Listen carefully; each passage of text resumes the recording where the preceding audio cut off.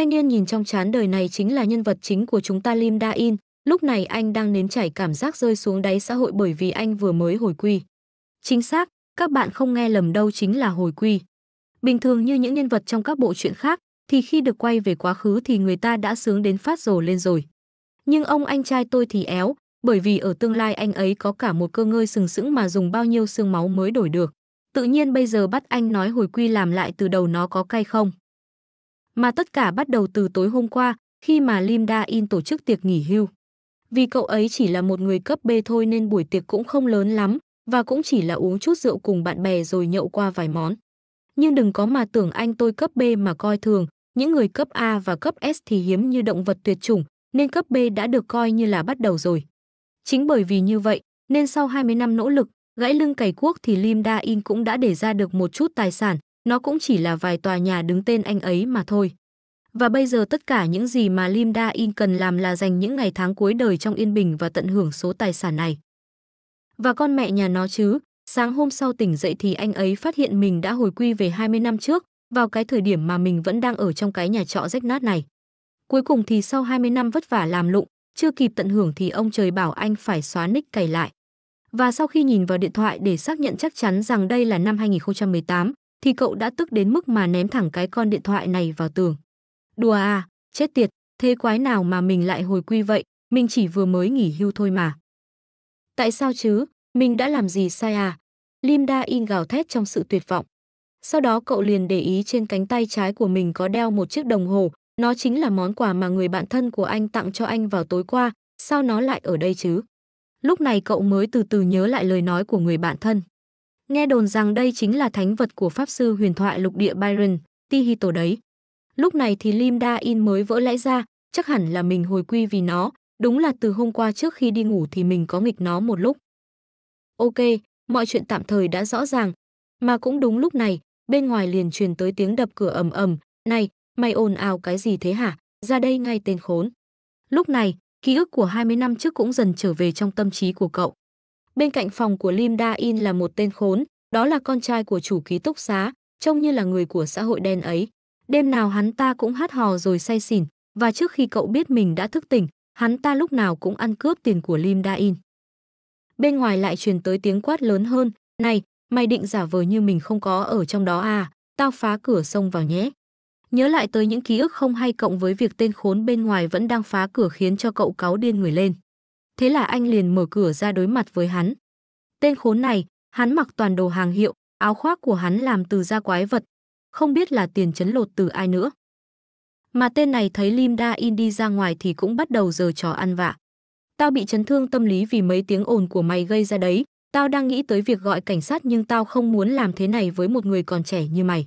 Nên tao sẽ giả vờ như chuyện này chưa từng xảy ra nếu mày bồi thường tổn thất tinh thần cho tao. Tóm lại là tên khốn này muốn đòi tiền. Mà lúc này hắn cũng để ý tới chiếc đồng hồ của Lim Da In, cái đồng hồ này được đấy, vừa nói hắn vừa đưa tay về phía chiếc đồng hồ. Nhưng mà Lim Da In phản ứng rất nhanh, ngay lập tức cậu đã gạt tay hắn ra. Sau đó tặng cho con lợn thối này một đấm vào mặt. Tiếp theo đó, Lim Da In dùng hai tay giữ chặt mặt hắn lại, rồi thực hiện một pha lên gối đau thấu trời. Đợi cho khi tên mập này ngã xuống rồi, thì cậu mới bắt đầu buông ra những lời dạy dỗ cho hắn. Sao một tên người lớn trưởng thành khốn nạn như anh cứ đòi ăn cướp chấn lột tiền của người trẻ như tôi thế? Cái này vẫn chưa đủ đền lại những gì anh đã ăn cướp của tôi, nhưng tôi sẽ tốt bụng mà bỏ qua cho anh đó. Vừa nói, Lim Da In cũng vừa thuần thục lấy cái áo của hắn mặc lên người mình. Rồi ok, đi cướp không thành còn bị chấn lột lại. Mà tên mập phía dưới vẫn còn đang run rẩy nói, không, cái đó đắt lắm. Nhưng mà Lim Da In không để ý, cậu liền quay người bỏ đi, tôi đi đây, sau đó thì liệu hồn ấy. Lúc này, sau khi đi ra ngoài đường, Lim Da In cũng đang suy nghĩ vu vơ, tôi rất thắc mắc tại sao mình lại quay về năm 2018. Nhưng khi mình thức tỉnh trong lúc ngã ở công trường đó, mình đã chật vật cả đời vì vết thương ở gối lần đó, giờ không còn cảm giác đau nhói nữa, tuyệt thật. Vậy thì bắt đầu thức tỉnh thôi. Cùng lúc này, trên người cậu cũng bốc lên từng luồng mana. Đó là bởi vì Lim Da In đã điều khiển mana được 20 năm rồi, nên tự mình thức tỉnh dễ như ăn bánh mì. Ngay sau khi quá trình thức tỉnh kết thúc, cậu liền bắt đầu kiểm tra cơ thể, để xem nào. Mình không có đủ dinh dưỡng và cũng thiếu cơ bắp nữa, mình thực sự đã làm quen được với cái cơ thể này sau khi hồi quy. Nhưng trước tiên, bởi vì bụng cậu đang biểu tình dữ dội nên phải đi ăn cái gì đã. Nhưng đen đủi làm sao, quán ăn thì chẳng thấy đâu, mà chỗ này toàn là công trường. Mà kể ra thì hồi đó cậu cũng đen vãi cứt khi đụng chúng mấy cái hầm ngục. Giờ đây sự xuất hiện của các cánh cổng và quái vật đã gây ra rất nhiều thiệt hại. Éo hiểu có phải thanh niên mồm thối hay không, nhưng mà ngay khi cậu ta nghĩ tới cánh cổng thì thực sự có một cánh cổng xuất hiện. Mọi người thấy sự xuất hiện của cánh cổng này thì bắt đầu trở nên hỗn loạn và từ trong cánh cổng bắt đầu chui ra một con chó đỏ. Nó được gọi là chó hoang đốm đỏ, một con quái vật với hàm răng sắc nhọn sống thành bầy đàn. Mà lúc này, những tiếng kêu la, cầu cứu vang lên khắp mọi nơi. Mình hồi quy vào đúng khoảng thời gian kinh khủng rồi, để xem nào vũ khí. Nghĩ tới đây, cậu liền phát hiện được một cái xà beng ở đâu đó. Thế là Lim Da In liền nhanh tay cầm lấy thứ này, rồi chuẩn bị chiến đấu. Mà ở phía trước của Lim Da In, cũng đang có một bé gái bị ba con chó rách bao quanh. Ngay trước khi con chó này lao lên tấn công bé gái, thì Lim Da In đã nhanh tay kéo cô bé rồi ném cô ấy về phía sau mình, tới chỗ bố em đi, Lim Da In nói với cô ấy. Mà lúc này, hai con chó rách thấy mồi của mình bị cướp đi thì cũng lao lên tấn công cậu. Và để tiếp đãi hai con chó này thì Lim Da In liền vung cây xà beng trong tay, đập thẳng vào đầu một con, khiến cho nó bị choáng váng. Tiếp theo lại là một cú vung xà beng nữa đập thẳng vào cằm nó, quả này thì cho dù nó còn sống cũng không còn răng mà nhai cháo. Cuối cùng Lim Da In dùng toàn lực xoay ngược cây xà beng lại, vung mạnh con chó này về phía xa. Nhưng mà vừa mới hạ gục được một con thì bụng cậu lại réo to hơn, sao mình nhanh đói vậy, mà thế quái nào lũ này đông thế. Hả, giờ nghĩ lại thì chúng mày béo thật đấy, trông ngon phết. Lim Da In vừa nói mà miệng cậu ta cũng bắt đầu chạy rãi. Mấy con chó rách thấy cảnh này thì liền co vòi lại, bản năng sinh tồn nhắc nhở chúng là tên phía trước này hình như hơi nguy hiểm. Mã Lim Da In cũng không định đùa, trong tương lai cậu ta thực sự đã từng ăn nó. Bọn chúng ngon lắm, thực đơn chó hoang đốm đỏ hầm.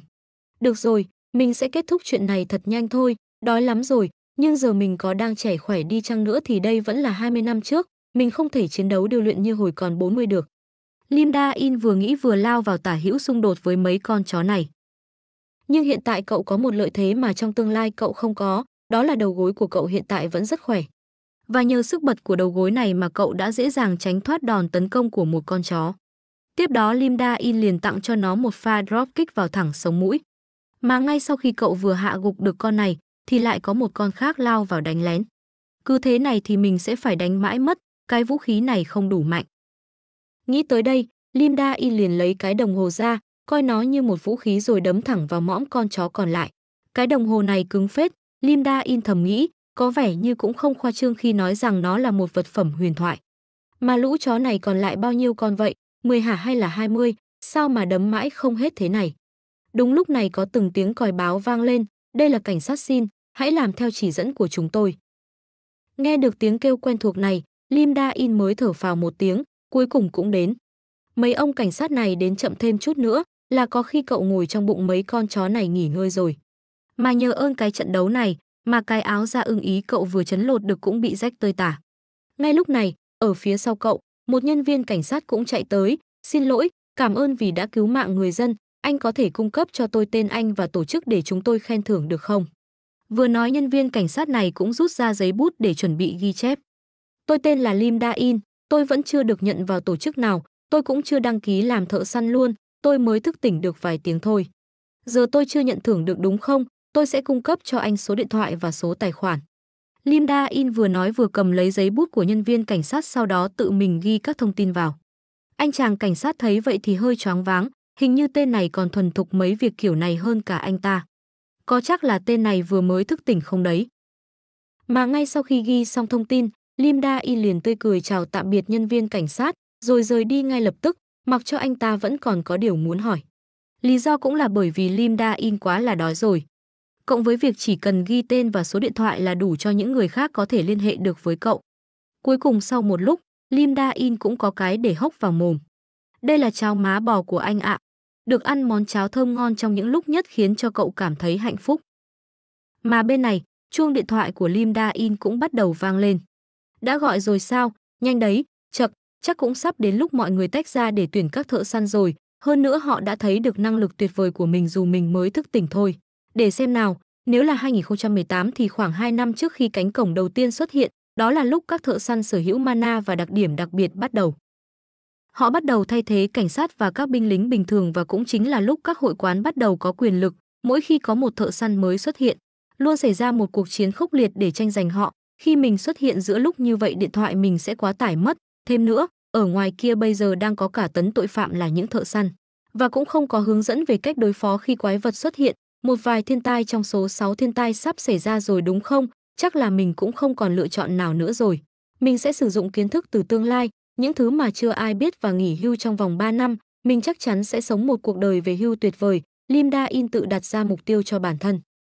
Mà không lâu sau đó liền có một người đàn ông tới tìm cậu, cho hỏi cậu là Lim Da In phải không? Nghe được câu hỏi này, Lim Da In liền quay đầu trả lời, vâng, là tôi đây, anh là ai? Vậy là đúng rồi tôi là Kim Jisoo, quản lý của công hội Hoàng gia, vừa nói anh chàng đẹp trai này vừa đưa cho cậu một tấm danh thiếp. Sau khi xem video săn quái của cậu, tôi đã luôn muốn được gặp gỡ cậu, nếu cậu vẫn chưa ký hợp đồng với ai.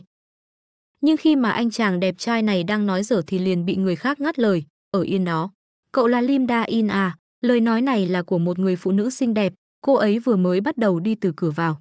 Ngôi sao của video hạ gục của quái vật, tôi cá là ngoài đời cậu còn ngầu hơn trên hình nữa, nếu được. Cô ấy mới nói đến đây thì lại bị người khác ngắt lời tiếp, người anh em, tôi đến từ công hội chiến binh nghề. Anh thấy đó, công hội của chúng tôi rất, chào cậu Lim Da In. Tiếp theo đó là vô số người cùng bước vào quán ăn, tất cả bọn họ đều đưa ra những lời mời chào cho Lim Da In. Cuối cùng không chịu nổi nữa Lim Da In đành phải nói, mọi người giữ trật tự giúp, còn nói thêm lời nào nữa tôi sẽ không tham gia bất cứ công hội nào đâu. Lời nói này của cậu cuối cùng cũng giúp cho mọi người được im lặng, trước tiên ta đến nơi khác nói chuyện chứ, Lim Da In đưa ra đề nghị. Một lúc sau, họ đã có mặt tại một quán cà phê, lúc này Lim Da In từ từ uống cà phê rồi bắt đầu nói. Tôi sẽ không làm tốn thời gian của các vị, về hoa hồng của hợp đồng các vị có thể trả bao nhiêu. Anh chàng đẹp mã đến từ có công hội hoàng gia đưa ra đề nghị đầu tiên, cậu Lim Da In, hợp đồng có tính bảo mật mà, hay là chúng ta nói chuyện riêng nhé.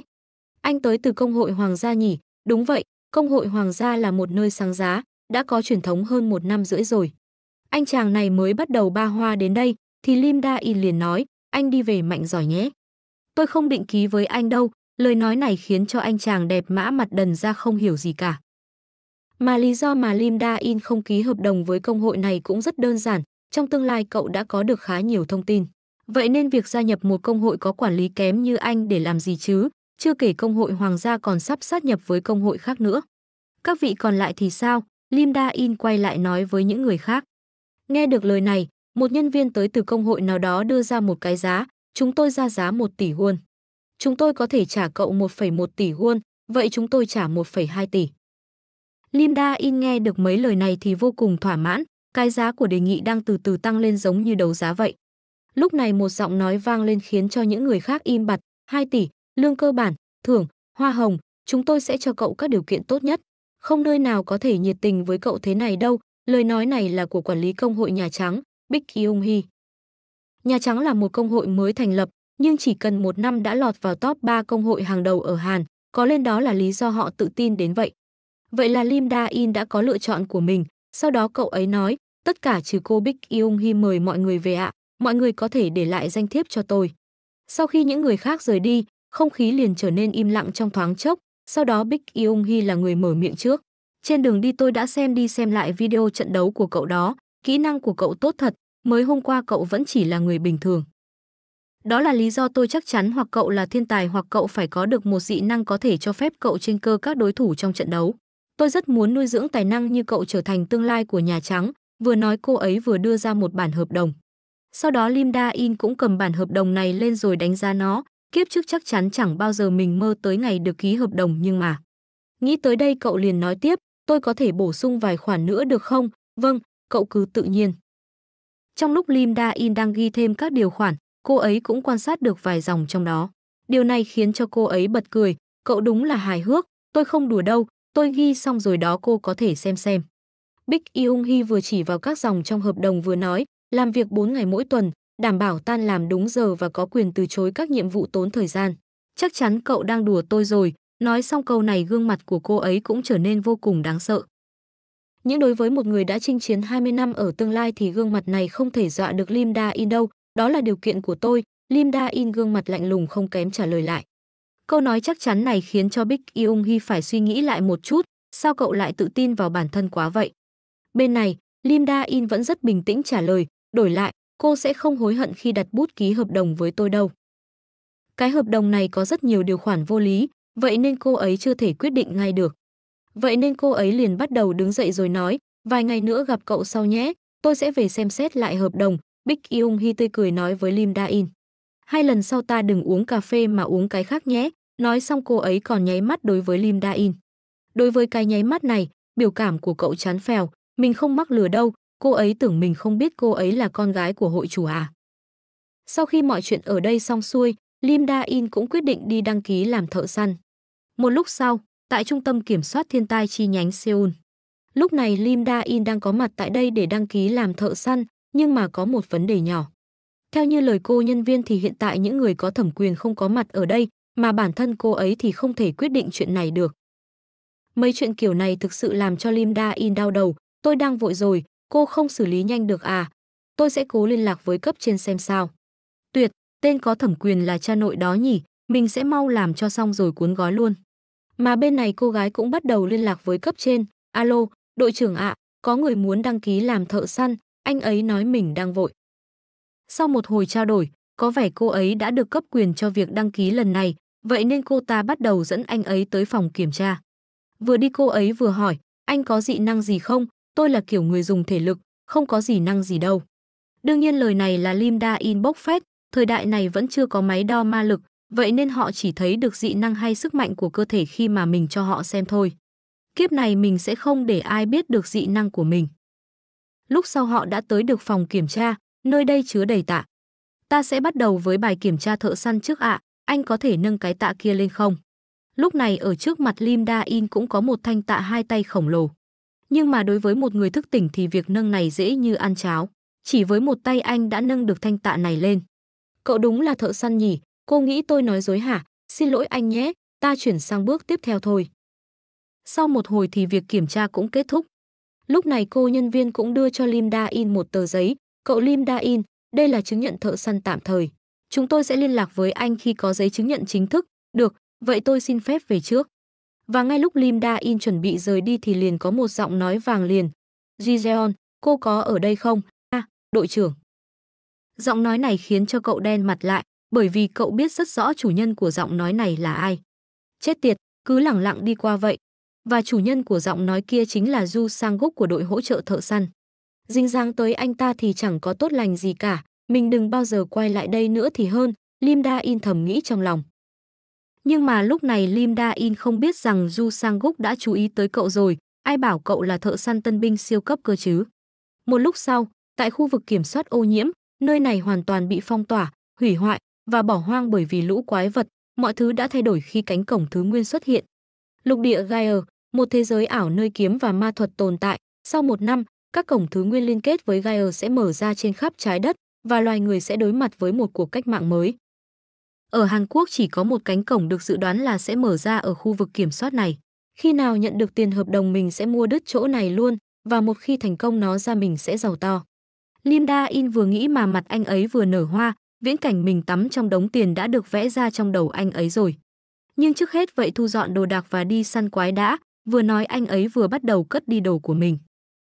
Đột nhiên lúc này một giọng nói vang lên, mau cút đi, nếu không ta sẽ giết người. Ta cảnh cáo ngươi đấy, nếu còn dám lại gần ngươi sẽ chết. Giọng nói này thu hút sự chú ý của Lim Da In, đây là ngôn ngữ của lục địa Gaia à. Sau đó cậu hơi suy nghĩ một chút rồi liền bắt đầu sử dụng dị năng của bản thân, ngay sau đó bóng hình của Lim Da In mờ dần. Đây là tác dụng của dị năng ẩn thân, bằng cách hòa mình vào khung cảnh xung quanh, cậu có thể che giấu sự hiện diện của bản thân.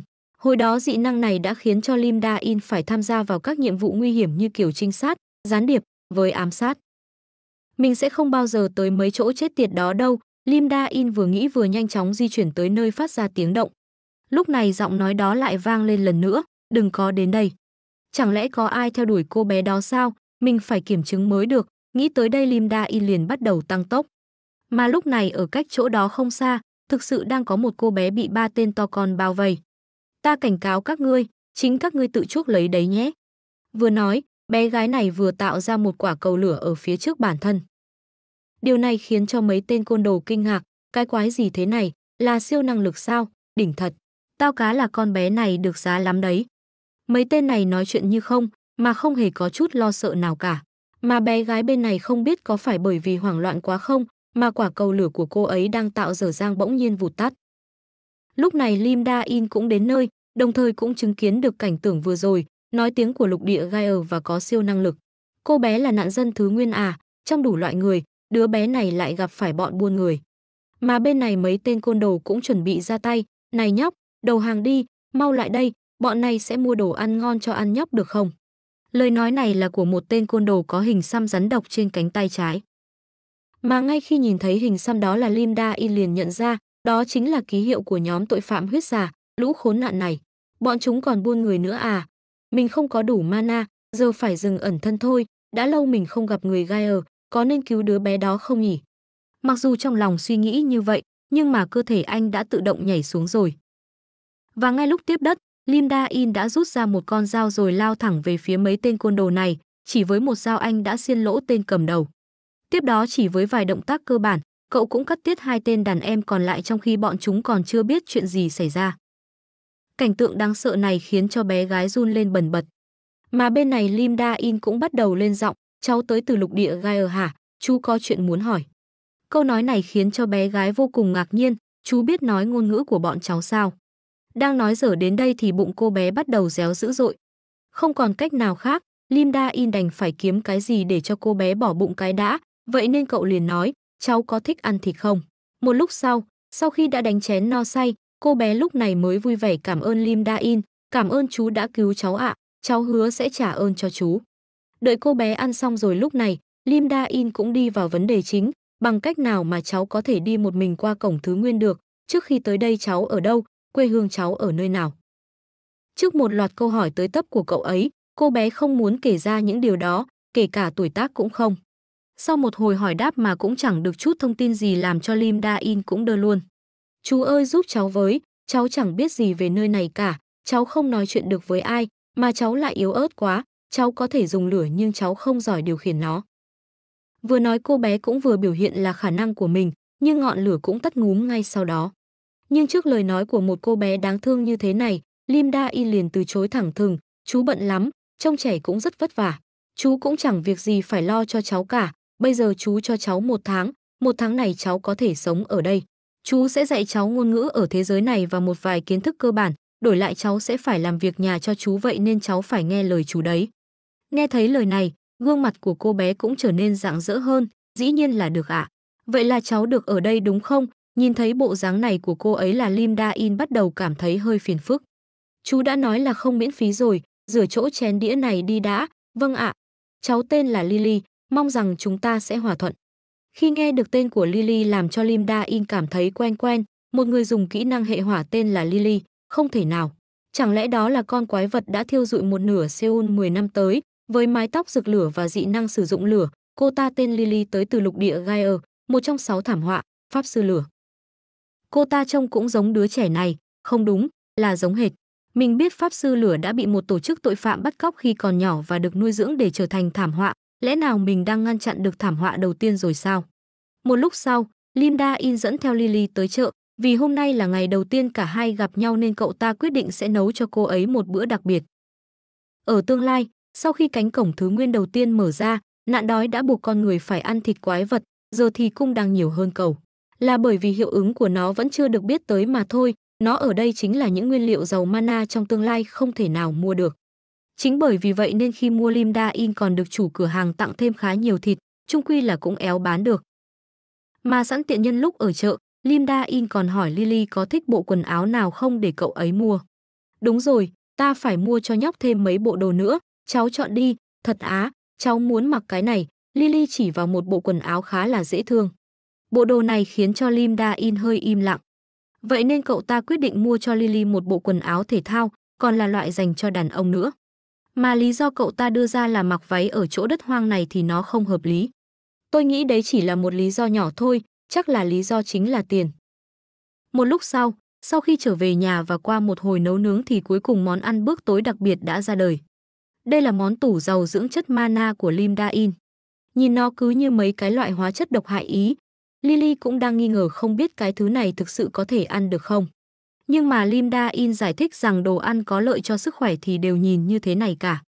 Mà trong lúc Lily đang phân vân thì bỗng nhiên có một mùi cực kỳ thơm bay qua. Cháu ngửi thấy mùi gì thơm cực. Mùi thơm này là đến từ hộp gà rán, nhưng mà họ sẽ ăn thứ này sau, bây giờ chỉ mở ra để lấy tí mùi thơm cho dễ nuốt cái chất dinh dưỡng giàu mana này. Nhưng mà Lily cũng nhanh tay thó được một cái đùi gà, ngay sau khi cắn miếng đầu tiên, gương mặt của cô ấy liền trở nên hạnh phúc, sao lại ngon thế được nhỉ, từ giờ cháu chỉ ăn gà thôi. Vậy là một fan trung thành của KFC đã ra đời, và Lim Da In thì không thích điều này. Gương mặt cậu ấy trợn hết cả lên, ăn cả món này đi, hay cháu muốn chú trộn cả hai lại làm súp hả? Thôi đừng ạ, à, Lily vội vàng can ngăn. Mà lúc này Lim Da In cũng ngồi xuống để thưởng thức món ăn đặc biệt của mình, chưa gì đã kén ăn rồi, không đến nỗi không nuốt được. Đấy là ngoài miệng thì cậu ta nói với Lily thế thôi, chứ thực ra trong lòng thì cậu ta cũng biết món này vị như lìn. Nó chỉ đủ để không giết chết người khác thôi, nếu không hồi quy, giờ mình đã tận hưởng đủ loại cao lương mỹ vị trong các nhà hàng sang chảnh rồi. Nghĩ tới đây là Lim Da In lại cảm thấy bực mình. Và sau một hồi ăn uống, thì Lily cũng cảm thấy đầu lưỡi của cô ấy bắt đầu tê liệt. Cứ ăn hết đi rồi hãng cằn nhằn. Nhóc rửa bát rồi đọc sách đi nhé, đừng làm phiền chú. Vâng ạ, Lily buồn chán đáp. Lúc này Lim Da In cũng tìm một chỗ yên tĩnh ngồi xuống để luyện tập một mình. Thứ mà cậu ta đang sử dụng là đại hải tâm thuật, nó giúp tăng cường ma lực và giúp cho việc sử dụng nó linh động hơn. Trước khi hồi quy cậu ta cũng đã luyện tập dùng tâm thật rồi, nhưng lần này mana tăng nhanh lên nhanh hơn cậu ấy nghĩ. Dù đã rất cố gắng luyện tập tâm thuật, ngay trước nó cũng chả có cái tác dụng gì cả. Có phải là nhờ mấy món giàu mana với tuổi trẻ không nhỉ? Mình có thể cảm nhận được kích cỡ của đan viền đang tăng lên nhanh chóng. Cứ thế này nếu mình kết hợp giữa tâm thuận và các món ăn giàu mana, mình sẽ mạnh hơn cả lúc trước khi hồi quy. Đã đến lúc dần dần kết thúc mọi thứ rồi à? Chẳng biết có phải là do việc tu luyện quá là tốn sức hay khôn, mà bụng cậu ấy lúc này lại bắt đầu kêu réo.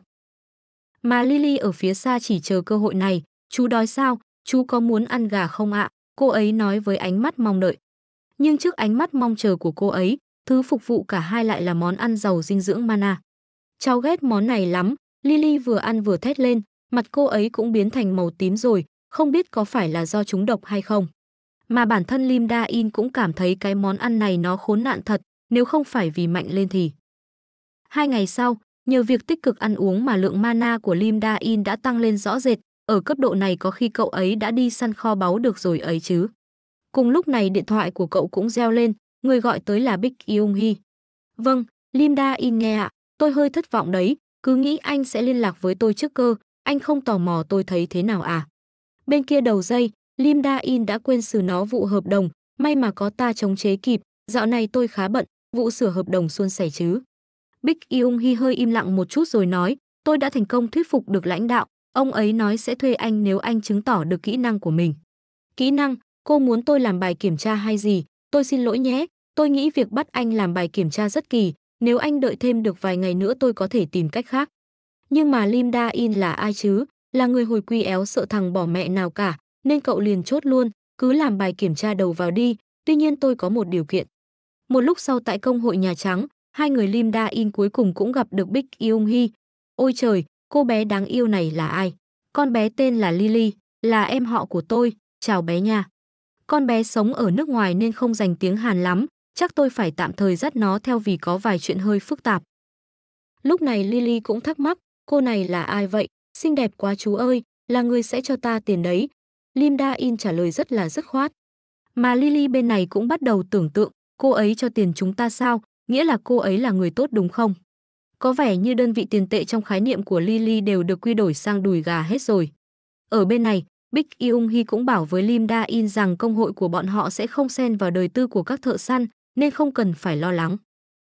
Không lâu sau đó, Bích Yung Hee cũng dẫn hai người bọn họ tới gặp một người đàn ông cao to, vừa nhìn thấy hai người là ông ta liền chào hỏi, chào mừng cậu tôi là Bách Trang Su tới từ công hội Nhà Trắng. Lẽ ra chúng tôi phải liên lạc với cậu trước, nhưng có vài chuyện phải thế mới được, mong cậu thông cảm, không sao, tôi có thể coi như đi tham quan cũng được, vừa nói hai người vừa bắt tay với nhau. Bên này Bách Trang Su tiếp tục nói, nhưng tôi nghe nói cậu vừa đưa ra điều kiện mới, cậu muốn gấp đôi tiền ký hợp đồng nếu vượt qua bài kiểm tra sao, vậy là cậu đồng ý với bài kiểm tra hả? Nhưng mà cậu có thật sự đáng giá vậy không nhỉ? Vừa nói ông ta vừa bộc phát ra một luồng áp lực mãnh liệt. Lim Da In lập tức đoán ra được, chắc chắn ông ta biết võ công hay ma pháp gì đó, nhưng một thứ khí thức dọa người chỉ với mana toát ra của ông ta đã làm mình phải e dè. Đúng là quái vật thì vẫn là quái vật, nếu là những thợ săn khác họ đã phải nín lặng rồi, nhưng mình không phải họ. Nghĩ tới đây, trên người Lim Da In cũng bộc phát ra một luồng khí để đối chọi lại, tôi sẽ cho ông thấy giá trị của mình. Mà Bách Trang Su thấy được cái này thì lập tức ngạc nhiên, sau đó quay là vì nói với Bích Yung Hi Bích Yung Hi cô viết lại hợp đồng nhé. Hội chủ, ký hợp đồng với điều khoản lúc trước sẽ. Nhưng mà chưa đợi cô ấy nói xong thì ông ta liền nói tiếp. Cứ gấp 3 lần hoa hồng hợp đồng so với điều kiện lần trước của chúng ta đi, và thêm cả khoản cậu ta sẽ nhận được 20 tỷ tiền thưởng nếu vượt qua bài kiểm tra nữa. Ưu đãi này thực sự khiến cho Lim Da In giật mình, lần đầu là 2 tỷ, vậy gấp 3 lần sẽ là 6 tỷ, vậy mà ông ta lại nói mình sẽ nhận 20 tỷ nếu vượt qua kiểm tra sau. Ông hào phóng thật đấy, tôi sẽ làm bài kiểm tra luôn, Lim Da In nói với Bách Trang Su. Một lúc sau tại khu vực huấn luyện ngầm của Nhà Trắng, Bách Trang Su lúc này đang giải thích về bài kiểm tra. Điều kiện để qua bài kiểm tra của cậu là thắng trận đấu đối kháng với ba thành viên trong số các thành viên của chúng tôi, bởi đây là kiểm tra nên cẩn thận đừng bị thương nhé. Đối thủ đầu tiên của cậu, tên cậu ấy là Hoan Giang Hiếu.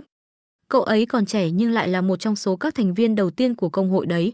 Lúc này Big Yung Hee cũng hỏi Lim Da In, anh thích dùng vũ khí nào, cái đồng hồ này là đủ rồi. Hành động này khiến cho Hoan Giang Hiếu vô cùng tức giận. Đồng hồ, cậu ta mới thức tỉnh chưa lâu, thế mà định ảo tưởng thế nào cơ, chỉ dùng một cái đồng hồ thôi sao. Bên này, Bách Trang Su cũng tuyên bố trận đấu bắt đầu. Tôi sẽ đánh cậu một trận ngay tại đây, Hoan Giang Hiếu nói nhỏ chỉ để cho Lim Da In vừa nghe. Lim Da In thì không hiểu tên này rốt cuộc bị cái gì. Qua việc đọc tin tức từ trên báo, thì cậu ta cũng biết được thuộc tính của tên này là tốc độ. Càng di chuyển hắn sẽ càng nhanh hơn mà không cần nghỉ ngơi gì cả, vậy nên phải thắng được hắn trước khi hắn nhanh hơn nữa. Lúc này Hoan Giang Hiếu cũng sử dụng chiến thuật chạy vòng quanh để tìm cơ hội tấn công. Hành động này khiến cho Lim Da In hơi bất ngờ bởi vì cậu ta cứ tưởng tên này sẽ xông vào ngay khi trận đấu bắt đầu. Vài người khác của công hội ở phía trên cũng bắt đầu quan sát, nhìn cách Hoan Giang Hiếu tăng tốc. Chắc là thắng được thành viên hàng đầu khó thật, kết thúc rồi, với người mới như cậu ta ít nhất cậu ta có dũng khí. Bên này Big Yung Hi cũng hơi lo lắng bởi vì không biết Lim Da In sẽ đối phó kiểu gì. Mà ở bên dưới Hoan Giang Hí Úc sau một hồi chạy vòng quanh thì cũng quyết định tấn công, ngay lập tức anh ta đã xuất hiện ở phía sau Lim Da In. Nhưng với kinh nghiệm chinh chiến 20 năm thì Lim Da In đã có thể dễ dàng phán đoán ra được hướng tấn công của cậu ta, sau đó tặng cho tên này một đấm vào mặt. Mọi người bên trên thấy Lim Da In thắng chỉ với một đòn thì cũng hơi bất ngờ. Giờ đến lượt ai nhỉ? Lim Da In tự tin yêu cầu, tiền sắp chảy vào túi cậu ta rồi. Bách Trang Su lúc này cũng lên tiếng chúc mừng, cậu Lim Da In, cậu tuyệt thật đấy. Tên kia không sao chứ, có vẻ như là không có vết thương nào nguy hiểm để tính mạng cả, nhân viên y tế đang ở đó rồi, vậy nên nghỉ ngơi vài ngày là được thôi, tất cả là nếu có câu kiềm chế. Trông giống thế làm sao? Thực ra nếu Lim Da In không kiềm chế thì tên kia đã bay đầu luôn rồi, hóa ra là ông ta biết hết.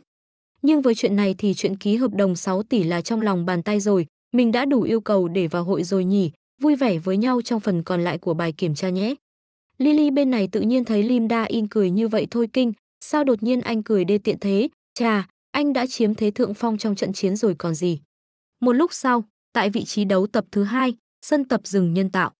Lúc này Big Eung Hee đang giới thiệu đối thủ tiếp theo cho Lim Da In, đơn vị Nhà Trắng có 6 đội.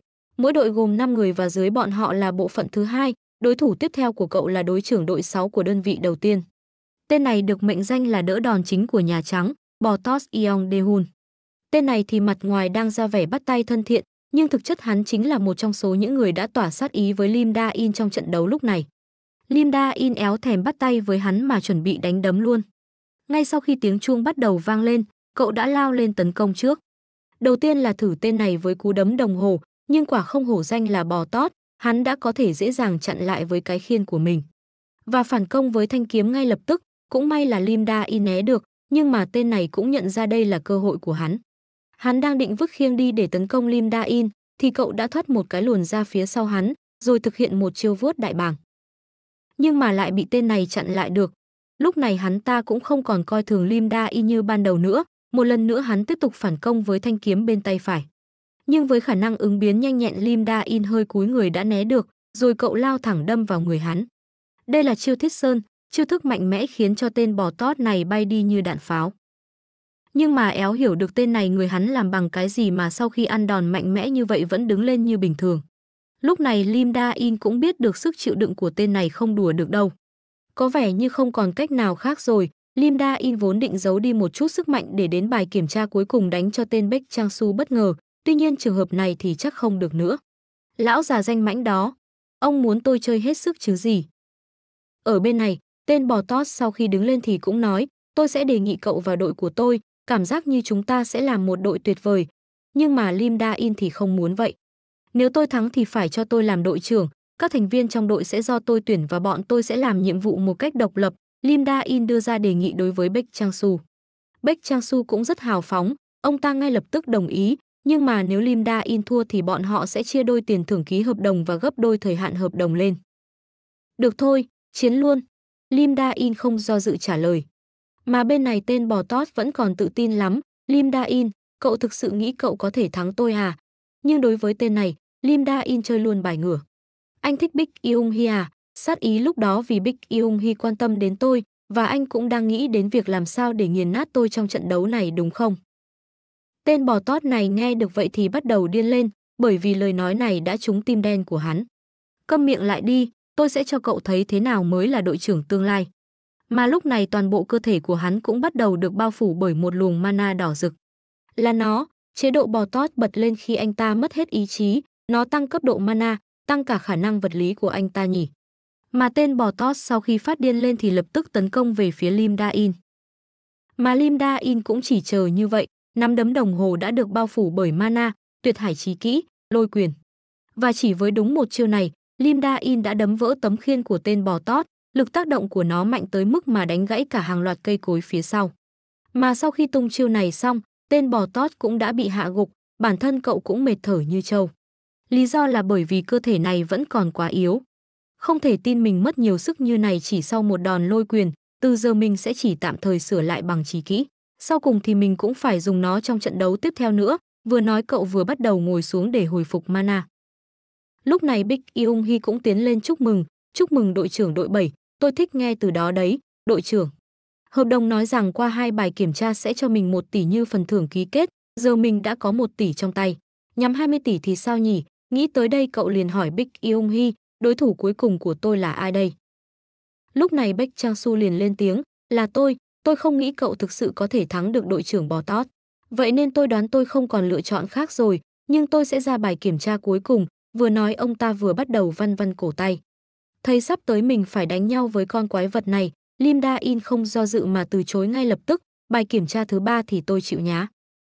Ngài Lim Da In, tôi sẽ cho cậu 20 tỷ nếu cậu duy trì được trong 5 phút, đợi đã tôi sẽ cho cậu 30 tỷ trong 3 phút, tôi không đánh được nữa. Tiền nhiều cũng thích thật đấy, nhưng mà đánh với tên này xong có khi tàn phế mẹ luôn. Cuối cùng, sau một lúc, cả hai cũng ký được hợp đồng. Lúc này Big Yung Hee liền đưa ra một vấn đề mà cô ấy thắc mắc, đội trưởng Lim Da In, cậu định tuyển thành viên như thế nào đây? Tôi đang nghĩ đến việc tuyển từng thành viên một, giờ tôi cũng có thể ký hợp đồng với một người khác đúng không? Bây giờ á, có thể nhưng là ai chứ? Một người mà không liên kết với bất kỳ hội nào khác và là siêu tài năng, Lily. Lily đang ngồi tô vẽ bên này nghe được Lim Da In gọi thì hơi ngạc nhiên, anh gọi em ạ, hãy tạo ra ngọn lửa to nhất có thể. Nhưng mà em đói lắm, cô ấy chán trường nói ra, nhưng ngay khi Lim Da In nói ra ba con gà rán thì thái độ của cô ấy thay đổi ngay lập tức, anh hứa rồi đấy nhé. Sau đó Lily chạy ra giữa phòng, hô to ba con gà rán rồi tạo ra một quả cầu lửa khổng lồ ở phía trên đầu mình. Cảnh tượng này khiến cho Big Yung Hi kinh ngạc tới mức che miệng, em gái cậu cũng là một thợ săn à? Ừ, đó là lý do tại sao tôi muốn đưa con bé vào hội ngay lập tức. Ngọn lửa rất lớn nhưng không hề đốt cháy những vùng xung quanh, có nghĩa là con bé điều khiển năng lượng một cách hoàn hảo. Không thể tin được con bé có thể điều khiển một ngọn lửa lớn như vậy chỉ trong vài ngày được học, thảo nào sau này con bé được gọi là tai họa. Được rồi, vậy thì chúng ta bàn về tiền cọc của Lily thôi chứ nhỉ, bắt đầu với 3 tỷ, vừa nói Lim Da In vừa cầm lên tờ giấy hợp đồng. Nhưng mà bên cạnh anh ấy lúc này bốc lên một luồng khí tức đáng sợ, đợi đã, gà của em. Cuối cùng Lim Da In phải mua gà cho Lily thì luồng khí tức này mới biến mất và hợp đồng với Lily cũng là 5 tỷ. Lúc sau, Big Young Hee cũng dẫn hai người đi tham quan xung quanh. Cả tòa nhà được sở hữu bởi Nhà Trắng, với nhiều phòng luyện tập, chỗ cá nhân, trung tâm kiểm soát chiến lược, vân vân. Nhà Trắng là một tổ chức lớn nơi không chỉ có các anh hùng mà cả các công dân bình thường làm việc. Big Young Hee còn định khoe khoang thêm một chút nhưng thấy Lim Da In không có gì bất ngờ nên lại thôi. Điều này cũng đơn giản, bởi vì so với tương lai thì những thiết bị ở hiện tại khá là lỗi thời. Tiếp theo họ liền tới tham quan phòng vũ khí, đây là nơi sản xuất vũ khí của chúng tôi, nếu có bất kỳ thứ vũ khí nào cậu đang tìm kiếm, chúng tôi có thể tạo ra cho cậu chỉ trong vòng một tuần. Tôi có một người có thể tin cậy để sản xuất vũ khí, vậy nên không cần đâu, nhưng trước mắt tôi vẫn lấy một vài thứ tôi cần đã. Nói xong anh cũng chọn lấy hai cây dao găm, thế này chắc là đủ dùng trong một thời gian. Và chuyến tham quan tới đây là hết, khi họ chuẩn bị kết thúc toàn bộ công việc bằng cách đi gặp ngài chủ tịch thì Bách Trang Su đã xuất hiện. Trưởng nhóm Lim Da In, cậu đang ở đây à? Vừa nãy trung tâm kiểm soát chiến lược vừa gọi khẩn cho tôi. Giờ bọn họ đang gặp khó khăn vì tất cả các đội đều đã xuất trận. Tôi xin lỗi vì hôm nay là ngày đầu tiên của cậu, nhưng cậu có thể ra trận một chút được không? Nghe được mấy lời này là thanh cảm xúc của Lim Da In tụt đi 50%, mình cứ tưởng là ngày đầu được về sớm ai ngờ. Thế là cuối cùng Lim Da In đành vác đít chạy tới hiện trường. Lúc này tại nơi xảy ra vụ việc, đang có một cánh cổng cách mặt đất 10 mét và có rất nhiều những con sen khổng lồ chui ra từ đó. Tại nơi này cũng có một nhóm thợ săn đang chiến đấu với chúng, cơ mà lũ sen này bốc ra mấy cái chất nhầy nhụa mùi vô cùng kinh khủng, nên khiến cho việc chiến đấu bị chậm lại khá nhiều. Lim Da In nhìn thấy cảnh tượng này thì chỉ có thể dùng từ dạp xiếc trung ương để miêu tả. Dù vậy thì có vẻ như lũ quái vật cũng hầu như được kiểm soát rồi, chúng ta có thực sự phải ra mặt không? Chúng trông có vẻ rất yếu và vô dụng. Chúng tôi thực sự cần mẫu vật của quái vật mới, nên xin hãy cố gắng nhất có thể để mang nguyên vẹn về ba con. Rồi rồi tôi hiểu rồi. Lũ quái vật này được gọi là ốc sên bốc mùi khổng lồ, dù là trong tương lai thì nó cũng bị mọi người xa lánh. Bản chất của con quái vật này rất yếu nhưng nếu bị nổ tung thì nó sẽ bốc ra một thứ một kinh khủng. Bên này Lily chưa kịp đánh nhau mà đã cảm thấy đến giới hạn chịu đựng. a à, cái mùi đó, chúng ta phải đánh nhau với nó hả? Anh chặn mùi hương bằng khiên mana rồi, anh có nên dạy em không nhỉ? Lily nghe vậy thì ngạc nhiên, anh có thể chặn được mùi khó chịu đó bằng khiên mana á, nó không hiệu quả ngay lập tức nhưng nếu em thứ. Nó thực sự hoạt động này, không còn mùi nữa ạ. À. Lim Da In nhìn thấy cảnh này thì chẳng biết nói gì, mình thậm chí còn chưa kịp dạy nó mà, đứa bé thiên tài này. Sau đó cậu cũng dạng Lily ở nguyên một chỗ, còn bản thân mình sẽ đi bắt vài con về. Theo những gì mình thấy được thì chẳng chỗ nào lấy được mẫu tử tế cả, chỉ dùng một chút mana thôi mà nó đã nổ tung và những đòn tấn công không mana có tác dụng rất ít với chúng. Cùng lúc này cậu cũng phát hiện được một con sen đang bò ở trên cây. Thế là cậu liền đá vào thân cây khiến cho nó rụng xuống. Sau đó Lim Da In nhẹ nhàng dùng thái cực quyền khiến cho con sen này quay mòng mòng trên không, cuối cùng ngất xỉu. Vậy là đã bắt được một con, Lim Da In nhanh chóng thả nó vào trong bao tải. Lily ở bên cạnh thấy cậu dễ dàng bắt được như vậy thì cũng muốn học chiêu quyền pháp vừa rồi. Nếu em muốn học thì đưa ra 10 tỷ, không, nếu 10 tỷ thì là bao nhiêu con gà. Không lâu sau cậu cũng bắt đầu thông báo về với trung tâm, trung tâm kiểm soát, việc thu mẫu vật đã hoàn thành, tôi đã bắt chính xác ba con, tôi sẽ đưa nó cho đội nghiệm thu và tan làm ở đây. Bích Yung Hi nghe vậy thì kinh ngạc, cái gì, đã xong rồi à, cậu nghỉ được rồi, đây là nhiệm vụ đầu tiên của cậu, có gì lo lắng muốn hỏi không? Không cần lo gì hết, lúc tôi tới thì có người đang dọn dẹp hết rồi, hiểu rồi, vậy thì sau khi cậu xem xét một chút. Ngay lúc này, khi mà Lim Da In vẫn đang nói chuyện dở dang thì liền có một giọng nói từ phía sau vang lên, xin lỗi, cậu là người của hội Nhà Trắng phải không? Lim Da In hơi ngạc nhiên quay đầu nhìn về phía giọng nói, tất cả là có ba tên. Lúc này tên áo đỏ bắt đầu nói, tôi chưa từng thấy có bao giờ, cậu là người mới à? Vâng, sao thế? Tôi nghe nói các cậu đã nhận thêm một tân binh, chẳng phải đó là băng đeo tay của trưởng nhóm à? Họ thiếu người tới mức phải cho một tân binh làm trưởng nhóm à? Này, chiêu vừa nãy cậu dùng là thuộc tính võ thuật của cậu à? Tên áo đỏ này là người thuộc hội Hắc Lạp Huy, đồng thời hắn cũng là đội trưởng đội 5, tên của hắn là Giang Se Huyên.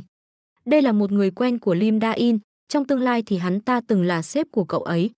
Và đối với mấy tên này thì cậu chẳng có chút thiện cảm nào cả, mặt cậu lanh tanh nói, đừng có nói chuyện phiếm nữa, anh muốn gì? Con sen chết tiệt này cứ nổ tung mỗi khi chạm vào, nên không ai trong chúng tôi có thể lấy được mẫu và tử tế. Nghe vậy thôi là Lim Da In biết mấy tên này định ăn xin rồi, thế anh muốn nó hả? Tôi không thích đưa đấy thì sao? Tên áo đỏ nghe vậy thì tức giận, không thích, cậu bao nhiêu tuổi, cậu đang nói chuyện hơi hỗn đó. Thấy tên này sắp phát điên lên nên nên hai tên còn lại vội vàng can ngăn. Anh Giang, chúng ta dùng lời nói thôi, chúng ta đâu cần nổi nóng làm gì. Hai tên này, một tên là hội chiến binh đội trưởng đội 3, một tên là hội hoàng gia đội trưởng đội 5. Mà tên áo vàng lúc này cũng bắt đầu khuyên bảo, nghĩ đi anh bạn, chúng ta sẽ còn gặp nhau trên chiến trường nhiều mà, vậy nên nếu chúng ta giúp đỡ nhau và làm nhiệm vụ cùng nhau nữa đúng không? Nghe thì cũng hợp lý đấy, nhưng mà chỉ đi lừa trẻ con thôi. Bích Yung Hi cũng biết được tình hình nên vội vàng nói, không được đâu, cậu từ chối đi, tôi sẽ gửi thư phàn nàn tới các hội đó sau. Mà Lim Da In thì cũng quá quen thuộc với tình hình này, bọn chúng định sẽ cướp nếu mà cậu ấy không giao ra. Thế là cậu liền ném cái bao tải xuống rồi ngồi lên nó, đến lấy đi nếu các ngươi có thể. Đây là một lời khiêu khích trần trụi, mấy tên này thì bắt đầu nổi cáo lên rồi, chúng tôi đã cố nói chuyện tử tế rồi đấy. Vậy mà tên khốn nhà cậu lại muốn đấu với chúng tôi, cậu muốn vậy sao? Mà ở bên này, Lim Da In cũng âm thầm nói với Lily, khi anh ra hiệu nhóc nhớ thắp sáng cả khu vực này nhé, để làm họ phân tán. Nhưng mà Lily bên này thì trực tiếp hơn nhiều, cô ấy đang hỏi là có nên nướng cả lũ đó lên luôn cho nhanh không? Không được, nếu em giết chúng thì rắc rối lắm, nên chỉ cần làm sáng cả khu thôi. Và lúc này, ngay khi hai bên chuẩn bị lao vào cắn nhau, thì đột nhiên trên bầu trời cánh cổng bỗng nhiên mở to hơn. Rồi từ trong đó chui ra một con sen khổng lồ. Tên tóc xanh vội vàng bảo mọi người chuẩn bị chiến đấu. Chẳng bao lâu, cả đám người đã bu quanh con ốc sen khổng lồ này. Một tên trong đám người còn cố tình gạt Lim Da In ra, đừng có cố can thiệp vào đấy, nếu cậu hành sự bất cần thì chúng tôi không chịu trách nhiệm nổi đâu, dù có bị chúng tôi đánh chúng cũng không được. Lim Da In thì kệ mẹ bọn này luôn, để cái này vào xe đi, cậu ấy nói với Lily. Mà lúc này, đám người cũng bị con sen này bón hành. Cái quái gì thế này, thứ này không thể bị cắt à. Vài người trong nhóm thậm chí đã bị con sen này tóm lại, nên một tên khác vội vàng ra lệnh yêu cầu mọi người cắt xúc tu của nó để giải cứu. Mà bên này, Big Yung Hee cũng yêu cầu Lim Da In cũng nên chiến đấu, ít nhất cũng phải chặt được một cái xúc tu của nó để chứng tỏ rằng cậu có quyền sở hữu chiến lợi phẩm. Nhưng mà Lim Da In chỉ cười cười, không cần phải lo đâu, với cái kiểu sức mạnh đó thì họ đời nào mới bắt được nó. Mà bên này, lũ loi choi vẫn bị con ốc sen quật cho túi bụi. Các uông hãy xử lý xúc tu xung quanh trước đi, thứ chất nhầy này cũng đang làm tan chảy lớp khiên kìa. Vậy thì các uông hãy tạm thời rút khỏi chỗ này, đội tấn công tầm xa hãy sẵn sàng chuẩn bị, chết tiệt, bọn chúng hoàn toàn khác so với bọn nhỏ hơn. Lúc này Lily nhìn lũ gà công nghiệp mổ nhau cũng bắt đầu thấy chán rồi, chúng ta phải còn ngồi đây nhìn bao lâu nữa vậy chứ, khi nào bọn họ ra khỏi đây hết mới được. Mà lúc này cũng có một thợ săn sắp bị con ốc sên tóm lại. Anh ta là Wang Guho, biệt danh vương giả dễ dụ của hội Hắc Lạp Khuy, nhưng mà lúc này anh ta thực sự chạy hết sức rồi. Thế nên anh ấy liền bị con ốc sên tóm, được đồng thời nó cũng chuẩn bị tiêu hóa anh ấy. Cũng may vào thời khắc sinh tử, Lim Da In đã ra tay chặt đứt cái xúc tu này, cứu được anh ấy một mạng. Lúc này Lim Da In cũng quay về sau nói với anh ta, dùng thuộc tính như vậy là không đúng rồi, nếu muốn biết cách dùng cho đúng thì hôm nào gặp tôi chỉ cho. Lên nào bé con, vâng. Vậy là cả hai bắt đầu lao lên tấn công con ốc sên, Lily ngay lập tức tạo ra một bức tường lửa che chắn xung quanh bọn họ, đồng thời che mất tầm nhìn của những thợ săn xung quanh. Big Yung Hi thấy Holly eo lĩnh như vậy thì vội vàng khuyên bảo, đội trưởng, anh thấy những anh hùng khác thế nào rồi đó.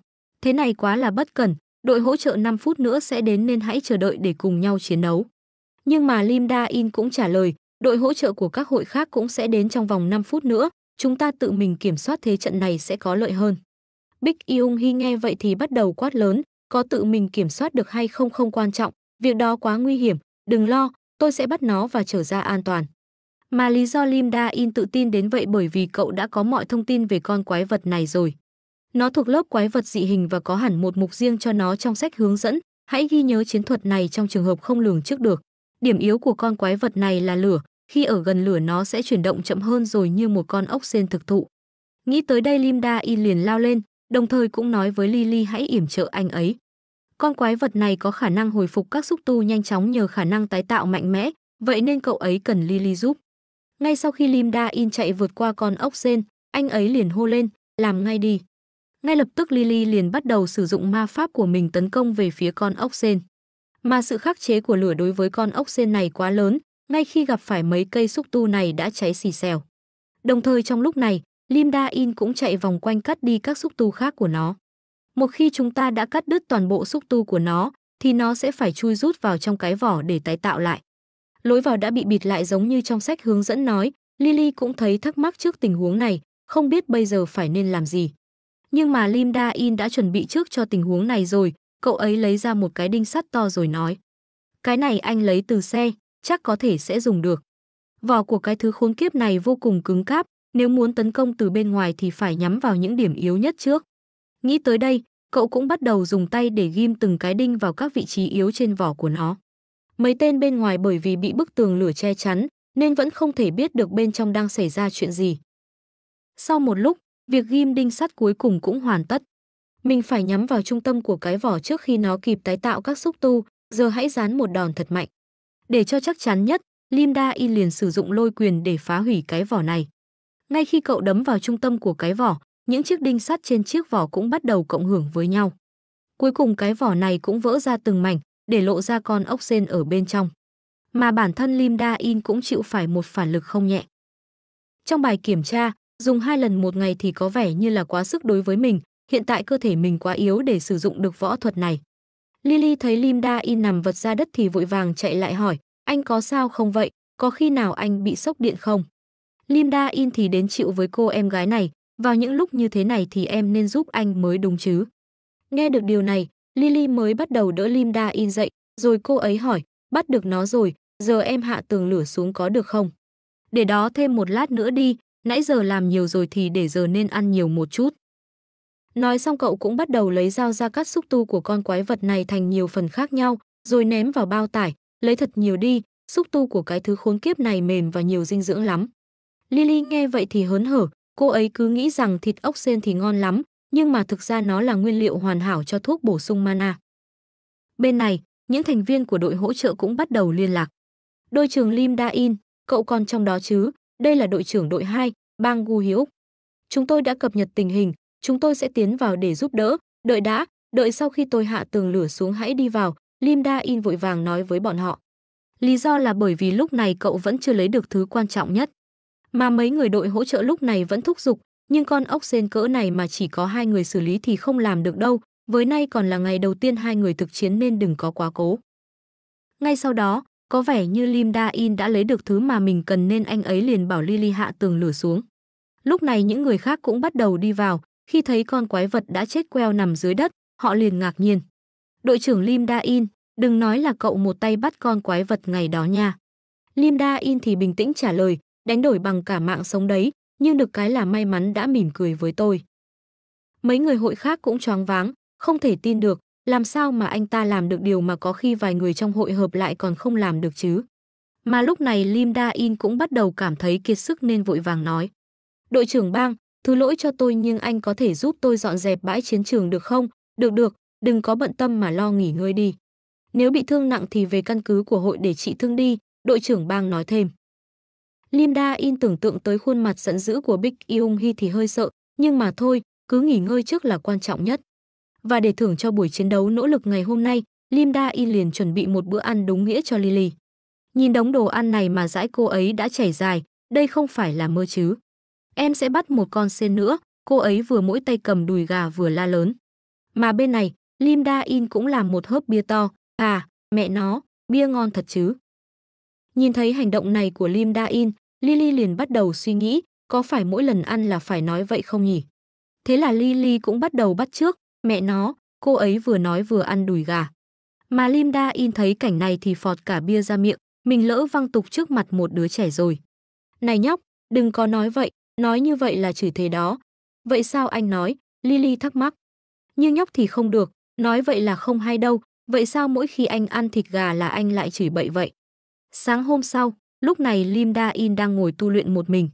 Giờ mình có thể mở rộng thêm phạm vi của đại hải tâm pháp, tựa như sắp chết vậy, mặc dù đó là thành quả sau việc chăm chỉ của mình. Đại hải tâm pháp chỉ sơ cứu được những vết thương nhỏ nên mình phải cố gắng không quá dựa dẫm vào nó. Lúc này khi kiểm tra điện thoại cậu mới nhận ra là mình đã bỏ lỡ không biết bao nhiêu cuộc gọi. Ngay khi cậu ấy nhấc máy lên, đầu dây bên kia đã quát lớn, sao mà khó liên lạc với cậu quá vậy, người gọi cho cậu ấy chính là Bích Yong Hee. Sau hôm qua, cơ bắp tôi nhức mỏi cả người nên tôi đã ngủ một chút, tôi xin lỗi, cậu thấy tốt hơn chưa, đỡ hơn rồi, có chuyện gì vậy? Chúng tôi đang định tuyển thêm thành viên để tạo nên đội 7, nhưng chúng tôi muốn nghe ý kiến cậu ở dưới tư cách là đội trưởng. Lúc này Lim Da In mới rõ lý do bọn họ gọi cho mình, cần rất nhiều thành viên để tạo nên một đội, đội quay phim, đội cứu trợ và đôi hỗ trợ trang bị cùng ra chiến trường. Quá trình được chỉ huy từ trung tâm kiểm soát chiến lược và thư ký để xếp lịch trình cho đội cũng như công việc giấy tờ. Khả năng đội đó có hoạt động tốt hay không phụ thuộc vào từng thành viên trong đội. Mà Lim Da In thì không giỏi khoản này lắm nên cậu ấy liền nói, hãy cứ chọn người như cô muốn, Bích Yung Hi, cô có mắt nhìn người lắm mà phải không? Ôi trời, dĩ nhiên rồi, chính tôi là người chiêu mộ cậu mà, cậu ổn chứ nếu chúng ta ăn trưa và cùng thảo luận tiếp với nhau. Nhưng mà Lim Da In không để ý, cậu ấy nói tiếp, ngoài ra có một thợ săn mà tôi muốn cô chiêu mộ, Wang Guho của hội Hắc Lạp Huy. Hãy liên hệ với anh ta. Một lúc sau Lim Da In cũng nói chuyện với Bách Trang Su, bởi vì vừa chiến đấu hôm trước nên ông ta cho anh nghỉ ngơi thêm 3 ngày. Nghỉ ngơi cho khỏe đi và đừng gắng quá sức, cậu đang gánh cả hội trên lưng đấy phải không? Nếu cậu đã hồi phục rồi thì hãy quay lại và làm nhiệm vụ tiếp theo. Nhưng mà Lim Da In không muốn nghe ông ta nói dài dòng nên liền tắt máy. Lily, em nói là em đói phải không? Chờ chút, cảm ơn ông, tôi sẽ nghỉ ngơi, đó là cái cớ cậu nghĩ ra để tắt máy. Mà Lily bên này nghe thấy đồ ăn thì mắt sáng lên, chúng ta sẽ đi ăn chứ ạ, gà rán ạ, anh sẽ làm thứ còn ngon hơn gà rán nữa cơ. Không như lần trước, rau quả tươi và thịt ốc sen hòa quyện với nhau kèm nội đan lấy được từ tim nó sẽ tạo ra một bữa ăn mana là đầy dinh dưỡng. Đây chính là sự trỗi dậy của món hầm thịt ốc sen từ địa ngục, màu hơi lạ nhưng anh đã cho rất nhiều thứ bổ vào trong đó đấy. Nhìn thấy món ăn này là Lily chỉ biết câm nín, cô ấy từ từ lùi về phía sau rồi nói, bởi vì em ăn hơi nhiều gà hôm qua nhưng giờ vẫn còn no. Thật sao, xui thật, nhóc thì làm gì cứ làm đi, xem ra nhóc không biết được món này ngon thế nào, anh cũng bỏ vào đó nhiều thịt ốc sen lắm, anh không còn nghĩ nó sẽ thừa cho bữa tối đâu. Lời nói này làm cho Lily bắt đầu do dự. Anh sẽ ăn hết nếu nhóc không muốn, được chứ? Không, em nghĩ lại rồi, em sẽ ăn hết nó. Lily vừa nói vừa vội vàng lao vào chặn lại cánh tay đang cầm lấy nồi thịt ốc sen hầm của Lim Da In. Và đây cũng chính là mục đích của Lim Da In, chỉ có thể nói là Lily đã quá là mất cảnh giác rồi. Nhóc đã nói là nhóc sẽ ăn hết nó à. Câu nói của cậu ấy tràn đầy sự nguy hiểm. Quả nhiên món này chẳng có gì ngon cả, giờ thì Lily đã mất niềm tin vào Lim Da In rồi. Và để chữa trị cho tâm hồn mong manh của cô bé này, Lim Da In liền nói, ăn thịt heo nướng tối nay không, thịt heo nướng là gì? Thứ đắt hơn gà rán, xem ra cuộc sống sẽ tốt đẹp hơn nếu em được ăn nó, thái độ của Lily nữa thay đổi 180 độ. Vậy là bữa tối đã được quyết định, mà lúc này Lim Da In cũng chuẩn bị đi luyện tập một chút. Nếu muốn ăn thêm chúng ta phải tiêu hóa hết đám này trước chứ, đi theo anh đi săn kho báu nào. Những con quái vật sống ở cánh cổng hầm ngục đều sống theo từng khu vực của chúng, trong đó là Uruk có một di tích từ thứ nguyên khác được giấu ở đó.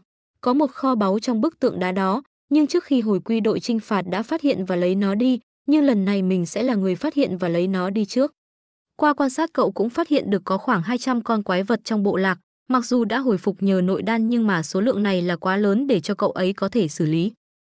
Vậy nên cậu liền lên kế hoạch rồi nói với Lily, anh sẽ lẻn vào. Nhóc nhớ đốt lửa khi có tín hiệu nhé, sau khi anh vào và nhóc thấy tín hiệu là một cây đuốc bị đổ xuống. Hãy đốt lửa ngay lập tức, nhưng đừng có làm quá lớn, nếu nhóc bị phân tâm mà không chú ý, kho báu sẽ bị lấy mất hiểu chứ. Nói xong cậu liền sử dụng ẩn thân rồi hiên ngang đi vào từ cổng chính. Xem ra không ai có thể thấy mình, kẻ mạnh hơn có thấy mình không thì mình cũng không rõ nữa, có khoảng 10 tên quái vật đứng gác xung quanh bức tượng à, chừng này thì vẫn ổn. Nghĩ tới đây cậu cũng lấy ra một con dao găm từ trong áo. Lúc này Lim Da In cũng phát hiện ra một con quái vật to lớn hơn so với đám còn lại, nó là tên tộc trưởng Uru cường hãn biến dị. Đó là con quái vật có sức mạnh kinh khủng, mình đã chứng kiến sức mạnh của nó khi đối đầu với đội trinh phạt trong quá khứ, con quái này rất nguy hiểm. Phải cẩn thận cứ theo kế hoạch ban đầu là tốt nhất, nghĩ tới đây cậu cũng nhặt một hòn đá lên rồi ném vào ngọn đuốc bên cạnh khiến cho nó đổ xuống. Ở phía trên cao, Lily ngay lập tức nhận ra đấy chính là tín hiệu, nên cô ấy liền bắt đầu điều khiển những ngọn lửa bốc cháy to hơn ở phía cổng, tên tộc trưởng vội vàng ra lệnh cho lũ đàn em đi kiểm tra. Mà đây cũng là cơ hội dành cho Lim Da In, tốt, mình sẽ đập vỡ tường đá từ đây và. Mới nghĩ tới đây, tên tộc trưởng bỗng dưng biến mất rồi lập tức xuất hiện phía sau Lim Da In, hắn thấy được ẩn thân của mình sao. Cũng may mà Lim Da In phản ứng nhanh nên đã kịp né được đòn tấn công của hắn, nhưng mà con quái này quá mạnh, mình phải chạy thôi. Cứ như vậy một chạy một đuổi, mà bởi vì đã bị phát hiện rồi thì cũng không cần phải giữ ẩn thân nữa cho tốn mana. Trong lúc chạy cậu ấy còn không quên kéo Lily đi cùng, sau một hồi cuối cùng cả hai cũng chạy thoát được tên kia, nhưng lúc này Lim Da In cũng không biết rằng mình đã chạy đến đâu cả. Nhưng mà Lily nhận ra nơi này, ngay khi đi ra khỏi cánh cổng từ chiều không gian của quê nhà, cô ấy đã đi ra từ hang động đó, vừa nói cô ấy vừa chỉ tay vào hang động phía trước mặt. Lúc đó có mấy ông chú kỳ lạ nữa, Họ đã cố gắng bắt em nên em đã chạy đi mất. Lời này làm cho Lim Da In suy, nghĩ lũ khốn khi đó, đừng nói là, xích xả. Nhóc ấy nói chỗ trú ẩn của chúng là ở đây sao, mình không nghĩ rằng chúng sẽ trốn ở đây, ngay bên làng quái vật, nếu mình chuẩn bị tốt, nghĩ tới đây dường như cậu ta đang có kế hoạch nào đó. Chúng ta có nên vào trong một chút không nhỉ? Lim Da In tự lẩm bẩm, nhưng mà Lily thì không muốn đi vào nơi đó. Vậy nên cậu liền dặn cô ấy trốn ở một góc, đồng thời đưa cho cô ấy một cái bộ đàm để nếu có chuyện gì bất chắc xảy ra thì có thể liên lạc được với nhau. Sau đó cậu một mình đi vào hang động đồng thời dùng ẩn thân để che giấu bản thân. Xích xà không phải là nhóm nhỏ, không biết đây là trụ sở bí mật không nữa, canh phòng cẩn thận thế này mà, sao chúng lại thiết lập ngay ở cạnh làng Uruki. Nghĩ tới đây, cậu cũng nhìn thấy vài tên mặc đồ bảo hộ đang ngồi pha chế thứ gì đó. Một vài tên còn đang cầm thứ bột trắng trên tay, đừng nói là đây là độc rắn. Nói vui thế thôi chứ chắc đây là ma túy rồi, thứ ma túy này là một chất gây nghiện được chế tạo từ những loại thảo dược của dị giới. Và trong quá khứ rất nhiều người đã trở thành nạn nhân của chứng nghiện ma túy, họ đánh mất lý trí, cuối cùng thì bỏ mạng. Cảnh sát đã dành hàng năm trời để điều tra về nó nhưng chẳng có ích gì, không ngờ chúng lại được giấu ở một nơi như thế này. Vậy là Lim Da In tiện thể vào quan sát luôn, nơi này hiện có khoảng 100 tên hội viên của tổ chức xích xà có vũ trang và tầm 30 người đang sản xuất thuốc.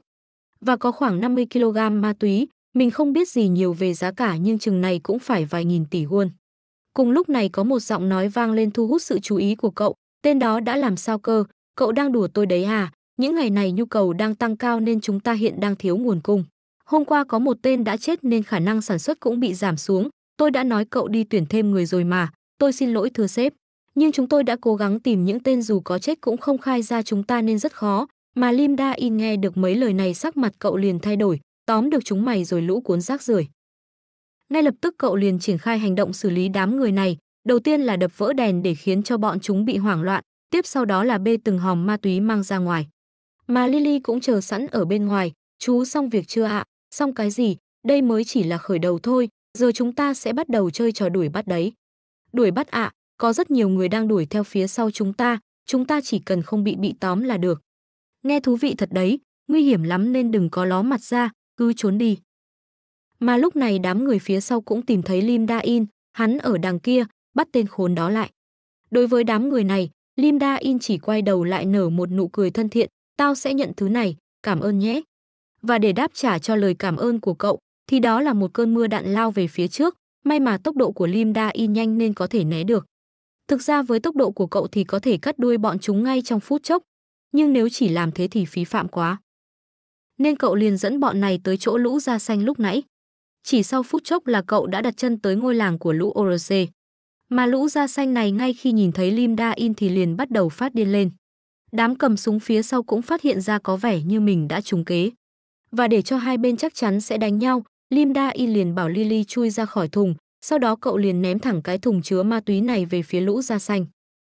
Mấy tên của hội xích xà cũng phát điên lên rồi, một tên tiểu đệ không biết phải làm gì liền quay sang hỏi đại ca của mình.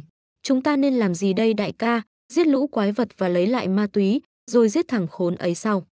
Cùng lúc này Lim Da In cũng thi triển ẩn thân để thoát đi. Còn lũ da xanh và lũ cầm súng cũng bắt đầu cán nhau. Mấy viên đạn này có sát thương khá tốt đối với lũ tầm thường.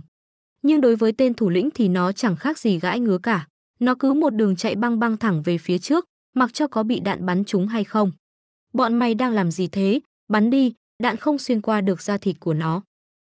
Mà tên thủ lĩnh này, ngay sau khi áp sát được đã một đao chém cụt đầu một tên. Và trận đầu sát bắt đầu diễn ra, Lim Da In và Lily thì đang thoải mái quan sát ở phía trên. Khi nào thì xong ạ, à, cháu đói quá, im lặng chờ đi. Mọi chuyện không phải lúc nào cũng kết thúc dễ dàng đâu. Qua một chút, có vẻ mọi chuyện ở đây sắp kết thúc, mình có nên đi dọn dẹp không nhỉ? Mà lúc này ở bên dưới, trận chiến cũng đã chính thức kết thúc sau khi tên thủ lĩnh chặt hết đầu lũ cầm súng. Lúc này nó đang vui về ăn mừng bằng cách giơ cao thanh đao của mình lên. Nhưng mẹ nó, còn chưa kịp ăn mừng được 3 giây thì đã có một con dao xuyên qua lồng ngực nó, làm tốt lắm, cảm ơn đã giúp tao dọn dẹp lũ rác rưởi kia. Đấy là những lời cuối cùng mà tên thủ lĩnh nghe được. Mà người ra tay thì đương nhiên là Lim Da In rồi, kế hoạch của cậu rất đơn giản, chỉ cần cho hai lũ kia cắn nhau xong mình ra ăn hôi là được. Bây giờ tên thủ lĩnh đã chết nên lũ còn lại cũng không phải vấn đề gì lớn, rồi bọn chúng sẽ bị xóa sổ từng tên một mà thôi. Đám da xanh thấy tên thủ lĩnh bị giết cũng chạy tán loạn. Không còn đám lâu nhâu làm vật cả nữa nên Lim Da Y liền vác búa ra đập cái bức tường này thành từng mảnh, cuối cùng cậu cũng tìm ra kho báu ẩn chứa trong nó. Ở bên trong bức tượng ẩn chứa một thứ đồ gọi là vòng tay của bảo hộ giả, một tạo tác giúp hồi phục sức khỏe cho người đeo và cải thiện tình trạng cơ thể của họ. Và cũng có thể sử dụng mana để thi triển phép bảo hộ, và nếu trang bị theo cặp thì hiệu ứng sẽ được khuếch đại. Kích thước của vòng tay sẽ thay đổi để vừa với tay người đeo, lượng mana mà mình vừa sử dụng cũng được hồi phục rồi. Chà, nó quả là xứng với cái tên. Lily lúc này ở bên cạnh thắc mắc hỏi, đó là một báo vật ạ, à? đúng đấy, nhóc con lại đây. Sau đó cậu cũng đeo lên một cái vòng tay cho Lily. Hành động này của cậu khiến cho cô bé thắc mắc, nhưng rồi Lim Da In giải thích, nó có chứa phép bảo hộ bên trong, người bình thường nếu nhìn thoáng qua sẽ không nhận ra được đâu. Nhìn vào cái vòng tay trên tay mình, khuôn mặt Lily trở nên hạnh phúc, thật sao ạ, nó giống với cái vòng của chú. Mà lý do cậu đưa cho cô bé cái vòng này bởi vì cô ấy vẫn còn quá yếu, mà cậu thì không thể cứ theo cô ấy mãi được, nên cái vòng tay này là thứ tốt nhất để phòng trường hợp nguy hiểm. Và trong lúc Lily vẫn còn đang ngắm nghía cái vòng tay thì Lim Da In liền nói. Chúng ta ăn tối muộn một chút nhé, tôi cần quay lại hang động đã. Câu nói này của Lim Da In khiến cho Lily kinh ngạc. Gì cơ ạ, à? sao chú phải quay lại chỗ đó? Tôi sẽ kể sau, nhưng trước tiên Lily đốt toàn bộ chỗ đó thành cho đi. Chúng ta sẽ đi ăn nếu cháu làm vậy ạ. À? Không, nhưng lát nữa chúng ta sẽ đi ăn những món ngon hơn. Vâng ạ. À. Nói xong cô cũng bắt đầu sử dụng ma pháp của mình, chung quy thì cũng phải có đồ ăn mới làm việc được. Và chỉ với một đòn, cái ngôi làng này bắt đầu cháy đùng đùng lên. Cháu đói quá, món ăn ngon, cô ấy la lên trong khi liên tục sử dụng ma pháp của mình để đốt cháy mọi thứ. Hành động này khiến cho Lim Da In hơi run, nếu lỡ bỏ đói con bé dù chỉ một ngày thì mình sẽ không được yên thân mất. Sau đó cậu cùng với Lily cũng quay trở lại hang động. Trong này vẫn còn lại vài tên loi choi, bọn chúng phát hiện ra kẻ đột nhập thì liền rút súng ra nã không trượt phát nào. Nhưng trước lá chắn được tạo ra bởi cái vòng tay thì mấy viên đạn này chẳng có tác dụng gì cả.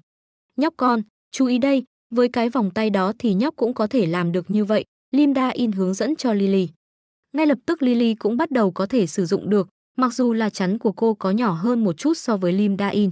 Nhưng mà cô ấy thậm chí có thể thay đổi hình dạng và di chuyển lá chắn này để tấn công như một thứ vũ khí. Hành động này khiến cho Lim Da In biết rõ khoảng cách giữa người thường và thiên tài là như thế nào. Sau một lát chỉ còn lại một tên, tên mày cũng rất biết thời thế, thấy mình không đánh lại thì lập tức quỳ xuống xin tha.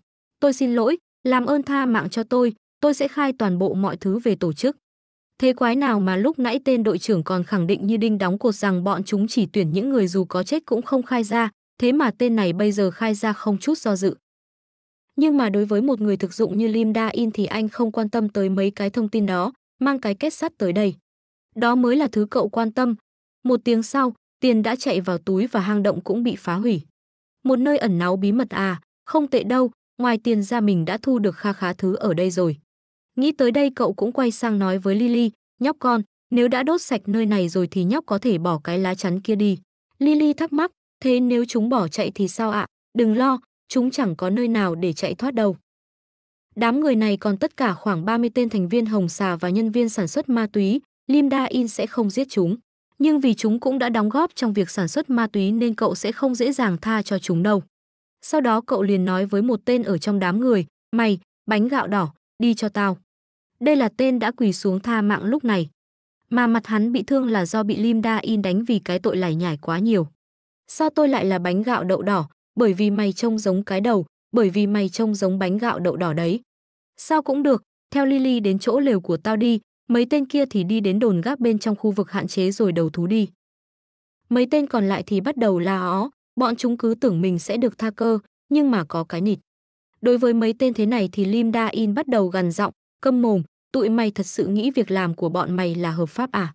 Nếu còn ra vẻ vô tri thì tao sẽ đánh tới khi chúng mày tỉnh ngộ ra.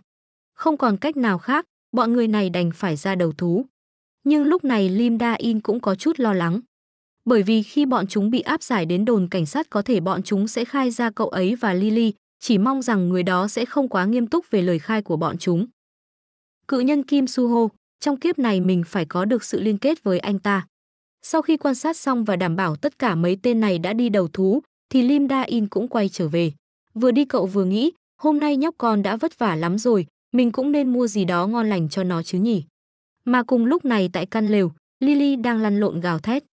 Đói bụng quá, đói quá trời, đói chết đi được. Hành động này khiến cho tên bánh gạo đỏ chỉ biết khóc, hắn còn chẳng thể hiểu nổi con nhóc này đang lên cơn gì. Một lát sau, Lily đang cằn nhằn với Lim Da In, anh đã hứa mang đồ ăn ngon cỡ gà rán vì cho em cơ mà. Lim Da In vừa dơ ra một cái túi bóng đen vừa nói với cô ấy, món này cũng ngon mà, món này không thơm mà còn mềm nhũn nữa. Lại là ốc nữa à. Nhưng hôm nay Lim Da In thực sự không lừa cô ấy, bên trong chính là thịt lợn. Sau đó anh ta liền ra lệnh cho tên bánh gạo đỏ đi chuẩn bị nướng. Hai miếng ba chỉ heo được nướng đến độ hoàn hảo, tỏi nướng và một ít salad hành lá, dùng một lá mẻ và một miếng rau xà lách cuộn lại rồi ăn hết cả cuốn trong một lần.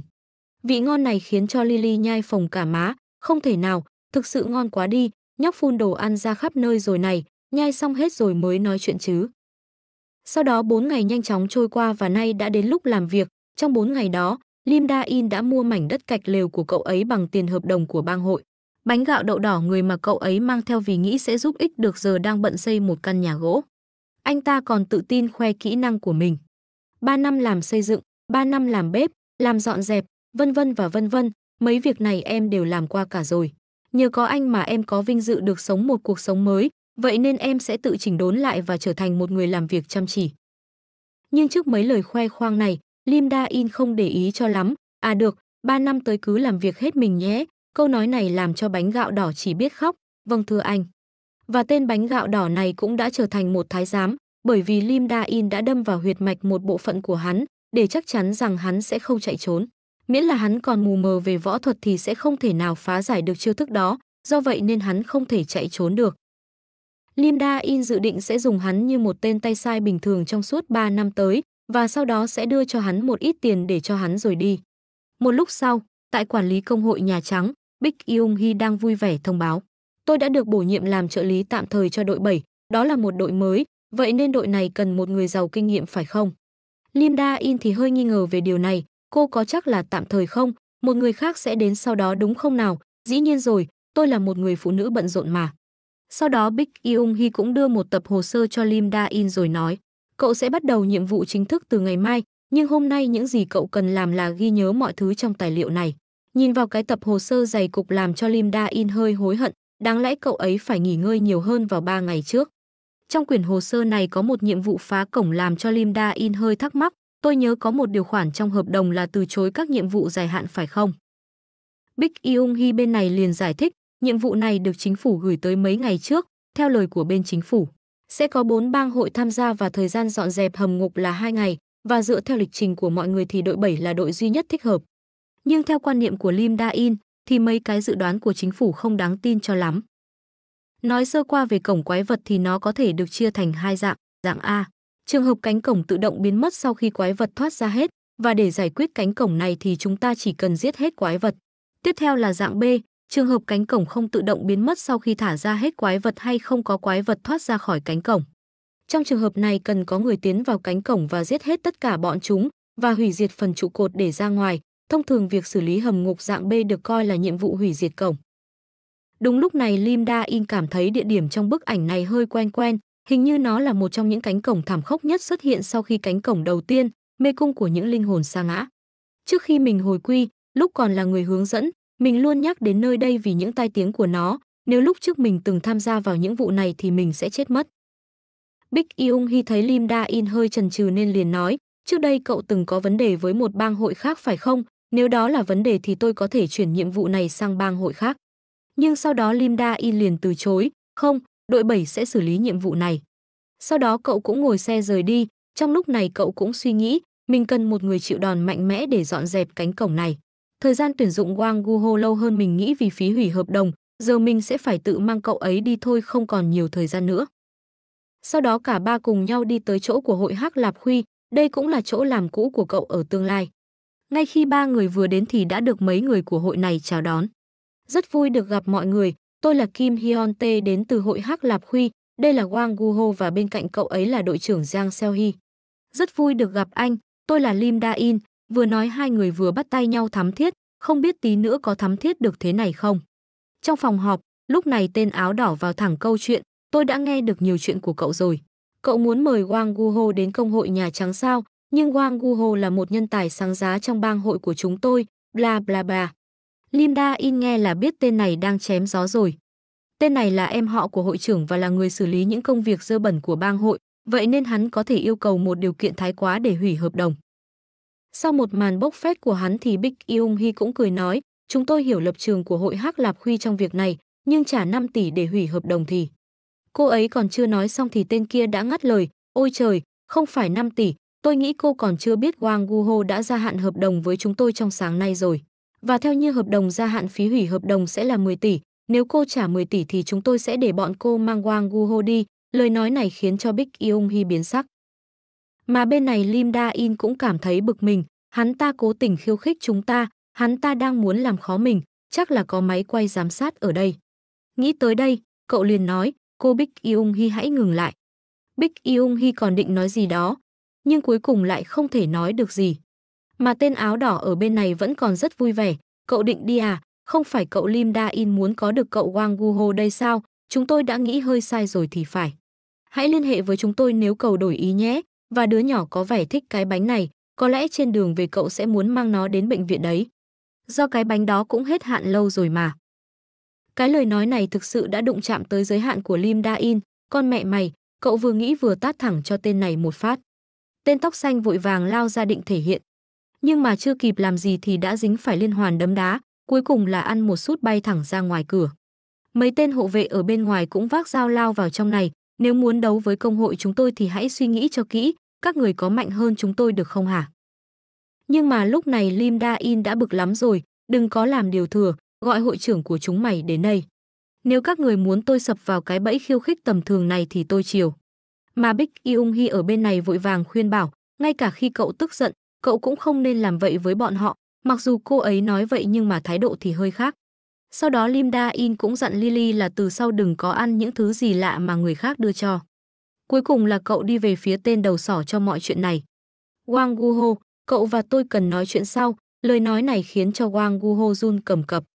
Cũng đúng lúc này bên ngoài bộc phát ra một luồng sát ý mạnh mẽ khiến cho Lim Da In ngay lập tức cảm nhận được, cái sắc khí này, hội trưởng của hội Hắc Lạp Huy đến rồi. Tên hội trưởng này có khuôn mặt vô cùng tiểu nhân, hắn được gọi là Quỷ Vương Kim Tê Jin, là một trong những người thức tỉnh đầu tiên. Mà Kim Tae Jin sau khi thấy mọi người cũng nói, cậu gọi tôi đến, tôi muốn có một lời giải thích cho những việc đang xảy ra tại đây. Lim Da In nghe được mấy lời này mà chỉ muốn chửi vào mặt hắn, ông ta giả vờ là không biết gì cả sau khi đã nhìn thấy mọi thứ thông qua máy quay sao. Sau đó Lim Da In cũng rất bình tĩnh trả lời, được thôi, tôi sẽ nói với ông về những chuyện đã xảy ra. Đổi lại hãy để những người khác đi. Lời nói này của cậu khiến cho Big Yung Hi hơi lo lắng. Mà tên Kim Tae Jin cũng có chút tán thưởng, cậu là một người đồng đội đáng tin đấy, nếu cậu gánh vác toàn bộ trách nhiệm thì ta sẽ làm thế. Sau đó Lim Da In cũng quay sang nói với Lily, bé con, hãy đi với chị ấy và đến công hội đợi anh quay lại nhé. Nhưng mà Lily bên này thì chiến hơn nhiều, em có nên thiêu dụi chỗ này không? Nhưng đối với mấy lời nói này Lim Da In liền tức giận véo má cô ấy, đừng có mà liều lĩnh như vậy. Nếu nhóc đùa với lửa mà không có sự cho phép của anh thì nhóc sẽ không bao giờ được ăn gà rán nữa. Một lúc sau, sau khi mọi người đã rời đi, Lim Da In mới nói, ông muốn gì từ tôi, tôi sẽ nói thẳng. Tại sao cậu không làm việc cho tôi? Vừa nói ông ta vừa đưa ra một bản hợp đồng. Nhưng mà Lim Da In không vội vàng cầm lấy nó, đây có phải là một đề xuất thăm dò không? Để mang tôi đi, ông cần phải trả một phí chuyển nhượng khổng lồ đấy. Nhưng mà tên hội trường này rất gian xảo, hắn đã tính trước rồi, tôi đâu bảo cậu rời công hội hiện tại của cậu đâu. Cậu có thể tiếp tục làm việc cho công hội Nhà Trắng, cậu chỉ cần đều đặn truyền vài thông tin cho tôi thôi. Vậy là Lim Da In liền biết rõ tên này muốn cậu làm gián điệp cho hắn. Ta hứa rằng cậu sẽ được trả công hậu hĩnh, nếu cậu nhìn vào hợp đồng này cậu sẽ thấy đây không phải là một đề xuất tệ đâu. Còn nếu tôi từ chối, Lim Da In hỏi ngược lại.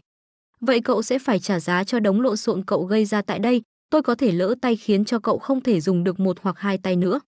Giọng nói của tên này tràn đầy sự uy hiếp. Mà bên ngoài tòa nhà lúc này, Bách Trang Su không biết nhận được tin tức từ đâu cũng đã chạy tới. Kim Ti Jin. Trả đội trưởng Lim Da In lại ngay đây, nếu tao đếm đến 10 mà mày không trả, tao sẽ xông vào trong ngay, mày có nghe không hả? Ông ấy nói với giọng đầy giận dữ, trên tay ông ấy cũng đã cầm sẵn cây đao rồi. Nhưng ngay khi ông ấy vừa mới đếm được tiếng một, thì một giọng nói liền vang lên, hội trưởng ông làm gì ở đây vậy? Bách Trang Su nhìn thấy Lim Da In thế hơi khó hiểu, đội trưởng Lim Da In, Bích Yung Hi nói bọn chúng đã nhốt cầu lại. Ô thế sao, Tôi đã nói xin lỗi họ từ tận đáy lòng và họ đã chấp nhận lời xin lỗi của tôi. Có lẽ sự chân thành của tôi đã đã động đến họ, bọn họ còn cho tôi quà nữa. Lim Da In vừa nói vừa vui vẻ cầm túi quà trên tay.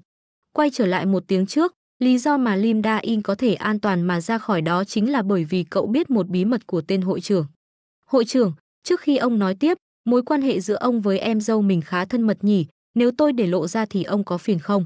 Sự thật về mối liên hệ giữa ông và vợ của em trai ông, nếu được tôi sẽ tự điều tra. Lời nói này khiến cho tên hội trưởng tái mặt, sao cậu lại biết chuyện đó?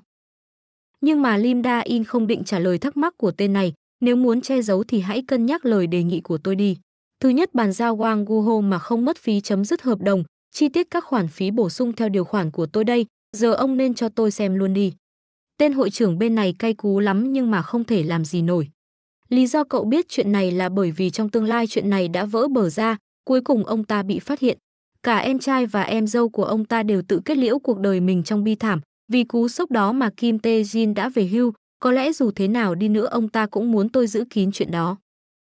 Mà lúc này khi đã về lại văn phòng hội, Bách Trang Su vẫn không thể nào tin được Lim Da In có thể trở về dễ dàng như vậy.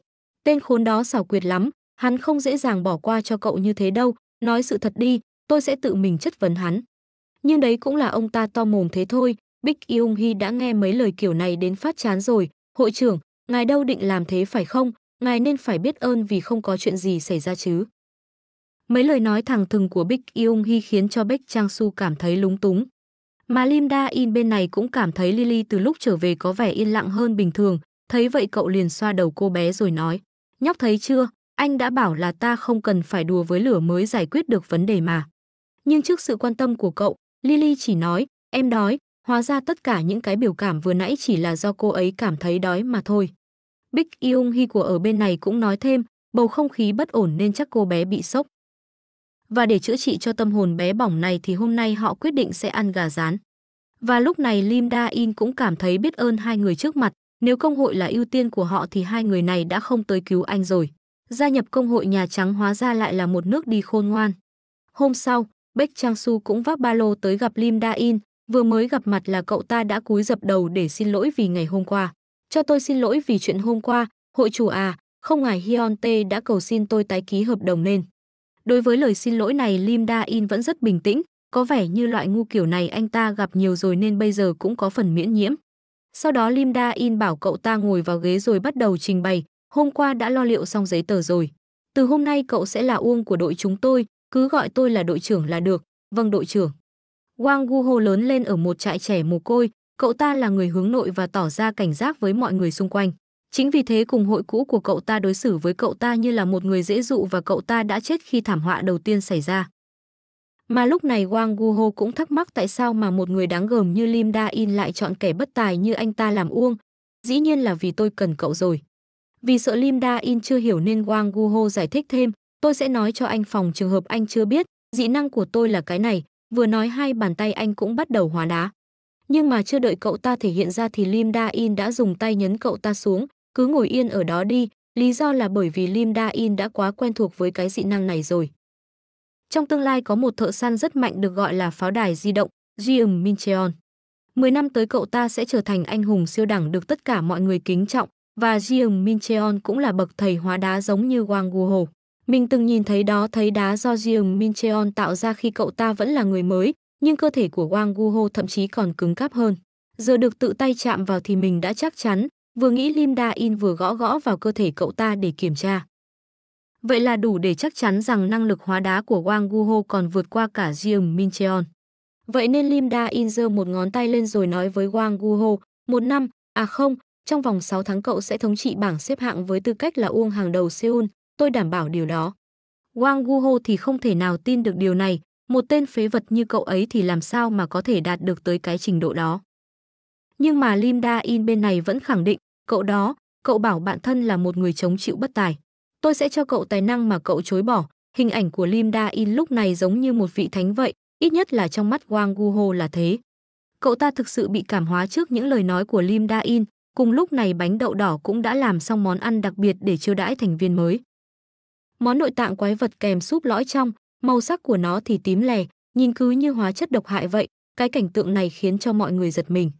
Mà lúc này Lim Da In còn ra lệnh tất cả mọi người phải uống hết, mỗi người ba bát, trong 4 ngày ta sẽ luyện tập chuẩn bị cho mê cung của những linh hồn sa ngã. Cứ như vậy, mọi người buộc phải gồng mình nuốt cái món ăn tẩm lợm này và hai ngày sau, tại địa điểm săn quái nhiệm vụ. Lúc này cả nhóm đang chiến đấu với một con sư tử trắng. Éo hiểu sao mà chống chịu của nhóm là Wang Guho thì cứ nấp nấp đằng sau, điều này khiến cho Lim Da In vô cùng tức giận. Cậu là chống chịu lại sợ mất hồn rồi à, nếu thấy có lỗi thì phòng thủ cho tử tế vào.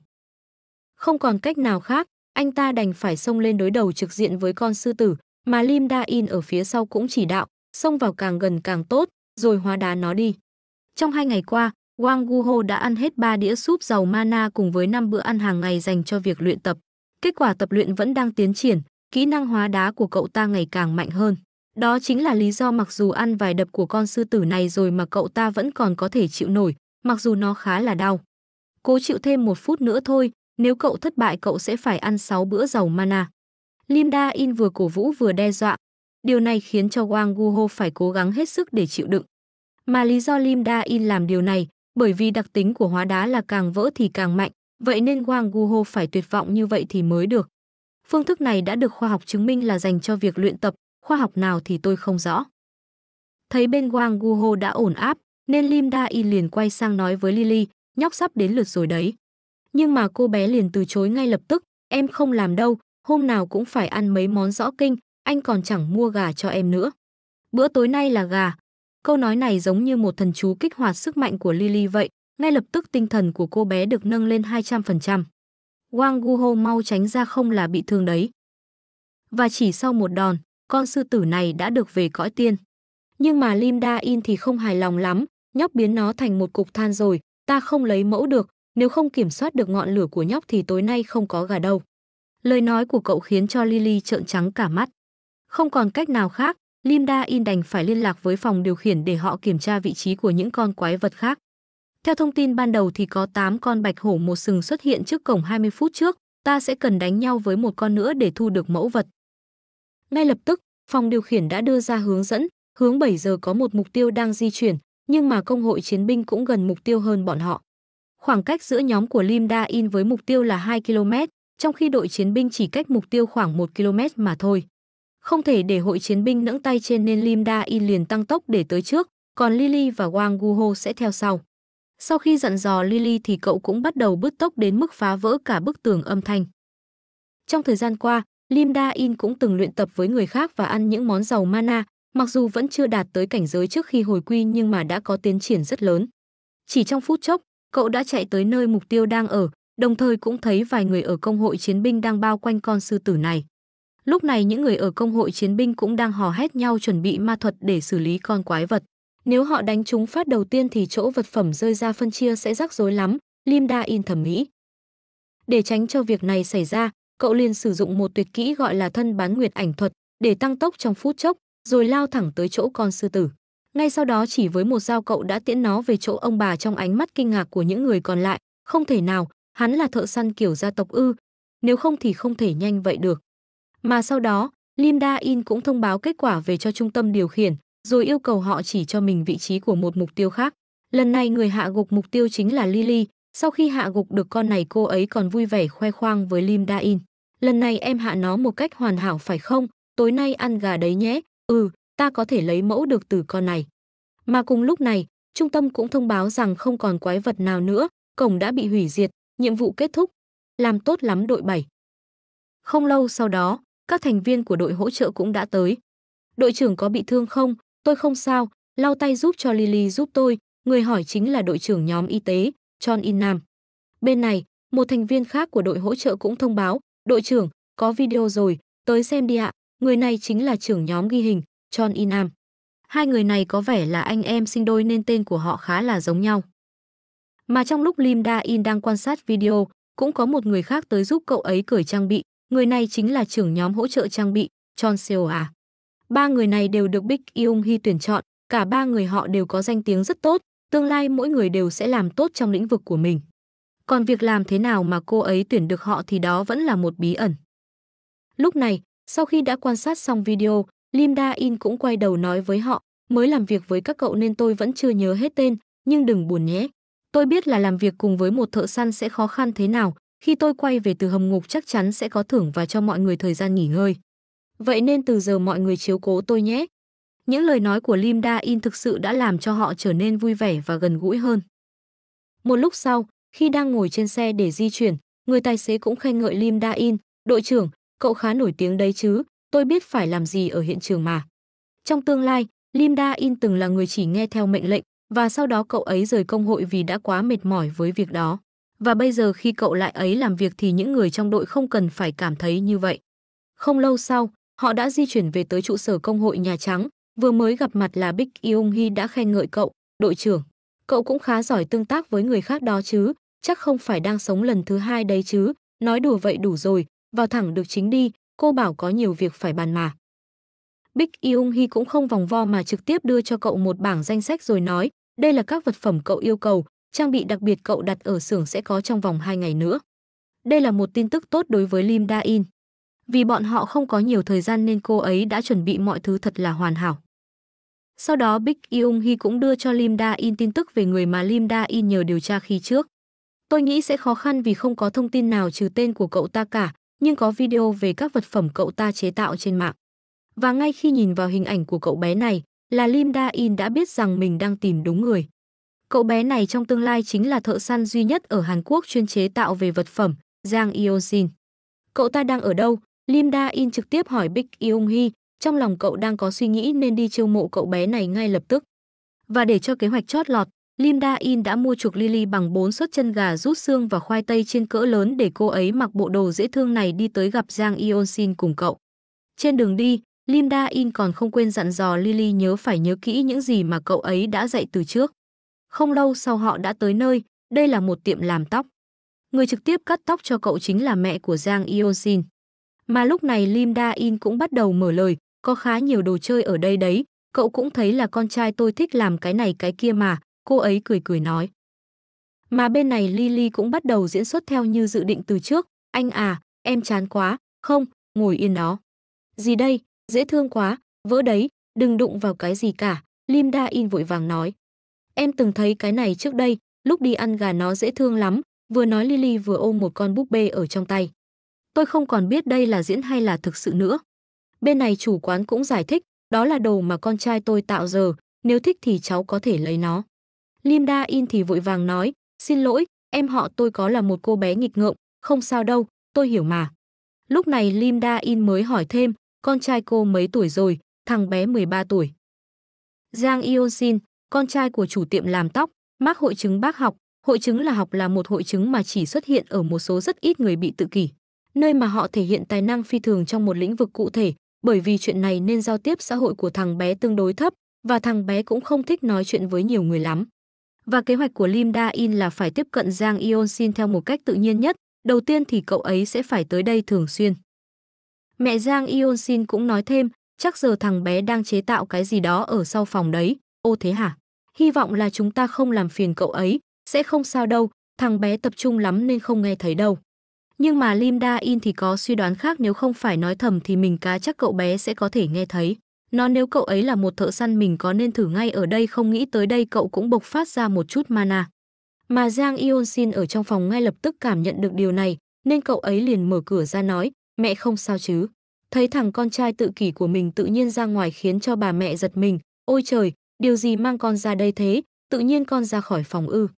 Mà điều này cũng kiểm chứng cho suy đoán của Lim Da In là đúng, xét theo cách thức cậu ấy lập tức ra ngoài luôn thì mình đoán cậu ấy có thể phát hiện mana mình phát ra thì đúng là thợ săn rồi. Giờ thì kế hoạch gà rán, như bản năng, Lily lập tức phát hiện ra tín hiệu từ Lim Da In nên cô bé liền bắt đầu diễn xuất. Đầu tiên là vui vẻ lao thẳng tới Giang Yeon cái này, anh làm cái này đúng không? Nó dễ thương quá, anh làm kiểu gì thế? Tiếp theo đó là tiếp tục trò chuyện để gây dựng mối quan hệ. Cuối cùng là khen ngợi Giang Yeon với một nụ cười thật vui vẻ, tuyệt vời, anh đúng là đỉnh quá đi. Và chỉ trong vòng vài phút, cậu nhóc ngay lập tức dính thính. Trước lời khen của Lily, Giang Ion Sin trở nên ngượng ngùng nói, nó không tuyệt đến thế đâu. Mà nhìn đôi bạn trẻ đang vui vẻ trò chuyện khiến cho Lim Da In khá hài lòng. Con bé nói tiếng Hàn vẫn đang còn hơi ngượng xíu nhưng nó vẫn đang cố, cũng là vì đam mê hướng tới bốn suất gà rút xương. Anh còn mấy đồ tuyệt hơn ở bên trong đó cơ, anh có nên cho em coi không? Thật á, tò mò ghê. Câu chuyện tiến triển hơi nhanh khiến cho đầu Lim Da In hiện lên từng dấu hỏi. Ngay cả đến bà mẹ cũng há mồm, tôi không thể tin là Giang Ion Sin của tôi lại nói chuyện với người khác như thế. Mà lúc này trong đầu Lim Da In có một suy đoán lạ thường hơn, tên nhóc đó, đừng nói là cậu ta mê con bé rồi đó hả? Nhưng mà dù sao đây cũng là chuyện tốt, nếu nhận được Giang Ion Sin người sẽ chế tạo ra dụng cụ thợ săn mà đáng giá hàng trăm tỷ trong tương lai, thì đây sẽ là một món hời lớn. Và ngay ngày hôm sau, Giang Ion Sin đã trở thành hội viên và chế tạo ra đồng phục chiến đấu. Mặc bộ đồ mới lên làm cho Lim Da In tự tin lên hẳn. Đúng là da của thủ lĩnh quái vật Uruk làm đồng phục chiến đấu thật tuyệt, nhóc nghĩ như nào về bộ đồ mới. Nó thoải mái và tuyệt quá, còn có cả hình thịt gà và pizza trên đây nữa, em cũng thích pizza lắm. Mà hai hình này là được Giang Ion Sin cố tình thêm vào, gà chiên mà Lily thích và pizza mà cậu ta thích. Mà Wang Guho thấy được mọi người có đồng phục mới thì ham hở tới hỏi, đội trưởng, còn đồng phục chiến đấu của tôi, cậu thì cần quái gì đồng phục chiến đấu. Cùng lúc này, Bích Yung Hee cũng thông báo đội ngũ hỗ trợ tại chỗ nói rằng họ đã xong khâu chuẩn bị, chúng ta có nên xuống đó ngay lập tức không, đi thôi. Nhân tiện thì đội trưởng, cậu đổi phong cách ăn mặc à, chắc là để tóc gợn sóng cũng khó nhỉ. Một lúc sau trước lối vào mê cung, Bích Yung Hee đang ngồi cãi nhau với nhân viên quản lý. Cậu đang nói gì thế? Ý cậu là bọn họ đã đi vào trước à? Tôi chỉ mới vừa gửi họ vào vì họ nói chiến dịch đã thay đổi mà, họ nói rằng Nhà Trắng sẽ đến sau. Ai nói thế chứ? Big Yung Hi quát lớn. Tổng công sẽ có bốn hội cùng tham gia chiến dịch, gồm Nhà Trắng, Hội Chiến binh, Hội Hắc Lạp Huy và Hội Cá Mập Đỏ. Nhìn thoáng qua thì cũng thấy có ba bang hội đang cố phá bọn họ rồi. Vì việc đã lỡ rồi nên Lim Da In bình tĩnh nói, cứ soi mói mãi cũng không giải quyết được vấn đề gì đâu, lên kế hoạch hành động thôi. Nhưng Big Yung Hi bên này có chút lo lắng, giờ ngay cả nếu có đi vào thì cũng chẳng thể lấy được nhiều thứ đâu, xin lỗi nhé, lẽ ra tôi nên đi đảm bảo và xác nhận nó trước. Chà, không cần phải thất vọng thế đâu, ai mà biết được, có thể chúng ta sẽ lấy được chỗ khác ngon hơn thì sao. Lúc sau họ cũng lái xe thẳng vào hầm, lúc này họ đã đi được 2 tiếng rồi. Và phần bên ngoài của hầm ngục đã bị nhóm người đi trước quét sạch, độ khó ban đầu của mê cung linh hồn mục nát là cấp B. Nhưng sau những thất bại liên tiếp trong việc trinh phạt thì cấp độ dần tăng lên và cuối cùng trở thành một trong những hầm ngục khó nhất. Đúng lúc này, Linda In cảm nhận được gì đó nên vội vàng ra lệnh cho tất cả phương tiện dừng lại. Sau đó cậu ra lệnh cho Wang Guho ở lại bảo vệ xe, còn bản thân mình thì đi lên phía trước để kiểm tra. Mà lý do tại sao hầm ngục này được gọi là mê cung linh hồn mục nát là vì nó biến những người đi vào hầm ngục thành quái vật. Quả xứng với cái danh là hầm ngục khó nhất, mấy tên đi vào đã bị biến thành zombie hết rồi, từ trang phục thì Lim Da In có thể đoán ra rằng nhiều khả năng đây là thành viên của hội cá mập đỏ. Nhìn tình trạng của bọn chúng thì chắc là bị ong zombie trích rồi, vì ngòi của ong zombie đủ mạnh để xuyên qua đồng phục chiến đấu, chắc là họ bị trích sau khi mất cảnh giác. Có lẽ điều này xảy ra khi họ bị tách biệt khỏi những đội khác, điều này thật là tệ.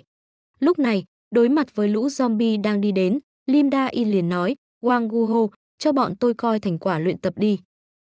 Wang Guho thấy mình phải lên một mình thì hơi giật mình, nhưng mà Wang Guho lên là hợp lý nhất, bởi vì cậu ta có ra đá bảo vệ. Còn những người khác nếu mà lao lên bị cắn hay bị cào rồi biến thành zombie thì rất là phiền phức. Mà Lim Da In thấy tên này vẫn còn lằng nhằng không chịu lên thì liền đẩy cậu ta thẳng về phía mấy con zombie. Không còn cách nào khác, Wang Guho liền bao phủ hai tay bằng đá để chiến đấu với bọn chúng. Lim Da In khá là ấn tượng với cảnh này, trạng thái hóa đá của cậu ta ngon hơn lúc luyện tập nhỉ. Và ngay lúc Wang Guho định xử lý đám zombie này thì Lim Da In liền dặn dò thêm, cậu biết mà đúng không, đừng có giết họ, cái gì, thế thì phải làm sao, cậu hình dung được mà. Và cách hình dung của Wang Guho rất là dễ hiểu, cứ đánh cho đám này không di chuyển được là ok. Mà Lily ở phía sau thì thấy hơi chán, em chán rồi, đốt hết là được mà. Mấy người đó không chỉ là người dân mà còn là thành viên của hội khác, vậy nên đừng có giết họ, họ vẫn còn ở trạng thái cứu được khỏi việc zombie hóa.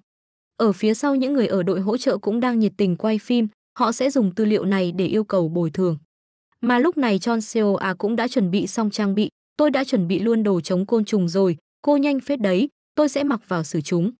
Để đảm bảo hơn, họ còn mang theo cả thuốc giải độc, nó chính là cốt lõi trong cuộc tấn công hầm ngục lần này. Mà lúc này Lim Da In cũng quay sang quan sát trận chiến của Wang Guho, có vẻ như cậu ta sắp đến giới hạn rồi. Mấy người mà bị cậu ấy dễ dàng đánh gục chắc là của đội hỗ trợ, còn những kẻ vẫn đang sung sức đấm đá thì chắc chắn là thợ săn rồi. Thầy Wang Guho không chống đỡ nổi nữa nên Lim Da In cũng bắt đầu ra tay. Chỉ với hai ngón tay, cậu đã dễ dàng đánh gục mấy tên này. Điều này cũng khiến cho Wang Guho ngạc nhiên. Làm sao anh ấy có thể dễ dàng làm chuyện đó? Vài giây sau tất cả đã bị hạ gục, Lim Da In yêu cầu Wang Guho đặt mấy người này theo một hàng rồi chuẩn bị cho họ uống thuốc giải. Từ những gì mình đã chuẩn bị để tấn công mê cung linh hồn mục nát trong lần này, một trong số chúng là thuốc giải độc của ong zombie. 10 phút là thời gian vàng khi bị ong zombie đốt, qua 10 phút thì họ bắt đầu hành xử thất thường và sau 30 phút thì họ sẽ trở thành nô lệ mà bảo vệ tổ ong. Mình không thể nói rõ được rằng đã quá 30 phút chưa, vì họ đã bị trúng độc, vậy ngay cả nếu mình dùng thuốc giải độc này thì vẫn sẽ có vấn đề với não bộ của họ sau khi họ hồi phục. Lúc này cậu cũng quay sang nói với những người phía sau, lùi xuống chút đi mọi người, giờ tôi sẽ tập trung đấy, được rồi, tôi sẽ cứu mấy người các cậu, vậy nên các cậu cũng phải giúp tôi hiểu chưa? Những người sinh ra đã có tài năng có thể chỉ cần tập trung vào phát triển tài năng đó, nhưng những người bình thường như tôi nếu muốn nâng cao tỷ lệ sống sót thì cần phải có chút kỹ năng tay trái nữa. Đó chính là lý do tại sao đời trước tôi lại phải đi du hành giữa nhiều chiều không gian đến thế, từ lục địa Gaia cho tới võ lâm, rồi lại đến cả địa ngục và lục địa Byron. Tôi đã có thể sống sót đều là nhờ những ma pháp và võ thuật bản thân học được qua mỗi lần du hành. Cái còi này là một trong những món đồ tôi tình cờ nhặt được, có tác dụng điều khiển những động vật IQ thấp.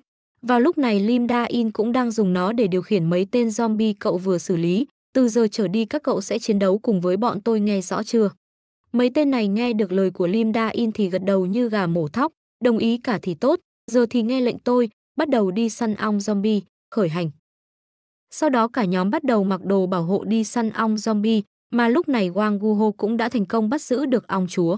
Đội trưởng ơi, em bắt được ong chúa rồi đây, nhưng mà xung quanh vẫn còn nhiều đám ong thợ quá. Ok tốt lắm, bắt được ong chúa rồi thì coi như đã xong việc. Lim Da Y liền yêu cầu Lily sử dụng hỏa công để xử lý lũ tôm tép còn lại rồi mình đi ăn trưa. Sau khi mọi chuyện đã hoàn tất, John Seoa cũng thắc mắc hỏi, không ngờ là mấy thành viên của đội cá mập đỏ lại hợp tác đến vậy. Đội trưởng, anh không làm gì mờ ám đấy chứ, dĩ nhiên là không rồi, mấy nhóc đó bảo là sẽ hợp tác vì muốn bày tỏ lòng biết ơn đối với tôi.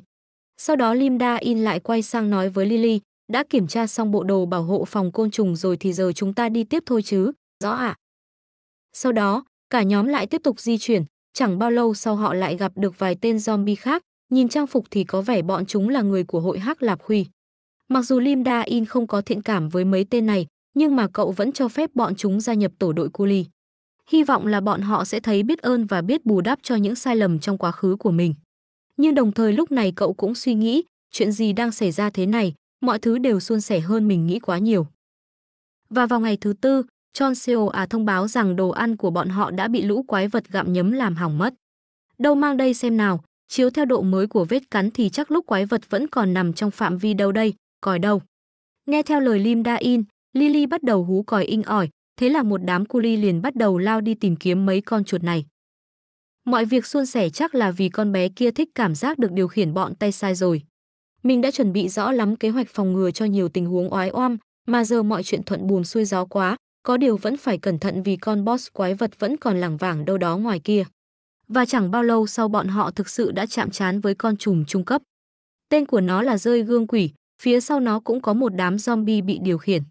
Linda In ngay lập tức đưa ra các mệnh lệnh, mọi người chuẩn bị giao chiến. Xe cộ chở hàng cho lùi hết xuống dưới, Wang Guho lên trước yểm trợ. Đồng thời lúc này Lim Da In cũng tuyết còi để cho mấy tên culi lao lên, mấy người này đều bị tẩy não cả rồi nên cái gương quỷ kia sẽ không thể sử dụng được trên người bọn họ. Bọn quái rơi này truyền tạo ảo ảnh cho những nạn nhân lỡ nhìn vào cái gương trên đầu bọn chúng, rồi biến họ thành những con rối, phải nhắc mấy người bên phe mình cẩn thận. Nghĩ tới đây cậu liền lên tiếng nhắc nhở, Wang Guho, chú ý đừng nhìn vào gương đấy, nhưng mà lời nhắc của cậu đã quá muộn màng, bởi vì Wang Guho đã bị điều khiển rồi. Vô dụng vãi, cả Lim Da In và Lily đều hét lên. Hết cách Lim Da In đành phải nói, hết cách Lim Da In đành phải nói. Nhóc con, dùng lửa của nhóc ngăn không cho bọn chúng tiếp cận ta, tất cả rút lui ít nhất 2 km, tôi đi thu thập thông tin rồi sẽ quay về nhập hội với mọi người. Theo lời của cậu ấy, mấy người trong đội hỗ trợ liền chạy tóe khói. Lúc này chỉ còn Lily và Lim Da In ở lại. Lily liền nói, thế giờ em chỉ cần đốt sạch mọi thứ ở đây là được chứ gì, bình thường thì tôi sẽ nói câu đó, nhưng giờ nhóc hãy mau thoát khỏi tình cảnh dầu sôi lửa bỏng này đi. Lúc này cậu cũng sử dụng ẩn thân rồi xuyên qua đám người đang bị điều khiển. Đồng thời cậu cũng quan sát để tìm kiếm xem con rơi đang ở đâu. Ngay khi phát hiện được vị trí của nó, Lim Da In liền rút ra ba con dao rồi ném về phía nó, nhưng con rơi này khá là nhanh nhẹn nên nó đã tránh được. Và lúc này thì nó cũng đã phát hiện ra được vị trí của Lim Da In. Thuật ẩn thân không có tác dụng với nó rồi, nó hay có xu hướng bay lòng vòng hơn là bay thẳng, đã biết được cách bay của nó rồi thì mình nên rút lui thôi nhỉ. Một lát sau Lim Da In cũng quay lại hội nhóm với mọi người. Những người khác vội vàng hỏi, anh quay lại rồi, anh có bị thương ở đâu không? Không vấn đề gì, giờ tôi sẽ giải thích và phân công việc cho mọi người nhé, không có nhiều thời gian đâu nên phải hành động nhanh nhất có thể. Sau quá trình phân công, bọn họ lại một lần nữa đột kích con rơi này. Nó tới rồi, đội trang bị đâu rút lui, đội tiếp viện tới rồi, mau lùi xuống hết. Mà đội tiếp viện trong lời của Lim Da In chính là mấy tên cu ly cầm khiên. Tuyệt lắm mọi người chuẩn bị giao chiến. Bên này, con rơi cũng ra lệnh cho mấy kẻ bị điều khiển lao vào tấn công. May mà bọn họ bị khiên chặn lại, mà cũng nhân cơ hội này, Lim Da In liền nhảy lên xử lý con rơi chó này. Tiếc là khả năng bay nhảy của nó tốt quá, nên nó lại nhẹ nhàng né được. Mà Lim Da In cũng đã đề phòng trong trường hợp này, Lily ở bên dưới đã chuẩn bị sẵn hỏa công để chào đón nó. Nhận lấy này, theo lời nói của cô bé, vô số quả cầu lửa bắt đầu bay về phía nó, tiếc là nó lại một lần nữa né được, thậm chí còn cười he he khiêu khích khiến cho Lily vô cùng tức giận. Nhưng mà con rơi này chỉ vui vẻ được 3 giây thôi, để đối phó với con chó rách này thì Lim Da In đã sử dụng lá chắn, khiến cho nó đập mặt vào đấy, sau đó nhân cơ hội này, Lim Da In cũng đã lên tấn công, ở phía dưới Lily cũng sử dụng lá chắn để tạo đà cho Lim Da In. Tuy mày di chuyển rất mau lẹ, nhưng để xem mày né được bao lâu rồi cơn mưa tấn công này nhé. Kết quả là nó không né được một đòn nào thì đã bay đầu rồi. Chém được đầu con rơi xong thì Lim Da In vô cùng tự mãn, tự nhiên bú được cái gương điều khiển người khác. Sau một hồi lâu, họ cuối cùng cũng đến được căn phòng của con trùng cuối. Lim Da In cũng dặn dò mọi người, đừng vì dễ dàng tới được đây mà thả lòng. Mà lúc này Lily cũng có một thắc mắc, cái tên đần thối còn ngơ ngơ như vậy bao lâu nữa thì anh, người mà cô ấy nói chính là Wang Guo. Lim Da In thì không quan tâm lắm, cứ kệ mẹ thằng nhóc đó, đến lúc nào mình đánh xong con boss thì tính tiếp. Không hiểu sao chứ anh có linh cảm nếu mình để nó sổng ra là nó lại bị tẩy não tiếp. Mà lúc này bên trong căn phòng cũng có một bộ xương khô sẵn sàng chờ đợi mọi người. Tên này chính là thợ săn linh hồn, mà bên này Lim Da In ngay khi mở cửa vào thì đã tuyết còi điều khiển lũ Kuli lao lên chặn đòn đầu tiên, Wang Guho nhiệt tình đến mức dẫn đầu cả đám. Vừa chạy cậu cũng vừa sử dụng kỹ năng của mình. Đương nhiên thì dẫn đầu cũng dính đạn đầu tiên, may cho cậu ta là khả năng chống chịu của cậu ta khá tốt, nhưng mà dù vậy thì đón đấm này cũng mạnh tới mức khiến cho cả người Wang Guho run lên. Sau đó bộ xương bên này liền vung một kiếm đẩy lùi Wang Guho. Linda In ở phía sau thì tiếp tục quan sát, tuy có hơi run nhưng cậu ấy đang chống chịu rất tốt. Wang Guho, cậu được huấn luyện chính là để cho thời khắc này. Quay lại với trận chiến, nhờ có Wang Guho cầm chân bộ xương này một chút, mà những người còn lại đã bao vây được bộ xương. Có vẻ như nó cũng biết được rằng mình đang bị bao vây, nên liền sử dụng một kỹ năng có tên là liên kết linh hồn, nó là một ma pháp diện rộng biến những kẻ trong phạm vi gần trở thành con rối. Ở bên ngoài Lim Da In chứng kiến điều này thì liền mỉm cười, cái ma pháp đó không có tác dụng đâu. Quả nhiên y như lời cậu nói, mấy tên cu ly không bị ảnh hưởng gì cả. Mà thậm chí bọn này có nhân lúc tên xương khô thi triển ma pháp thì lao vào đấm đá nhiệt tình, không thương tiếc chút nào. Việc không tên nào bị điều khiển cũng khiến cho bộ xương khô hiện lên một dấu hỏi. Tất cả điều này đều là nhờ cái gương mà Lim Da Y nhận được từ việc đánh bại con rơi quỷ lúc trước. Kết hợp thêm với một chút mánh khóe của cậu ấy sẽ khiến cho bọn họ duy trì trạng thái vô thức nên sẽ không chịu sự điều khiển của kỹ năng kia. Vậy nên liên kết linh hồn là vô dụng. Tên xương khô bên này biết kỹ năng không có tác dụng cũng liền rút kiếm ra chuẩn bị đánh cận chiến. Ai ngờ hắn mới rút kiếm được nửa thì đã bị Wang Guho ôm chặt lấy thanh kiếm. Lim Da In thấy cảnh này cũng lập tức nói với Lily, sắp đến lượt nhóc rồi đấy. Rõ. Mà lý do Lim Da In nói vậy bởi vì cậu biết rằng tên xương khô sắp dùng kỹ năng thứ hai của hắn. Nó là kỹ năng triệu hồi ác quỷ, ngay khi tên này sử dụng kỹ năng, phía trên đầu hắn liền xuất hiện một ma pháp trận, đồng thời ở dưới đất cũng xuất hiện rất nhiều vòng tròn. Rồi từ trong vòng tròn này chui ra một đám khi địa ngục. Cũng may là Lim Da In đã chuẩn bị trước cho trường hợp này rồi. Bảo hiểm cho trường hợp này chính là Lily. Lúc mà tên xương khô sử dụng kỹ năng triệu hồi, cũng là lúc mà Lily dùng hỏa ma pháp của mình. Hãy đốt cháy mọi thứ và đi ăn gà rán thôi. Tên xương khô nhìn thấy cảnh này thì chố mắt. Tốt lắm nhóc con, nhóc sẽ phụ trách xử lý mấy con khỉ, mà tên xương khô thấy vậy thì cáu điên lên. Hắn không do dự mà ném luôn thanh kiếm của mình về phía hai người, mặc cho Wang Guho vẫn còn đang bám trên nó. Lim Da In hình như cũng thấy điều gì, nhưng mà thôi, mình sẽ xem như là không có gì cả. Và mặc dù bị tên xương khô này tấn công, nhưng mà cậu vẫn chưa vội vàng ra trận. Cứ phải tận dụng hết sức lực của đám cu ly này cái đã. Mục tiêu của Lim Da In là hoàn thành nhiệm vụ này mà tốn ít sức lực nhất có thể, thế nên ngay khoảnh khắc bọn họ làm con thợ săn linh hồn đó kiệt sức, sẽ là lúc mình ra tay. Linda In vừa nghĩ vừa thể hiện ra một khuôn mặt vô cùng đê tiện. Và sau một tiếng, tên xương khô này máu cũng tụt hơi nhiều. Cậu cũng biết đây chính là thời khắc để mình thể hiện nên liền rút còi ra cho đám tiểu đệ rút lui, rồi bản thân bước lên phía trước. Ngươi đợi ta đã lâu chưa? Hãy chấm dứt mọi chuyện ngay bây giờ nào. Tên xương khô nghe vậy thì bắt đầu chào hỏi 18 đời tổ tông nhà Lim Da In bằng thứ ngôn ngữ mà cậu ta không thể hiểu được. Ta không biết ngươi đang nói gì, cơ mà ta đoán đại loại như là tên khốn hèn nhát đúng không? Ừ thì mong ngươi có thể hiểu cho ta. Một số người không có lựa chọn nào khác ngoài cách sống như vậy, nói xong cả hai cũng bắt đầu lao vào nhau. Lúc này Lim Da In cũng sử dụng con bài tẩy là gương tẩy não của mình, mặc dù cậu ấy không thể tẩy não nó bằng gương ảo ảnh được, nhưng mà cậu ấy có thể khiến nó mất cảnh giác trong giây lát. Và tận dụng cơ hội nó vẫn đang trong trạng thái phê đồ, thì Lim Da In liền tặng cho nó một pha lôi quyền. Cú đấm mạnh tới mức phá tan bộ giáp trước người nó, để lộ ra bên trong một thứ gì đó phát sáng. Khoan đã, đó chẳng lẽ là linh thạch? Linh thạch là một viên đá ma thuật mà ngay cả ma thạch cấp cao nhất cũng không thể sánh bằng. Là một kho báu mà có thể tạo ra phép màu, đây cũng là lý do vì sao cậu chọn tiến vào mê cung của linh hồn sa ngã. Ta sẽ tận dụng thứ này, cảm ơn, vừa nói Lim Da In vừa lấy viên linh thạch ra khỏi ngực bộ xương. Một lần nữa bộ mặt đê tiện của cậu lại được thể hiện ra khiến cho Lily phát khiếp. Tổng kết lại thì đây đúng là một cuộc thu hoạch vật phẩm tuyệt vời, với thứ này thì Lim Da In có thể sử dụng thay đổi hình dạng. Nếu như có thể sử dụng thay đổi hình dạng và hoàn thiện biến đổi cơ thể, mình có thể đạt tới trạng thái sức mạnh của một võ sĩ điêu luyện, nhưng đó không phải là điều mình muốn. Mình cần phải làm chậm quá trình lão hóa và kéo dài tuổi thọ, như thế thì mình sẽ có thể tận hưởng cơ thể trẻ trung của mình lâu hơn sau khi nghỉ hưu. Mà lúc này Lily cũng để ý tới viên linh thạch mà Lim Da In đang cầm trên tay, cái gì thế ạ? Nó có ăn được không?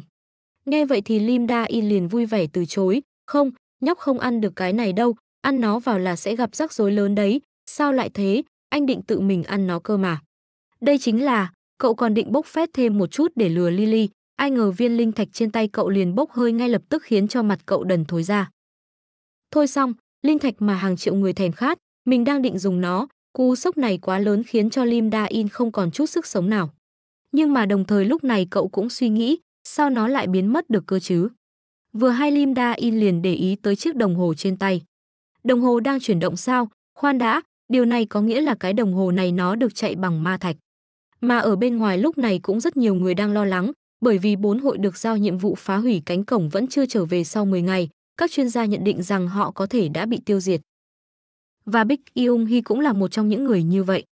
Cô ấy đang rất lo lắng cho nhóm của Lim Da In ở bên trong.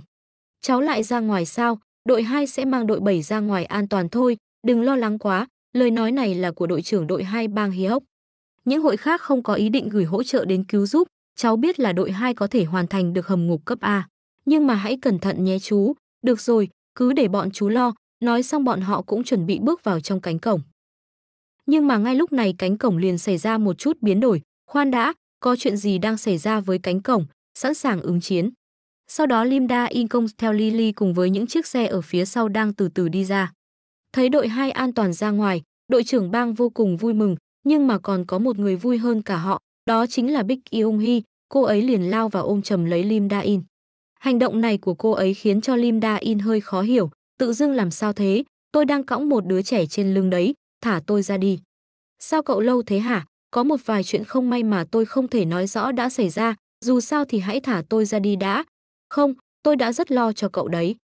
Cô ấy nói và vẫn tiếp tục ôm chầm lấy Lim Da In, hành động này của cô ấy khiến cho đội trưởng bang ở phía sau bắt được tín hiệu gì đó.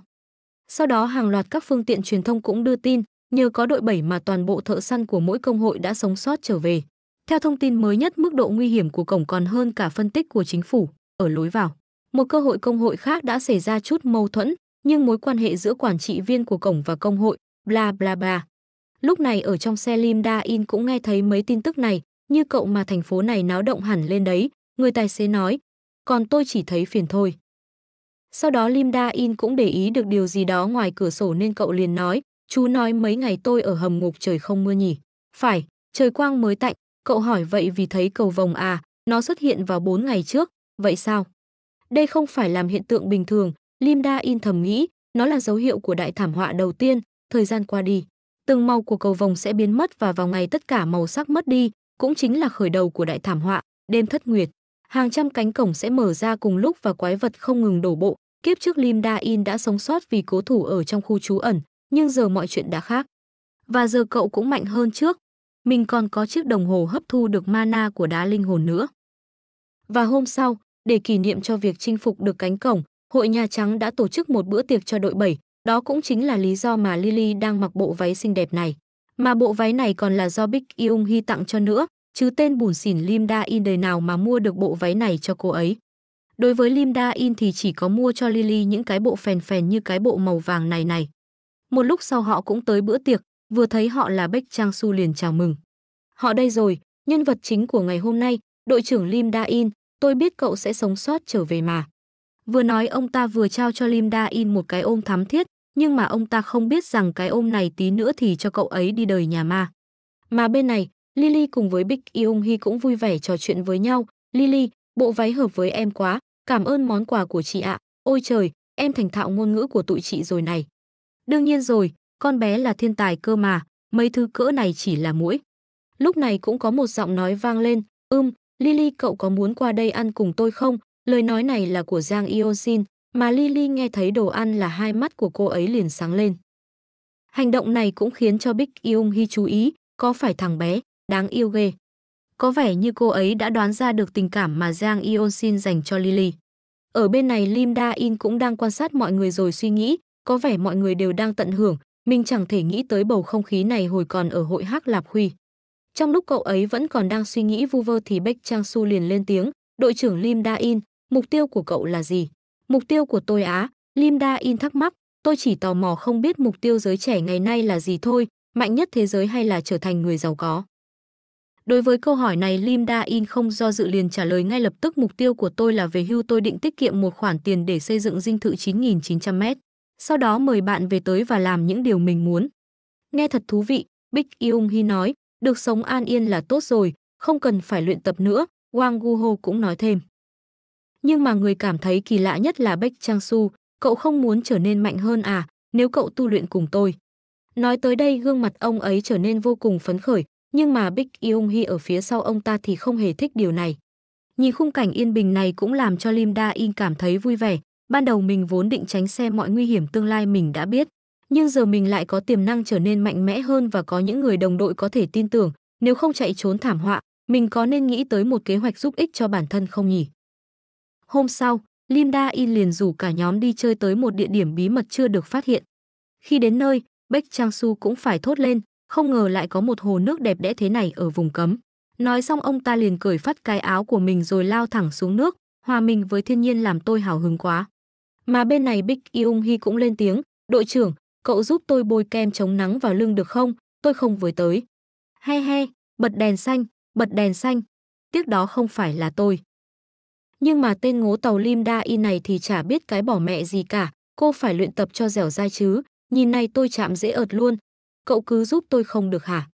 Cái tên não ngắn này, không làm được thì biến ra cho người khác làm, có lẽ đây cũng chính là lý do mà ở tương lai đến năm 40 tuổi rồi cậu thanh niên này vẫn độc thân. Mà Lim Da In nghe xong thì vẫn từ chối, nếu cô cần thật thì nhờ họ ấy, vừa nói cậu vừa chỉ tay về phía Wang Guho cùng với bánh đậu đỏ. Nghĩ lại hình như tôi chưa chào hỏi, cậu ấy là ai vậy? Bích Yung Hi thắc mắc. Mà bánh đậu đỏ thấy người đẹp hứng thú với mình thì tinh thần lên 1000%, không cần đợi Lim Da In giới thiệu, cậu ta đã vội vã trình bày. Tên em là Kim Minji, chào chị dâu, biệt danh của em là bánh gạo đậu đỏ, chị dâu cứ gọi thẳng tên em cũng được. Bích Yung Hi nghe được mấy lời như rót mật vào tai này thì trong lòng nở hoa, ồ, rất vui được gặp cậu, Minji. Nhưng chúng tôi vẫn chưa phải kiểu quan hệ đó, Bích Yung Hi ngại ngùng nói nhưng gương mặt cô ấy thì niềm nở lắm.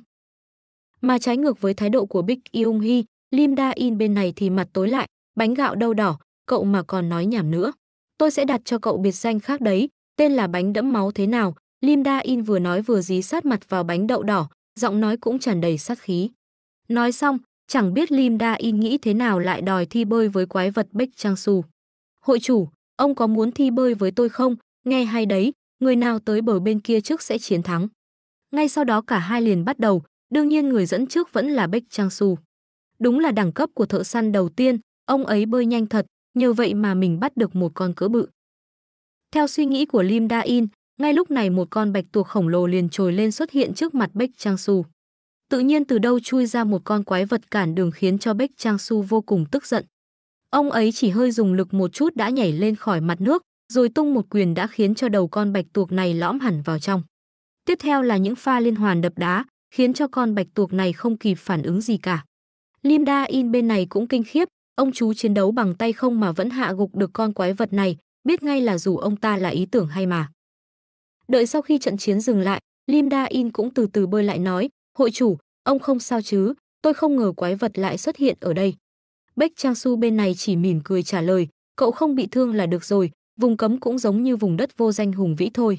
Có vẻ ta bơi quá xa rồi, tôi lo cho mấy người kia, ta nên quay lại thôi, vừa nói ông ấy vừa kéo con bạch tuộc này đi, để mang về phòng thí nghiệm. Mà Lim Da In bên này muốn khám phá đáy hồ một chút nên bảo Bách Trang Su cứ đi về trước. Sau khi nhìn thấy Bách Trang Su bắt đầu rời đi, thì cậu cũng sử dụng khiên để bao trùm lấy đầu mình rồi bắt đầu lặn xuống. Trong lúc này cậu cũng suy nghĩ, Kraken bị giết là vì nó là rào cản thôi, dưới đáy hồ mới là vấn đề thật sự. Mình không biết phải lặn sâu tới mức nào, nhưng chắc chắn sẽ có kho báu dưới này. Qua một lúc, cậu cũng thấy được một khe nứt phát ra ánh sáng. Tìm ra rồi, mình nên quay về tận hưởng nốt kỳ nghỉ đã, rồi dẫn bé con tới đây sau. Nhưng lúc này đột biến liền xảy ra, từ trong khe nước bỗng nhiên xuất hiện một lực hút vô cùng lớn bắt đầu kéo Lim Da In vào. Lực hút này mạnh tới mức khiến cho lớp khiên mà cậu tạo ra cũng bị phá vỡ. Mẹ nó, mình đã nói là sẽ về sớm rồi mà, đó là tất cả những gì mà cậu nghĩ được trước khi mất đi ý thức. Mà lúc này, mọi người trên bờ vẫn đang vui về ăn uống, không biết rằng người đội trưởng của bọn họ sắp ngủ củ tỏi. Qua một lúc lâu sau, lúc này Lim Da In mới tỉnh dậy từ cơn mê man. Hắn tỉnh rồi, làm sao bây giờ, liệu có chuyện gì xấu xảy ra không, anh là ai, lời nói này là của những người tí hon trông như hồn ma. Đây là một chủng tộc mà Lim Da In biết. Nghe mấy người này hỏi vậy, Lim Da In liền ngồi dậy đồng thời phá tan sợi dây đang trói mình lại, mấy người kéo tôi tới đây à? Nhưng mà hành động này của cậu khiến cho bọn họ sợ hãi hơn. Hắn làm đứt dây rồi, trông hắn giận dữ quá, hắn sẽ giết ta mất. Nói xong mấy lời này, họ liền nấp vào một mỏm đá bên cạnh. Tôi không định giết các cô đâu, bình tĩnh đi, loạn hết cả lên. Lục địa Nosto nơi các loài động thực vật kỳ ảo cùng tiên tộc cư ngụ. Mình từng làm hướng dẫn viên ở đây vài tháng trước và tìm ra một loài tiên chỉ sống gần dòng nước tinh khiết, Snowy, phần của tiên tộc, loài tiên vô hại. Mấy cô là Snowy đúng chứ? Lời nói này khiến cho cô bé giật mình, anh biết chúng tôi sao? Lúc này bọn họ mới đỡ sợ hãi hơn rồi bay lại gần Lim Da In. Anh là người Nosto à, lại còn biết ngôn ngữ của chúng tôi nữa. Mấy câu hỏi này dồn dập khiến cho Lim Da In không biết trả lời kiểu gì, hỏi từng câu một thôi. Mà lúc này cậu cũng suy nghĩ, ở kiếp trước không có thông tin nào về các tiên được tìm thấy ở đây, nếu quá khứ bị thay đổi thì sẽ rắc rối lắm. Lúc này các Snowy cũng đưa ra câu hỏi của mình sao anh lại tới đây. Chúng tôi từng sống trong hồ nước, nhưng nơi này bỗng dưng hoán đổi sang một thứ nguyên khác, rồi quái vật sinh sôi tranh giành giết hại lẫn nhau. Con bạch tuộc quái vật đó đã ăn thịt rất nhiều đồng loại của chúng tôi, đáng sợ lắm, vậy nên chúng tôi chạy trốn tới đáy hồ, và nhờ có anh mà chúng tôi mới được cứu.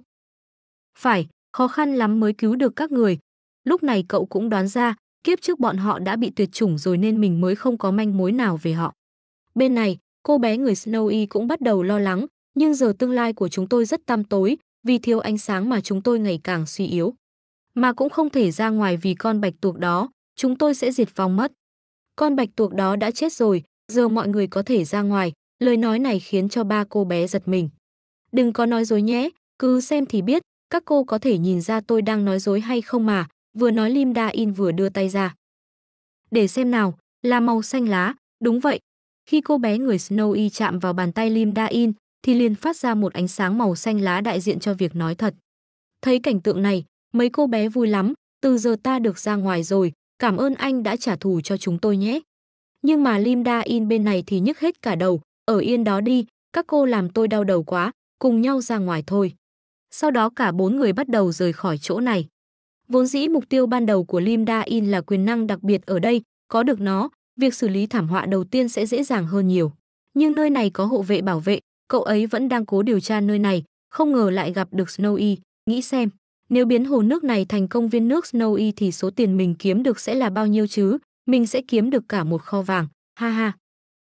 Và trong lúc Linda In vẫn đang tưởng tượng về một viễn cảnh tươi đẹp, thì Snowy e lên tiếng, là bẫy đấy, đừng chạm vào. Nhờ sự giúp đỡ của cô ấy mà cậu đã có thể dễ dàng tránh thoát mấy cái bẫy này. Nếu tới một mình thì kiểu gì cũng khó khăn.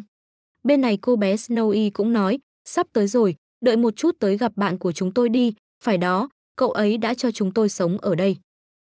Lời này khiến cho Lim Da In hơi thắc mắc, bạn, có người để kết bạn ở đây à? Khoan, lẽ nào là một cái tên màu trắng to bằng một nửa tôi? Đúng rồi, anh biết cậu ấy ư, bạn của chúng tôi tốt bụng, lại mạnh nữa nên quái vật mới không vào được đây đó, cô ấy vui vẻ khoe khoang với Lim Da In. Lúc này cậu cũng đoán ra người bạn mà họ nói chắc chắn là tên hộ vệ, nên câu liền nói, các cô đi đi, tôi sẽ đợi ở đây. Ta đã đến nơi rồi mà, Snowy trả lời. Cùng lúc này, Linda In cũng thấy một con robot ở ngay trước mặt mình, chết tiệt. Mà ngay khi con robot nhìn thấy cậu, thì nó cũng bắt đầu phát ra cảnh báo, cảnh báo xâm nhập, phong tỏa khu vực. Ngay theo lời của nó, hai bên lối đi bên cạnh liền sập xuống, chặn mất lối thoát của Linda In. Đã đánh giá xong đối tượng xâm nhập, đã xác định mục tiêu loại bỏ, con robot này vừa thông báo vừa bắt đầu biến hình. Cậu ta tốt bụng thật sao? Cậu ta bảo tôi là mục tiêu loại bỏ kìa. Bên này con robot cũng đã biến hình hoàn tất, bắt đầu tiêu diệt mục tiêu. Không còn cách nào khác, Linda In đành chuẩn bị ứng chiến, nhân tiện anh ấy cũng có thể kiểm tra thứ này. Thứ mà cậu ấy nói chính là cánh tay trái được bao phủ bởi lớp giáp. Mà lúc này con robot cũng đã lao lên tấn công. Mặc dù đã đỡ được đòn tấn công của nó nhưng mà Linda In vẫn bị đẩy lùi. Mình không thể xóa bỏ cách biệt về thứ hạng, nhưng không sao, có lẽ hiện tại nó không thể dùng được cánh tay phải. Theo ánh mắt của Lim Da In lúc này cánh tay phải của con robot đã bị phá hủy một phần. Tái đánh giá mức độ nguy hiểm của kẻ xâm nhập, mở khóa vũ khí cấp cao hơn, xác định mục tiêu. Con robot bên này còn chưa kịp đánh giá xong thì Lim Da In đã lập tức lao vào tấn công, ngươi tưởng ta định đợi sao? Lúc này con robot lại đưa ra một thông báo mới, kích hoạt tự phục hồi. Lim Da In nghe được lời này thì điên đầu, một con robot có năng lực tự hồi phục. Đã khỏe rồi lại còn tự hồi phục, còn mình thì đặt chút mana vào găng tay thôi đã không ổn rồi. Mà con robot sau khi hồi phục xong cũng bắt đầu liên tục tấn công áp đảo, khiến cho Linda In phải vất vả né tránh. Nên rút lui thì hơn, mình sẽ phá bức tường đó rồi thoát khỏi đây, nếu mang theo được Wang Guho với bé con. Ngay khi cậu nghĩ tới đây thì Snowy liền chắn ngang giữa cậu với con robot. Snowy Mon, đừng đánh anh ấy, anh ấy là bạn của chúng ta mà. Mà trong tầm mắt của con robot thì lúc này nó cũng bắt đầu phân tích, không phải mục tiêu cần loại bỏ, vô hiệu tiêu diệt mục tiêu. Mà Limda In chỉ chờ cơ hội này, cậu không do dự mà dùng tay trái đấm thẳng vào người nó, khiến cho Snowy giật mình. A à này, sao anh lại đấm Snowy Mon? Nói sau đi, Limda In trả lời. Sau đó cậu tiếp tục tung ra liên hoàn đấm đá, mà cô bé Snowy bên cạnh đã phát khiếp lên rồi, chúng ta đều là bạn mà. Kết quả là sau một lúc con robot đã thành đống phế liệu, còn mấy cô bé Snowy thì đang ngồi khóc thương cho nó. Snowy Mon là bạn chúng tôi, anh đã giết Snowy Mon. Mấy cô gái này tức giận chất vấn Lim Da In. Nhưng cậu vẫn bình tĩnh trả lời, nó tấn công tôi trước mà, đáng ra tôi đã phải chết trong tay nó à. Mấy lời này khiến cho các Snowy không thể nói thêm được gì nữa, bọn họ chỉ biết khóc. Mà lúc này Lim Da In cũng ngồi xuống nói với con robot. Này Golem, chẳng phải thế là đủ để chứng minh trình độ của ta rồi sao? Con robot lúc này cũng đưa ra thông báo, kết thúc thí luyện, hoàn thành nhiệm vụ. Sau đó cậu cũng lấy được một cái chìa khóa từ trên người nó. Chìa khóa đây rồi, giờ mình chỉ cần tìm ra địa điểm an toàn. Mà các Snowy sau khi thấy con robot chút hơi thở cuối cùng thì trở nên tức giận hơn, chúng tôi không chơi với anh nữa, bạn bè không được làm hại nhau. Ơ kìa, tôi có giết nó đâu, lên trên là nó sống lại ngay. Anh ta nói thật đấy. Linda In cũng rất thích họ, tuy họ có hơi phiền phức nhưng rất đơn thuần. Và lời nói của Lim Da In cũng không phải nói dối, công nghệ ngày nay không thể tái tạo một con golem tầm cỡ như nó, nhưng với tay nghề của Giang Ion Sin thì nó sẽ có thể khởi động lại được. Nhưng mà quan trọng nhất là bây giờ cậu đã có được chìa khóa. Việc tiếp theo chỉ là cần đi tìm nơi để sử dụng nó. Lúc này một Snowy liền thắc mắc, đây là lần đầu tiên nơi này được khám phá đấy, anh tìm gì vậy? Tôi đang tìm một thứ rất quan trọng. Nghĩ tới đây cậu thực sự đã tìm thấy thứ mà mình cần tìm. Đây rồi, bình rượu sự sống, nó là bình rượu vàng có năng lực chữa lành mạnh mẽ vô tận. Hiện tại dược thủy vẫn chưa được phát minh ra, vậy mà lại xuất hiện một bình dược liệu cấp cao có dung lượng vô tận, ngon thế này thì bán hết ngay thôi, he he. Vào đêm thảm họa đầu tiên, đêm thất nguyệt, nếu binh đoàn quái vật trỗi dậy, thứ này có thể giúp các thợ săn và cứu vô số mạng người. Và để kiểm tra thì Lim Da Y liền làm vài hớp trước đã. Snowy bên cạnh thấy vậy cũng thèm. Chia cho tôi một ít với, ngửi thơm quá. Không còn nhiều đâu, cô cứ thử đi, tới khi nào nó đầy lại tôi sẽ cho cô thêm. Vừa nói cậu ấy vừa nhỏ vài giọt vào miệng Snowy. Ngay sau đó, cơ thể cô ấy liền bừng sáng dữ dội. Gì vậy, với tiên thì dược thủy có gì đặc biệt hơn à? Kết quả là cơ thể cô ấy trở nên nhẹ nhõm hơn, nhưng mà hình dáng cũng bị nhỏ đi. Tôi sẽ tìm hiểu kỹ sau, xong việc ở đây rồi, ra ngoài thôi, Lim Da In nói. Nói xong cả bốn người liền bắt đầu rời đi, đồng thời mang theo cả con golem nữa. Trong lúc bơi cậu cũng cảm thấy được càng bơi lên gần mặt nước thì dòng nước lại càng ấm áp hơn. Đến khi cậu ngoi lên mặt nước mới phát hiện nguyên do nước ấm lên là bởi vì phía trên trời lúc này có một quả cầu lửa khổng lồ. Cô nhóc đó, muốn gây chuyện khi đang say giấc à, lại nghịch lửa nữa sao? Mà lúc này Lily cũng nhìn thấy Lim Da In. Dập lửa đi rồi xuống đây ngay, nhóc muốn hủy cả cái hồ này à? Lúc này Bách Trang Su trên bờ cũng phát hiện ra Lim Da In, đội trưởng Lim Da In anh ở đâu đấy? Tại có chuyện khẩn cấp. Dù sao tôi cũng vui vẻ vì cậu đã bình an trở về và cô bé Lily đã không sấy khô cả cái hồ này. Lúc này ở phía sau những người khác cũng chạy tới, bố, bố tìm thấy đội trưởng chưa, thấy rồi mọi người không cần tìm nữa. Bích yung hi vừa thấy cậu ấy thì liền lao vào ôm ấp, đội trưởng cậu đã đi đâu thế? Các cô bé Snowy lúc này cũng lên tiếng có ai gây chuyện với anh à? Bích Trang Su thấy hình dáng của bọn họ thì ngạc nhiên. Đội trưởng, sau lưng cậu có quái vật kìa, bình tĩnh, là bạn mới thôi, lát tôi kể chi tiết sau. Bên này Lily cũng lập tức chạy tới tặng cho Lim Da In một cú húc đầu, anh đã trốn ở đâu? Tới bữa tối rồi mà anh không có mặt, em đã lo lắm đấy, vừa nói cô ấy vừa đấm thùng thụp vào người Lim Da In.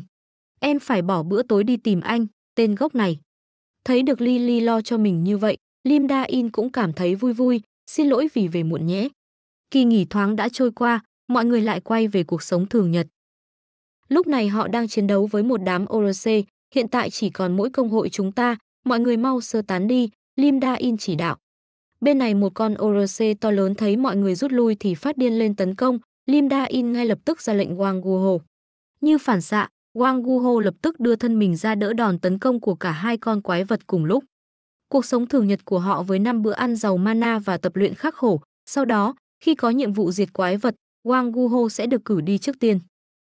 Nhìn cảnh Wang Guho chiến đấu cũng làm cho Lim Da In suy nghĩ, cậu ta tiến bộ còn hơn mình tưởng, nếu may mắn, cậu ta có thể đóng vai trò lớn nhất trong thảm họa thứ nhất.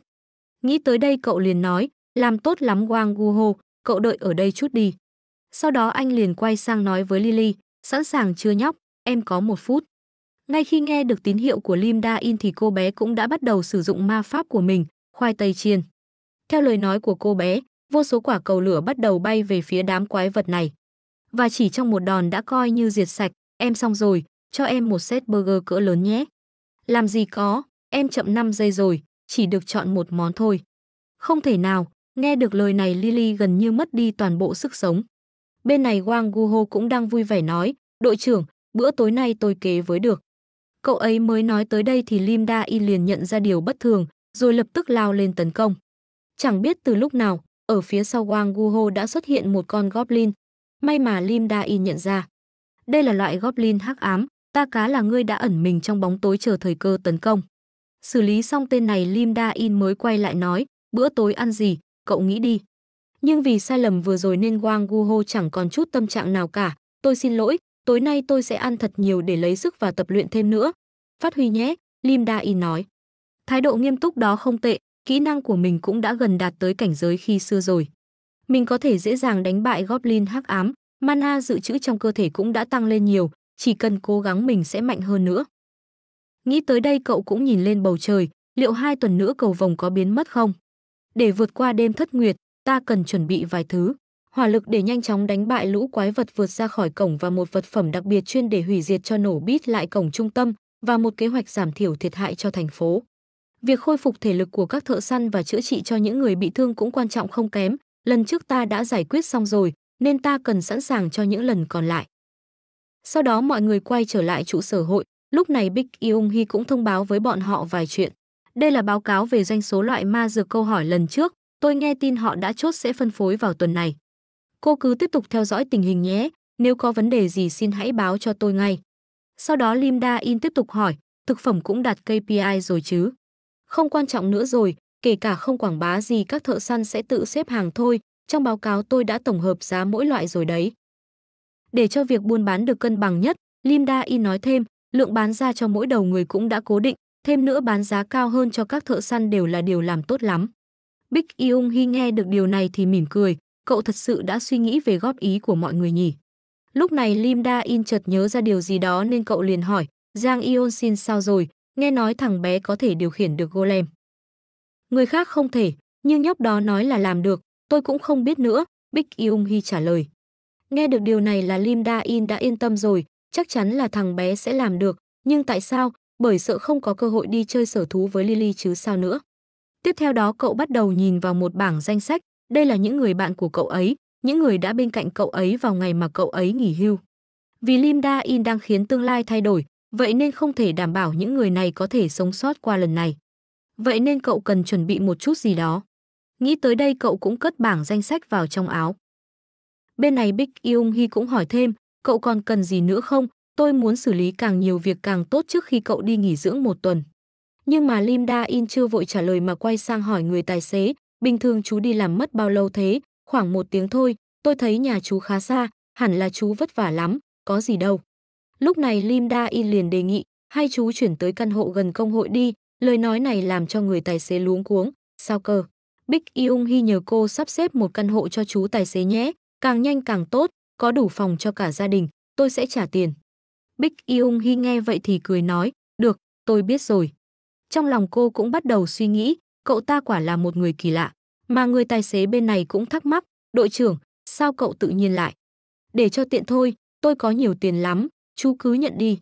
Ha ha, tôi đang mơ hay hôm nay là sinh nhật tôi vậy, người tài xế nói. Mà lúc này Lim Da In cũng bắt đầu suy nghĩ, có ma dược rồi thì tiền không phải vấn đề, nhưng mình không thể dùng cách này sơ tán tất cả mọi người được, vẫn còn nhiều việc phải làm lắm. Một lúc sau, sau khi đã trở về nhà, Lim Da In cùng Lily lên chuẩn bị hành lý lên đường, mà bánh đậu đỏ bên này cũng chúc mừng bọn họ. Anh trai, em gái, chúc chuyến đi cuối tuần vui vẻ nhé. Này không được trốn đâu nha, anh không được trốn đâu đấy, cả Lim Da In và Lily đều nói cùng một câu. Mà khi đang đi, họ cũng phát hiện ra Wang Guho đang bí mật luyện tập. Lim Da In vội vàng bảo Lily im lặng, cứ đi đi, cậu ấy đang tập trung. Chậm quá, không có tác dụng, nếu mình không mạnh lên đội trưởng sẽ vứt bỏ mình mất. Lim Da In ở phía sau nghe được hết mấy lời này, cậu ta vẫn sợ bị bỏ rơi hả? Dù động lực là gì thì cậu ta mạnh hơn là tốt rồi, mình sẽ không can thiệp vào. Đợi đi đến chỗ không có người họ liền dùng khiên để bay đi. Cái kỹ năng đơn giản này hình như hơi nhiều tác dụng, từ tấn công, phòng thủ, cho đến cả di chuyển.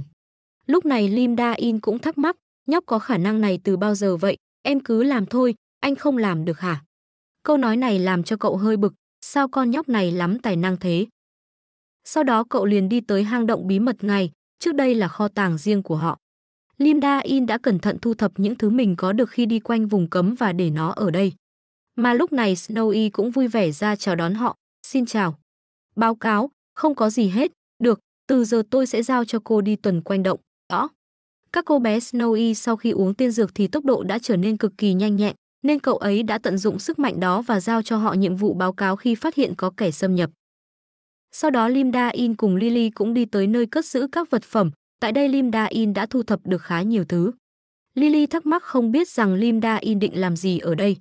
Trong số các vật phẩm ở đây, có vài thứ cần thiết cho chuyến đi của họ. Đầu tiên là mặt nạ của kẻ lừa đảo. Có thể thay đổi sự chú ý của người khác và khiến họ có cảm giác thân quen. Nó thay đổi được cả giọng nói nữa. Tiếp theo là áo choàng của nhà hiền triết.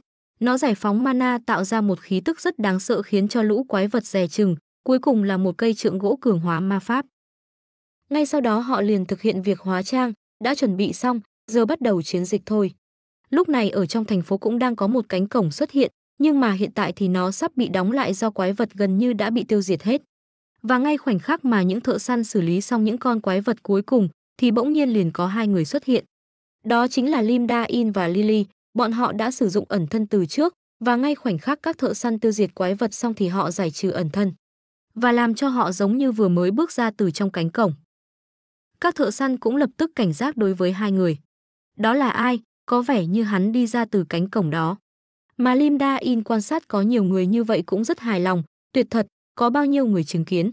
Nghĩ tới đây cậu cũng bắt đầu lên tiếng, ta là Pháp sư Asimus từ đại lục Gaia, ta tới để cảnh báo một thảm họa sẽ xảy ra với vùng đất này. Câu nói của Lim Da In tràn đầy sự nghiêm trọng. Lúc này mọi người xung quanh cũng bắt đầu bàn tán xôn xao, tên đó là ai, thứ ngôn ngữ gì vậy, tôi chưa nghe qua bao giờ, chẳng phải hắn ta chui ra từ cổng sao. Và ngay khi bọn họ vẫn còn đang thắc mắc vẫn chưa biết rằng người này là ai, thì cây trượng của Lim Da In liền phát sáng. Ánh sáng này khiến cho mọi người cảnh giác hơn, đừng sợ, ta dùng thuật phiên dịch thôi, xin phép được giới thiệu lần nữa, ta là Asimus, pháp sư tới từ lục địa Gaia. Hãy nghe kỹ đây, nói tới đây Lim Da In cũng đánh mắt sang bên cạnh ra hiệu cho Lily. Ngay lập tức Lily liền sử dụng khi ông nâng cả hai lên trên không trung, ta tới cảnh báo các người. Cầu vồng kia chính là dấu hiệu của tai ương, khi tất cả màu sắc biến mất, một thảm họa mở ra, mọi cánh cổng dẫn tới địa ngục sẽ ập xuống. Quái vật và quỷ dữ sẽ tràn ra khắp nơi, sự sống sẽ úa tàn, cái chết sẽ ngư trị, vậy nên các người hãy hợp lực mà chuẩn bị cho thảm họa sắp tới. Vừa nói cậu vừa thi triển một ma pháp ảo ảnh để thư thu hút sự chú ý. Mọi người bên dưới cũng bắt đầu suy đoán, bởi vì mấy ngày hôm nay màu sắc của cầu vồng cũng dần biến mất thật. Mà tất cả điều này là nhờ chiếc mặt nạ của Lim Da In, chiếc mặt nạ đặc biệt khiến cho giọng nói của cậu ấy trở nên đáng tin hơn. Và áo choàng của nhà hiền chiết tỏa ra hào quang khiến mọi người phải chú ý. Trượng phép chỉ là cây gậy phát ra ánh sáng thôi, nhưng cũng phụ họa thêm. Lúc này một nhân viên cảnh sát cũng lo lắng bước lên hỏi, Pháp sư, làm sao chúng tôi mới tránh được thảm họa, ta không thể tránh được tai ương, thứ duy nhất có thể làm là giảm thiểu tác động của nó. Vua của thế giới này đâu, ta sẽ nói chi tiết hơn ngài ấy. Và nhờ câu nói này, một lúc sau Lim Da In và Lily đã được ngồi trong phòng thẩm vấn của nhà xanh. Sau đó một nhân viên khác cũng bước vào nói chuyện với bọn họ, ngài là một pháp sư tới từ chiều không gian khác. Lời nói này chính là của đội trưởng hiệp hội thợ săn Ju Sang-guk.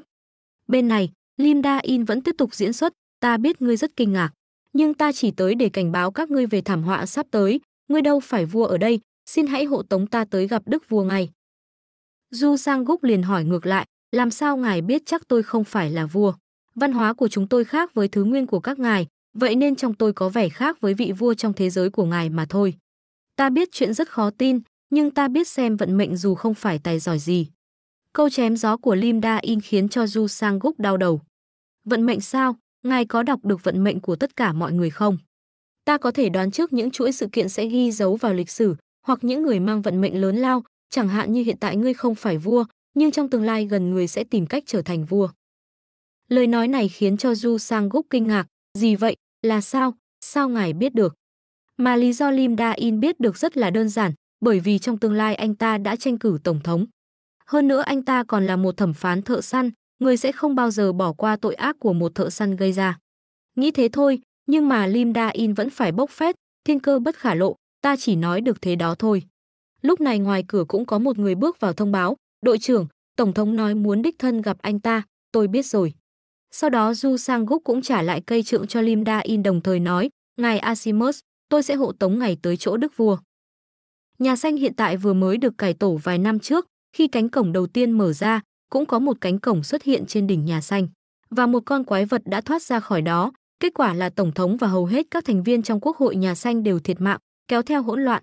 Phải tới khi tổng thống mới được bầu cử mọi chuyện mới tạm êm đềm, vì sức chống chịu này mà nhà xanh mới trông giống như một quân doanh vậy. Không lâu sau Ju Sang Gúc liền dẫn cậu tới văn phòng tổng thống. Ở đây đã có vài người ngồi sẵn chờ đợi. Lúc này người đàn ông đeo kính liền lên tiếng, hân hạnh được gặp ngài, tôi là tổng thống của đất nước này, nghe nói ngài tới từ một chiều không gian khác đúng chứ?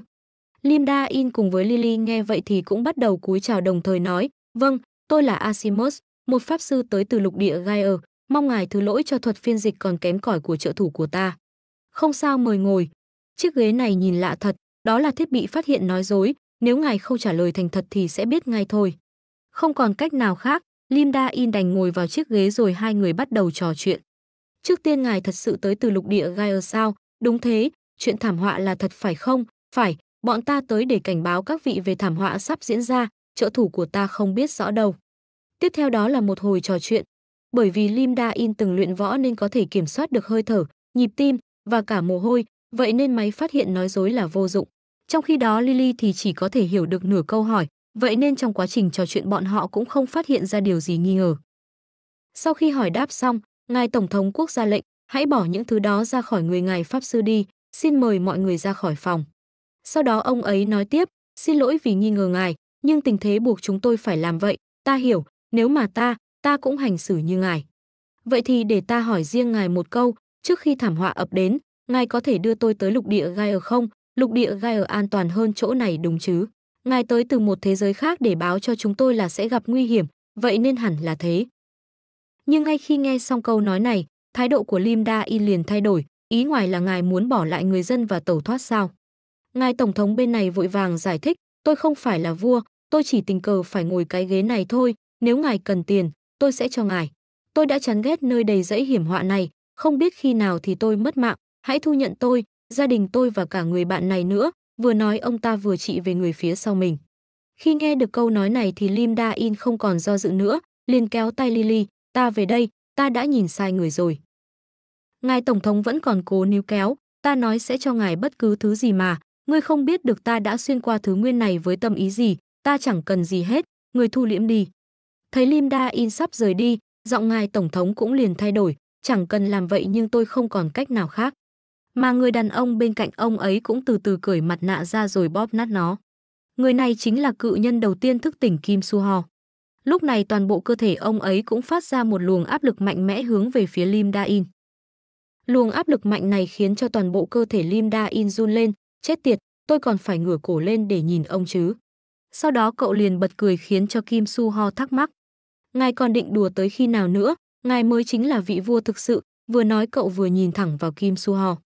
Nghe được câu nói này, ông ấy mới từ từ thu áp lực lại rồi nói, sao ngài biết, nó quá là rõ ràng mà, tinh tú vận mệnh rộng lớn của ngài. Thông tin thêm, Kim Su Ho là vị anh hùng đã thiết lập trật tự tại Nam Hàn, nơi từng loạn lạc khi cánh cổng đầu tiên mở ra. Ngay sau khi thức tỉnh, ông ta đã điều động lực lượng an ninh tới bảo vệ cho người dân. Sau kỳ bầu cử tổng thống, ông ta xây dựng lại nhà xanh và trở thành tổng thống của đất nước này. Chưa hết, ngoài ra ông ta rất tâm huyết với việc khôi phục lại thành phố và lãnh thổ quốc gia, đã là công dân của Đại Hàn thì không ai không biết ông ấy. Một thời gian sau, tại trung tâm trụ sở ứng phó thiên tai. Lúc này tại đây đang diễn ra một cuộc họp giữa các hội lớn nhất với nhau. Vậy thì trước khi bắt đầu cuộc họp, tôi muốn giới thiệu vị pháp sư đã đưa ra lời tiên tri, ta tên là Asimus, mong các vị hãy lắng nghe thật kỹ những lời ta nói. Mà sau khi nghe được Lim Da In trình bày về thảm họa, thái độ của mọi người trong phòng là khác nhau. Quái vật Bách Trang Su thì vô cùng hào hứng, 10.000 con quái vật, hẳn là chúng rất mạnh. Những người còn lại là quỷ vương Kim Tae Jin, băng hậu Han Ji Hye, bức tường thép Min Tae Uong. Cả ba người họ đều im lặng đánh giá chứ chưa nói gì cả, và những người này cũng là những thức tỉnh giả đầu tiên. Nói chính xác thì đây là danh hiệu dành cho những người mạnh nhất trong số những nhân vật thức tỉnh đầu tiên, chính họ sẽ giúp diệt trừ lũ quái vật và mang lại thái bình giống như Kim Su Ho vậy. Mà lúc này Kim Su Ho cũng lên thời khóa biểu. Vậy nên tôi định sẽ tuyên bố tình trạng cấp báo toàn quốc vào sáng mai tôi sẽ giúp sức chuẩn bị thảm họa mong các vị hợp tác. Khoan đã ngày Tổng thống sao ngài có thể tin vào câu chuyện hoang đường như vậy Kim Tê Jin nói. Mà Min Tê Uông cũng đồng tình với ông ta, tôi cũng thấy thế, trông hắn như tên lừa đảo ấy, tuyên bố cảnh báo cấp quốc gia ngay lúc này là quyết định vội vàng. Có bằng chứng gì không? Nếu hắn nói dối thì ai sẽ bù đắp cho tổn thất về thời gian và tiền bạc? Nghe đến đoạn này Kim Su Ho liền lên tiếng ngắt lời, đủ rồi, tôi đã tự mình kiểm chứng, đừng quên thời gian cánh cổng mở ra. Sau đó ông ấy cũng nói tiếp, nếu không có chuyện gì xảy ra thì sẽ không có thương vong, đây là chuyện tốt mà, phải chứ, nếu không sẵn sàng cho thảm họa xảy đến thì thiệt hại còn lớn hơn. Nghe tới chỗ này thì Min Tê Uông liền thở dài, nghĩ lại tôi cũng vất vả với vụ Iezin rồi, nhưng ngài biết đấy, nói tới đây anh ta lao thẳng về phía Lim Da In với tốc độ chóng mặt. Nhưng mà mục tiêu thực sự của anh ta không phải là Lim Da In mà là Lily đang hóa trang. Từ nãy tôi đã khó chịu rồi, đứng đứng yên đó, tôi sẽ lột bỏ mặt nạ của cô, ngươi muốn chết hả? Phải có lý do thì gì thì các ngươi mới đeo mặt nạ chứ, chẳng hạn như để không bị lộ mặt chẳng hạn, vừa nói anh ta cũng vừa cởi bỏ mặt nạ của Lily. Nhưng mà khi chiếc mặt nạ của Lily rơi ra, lại để lộ ra một gương mặt mèo. Điều này cũng làm cho mọi người kinh ngạc, mà Lim Da In lúc này cũng từ từ nhặt chiếc mặt nạ lên trấn an Lily.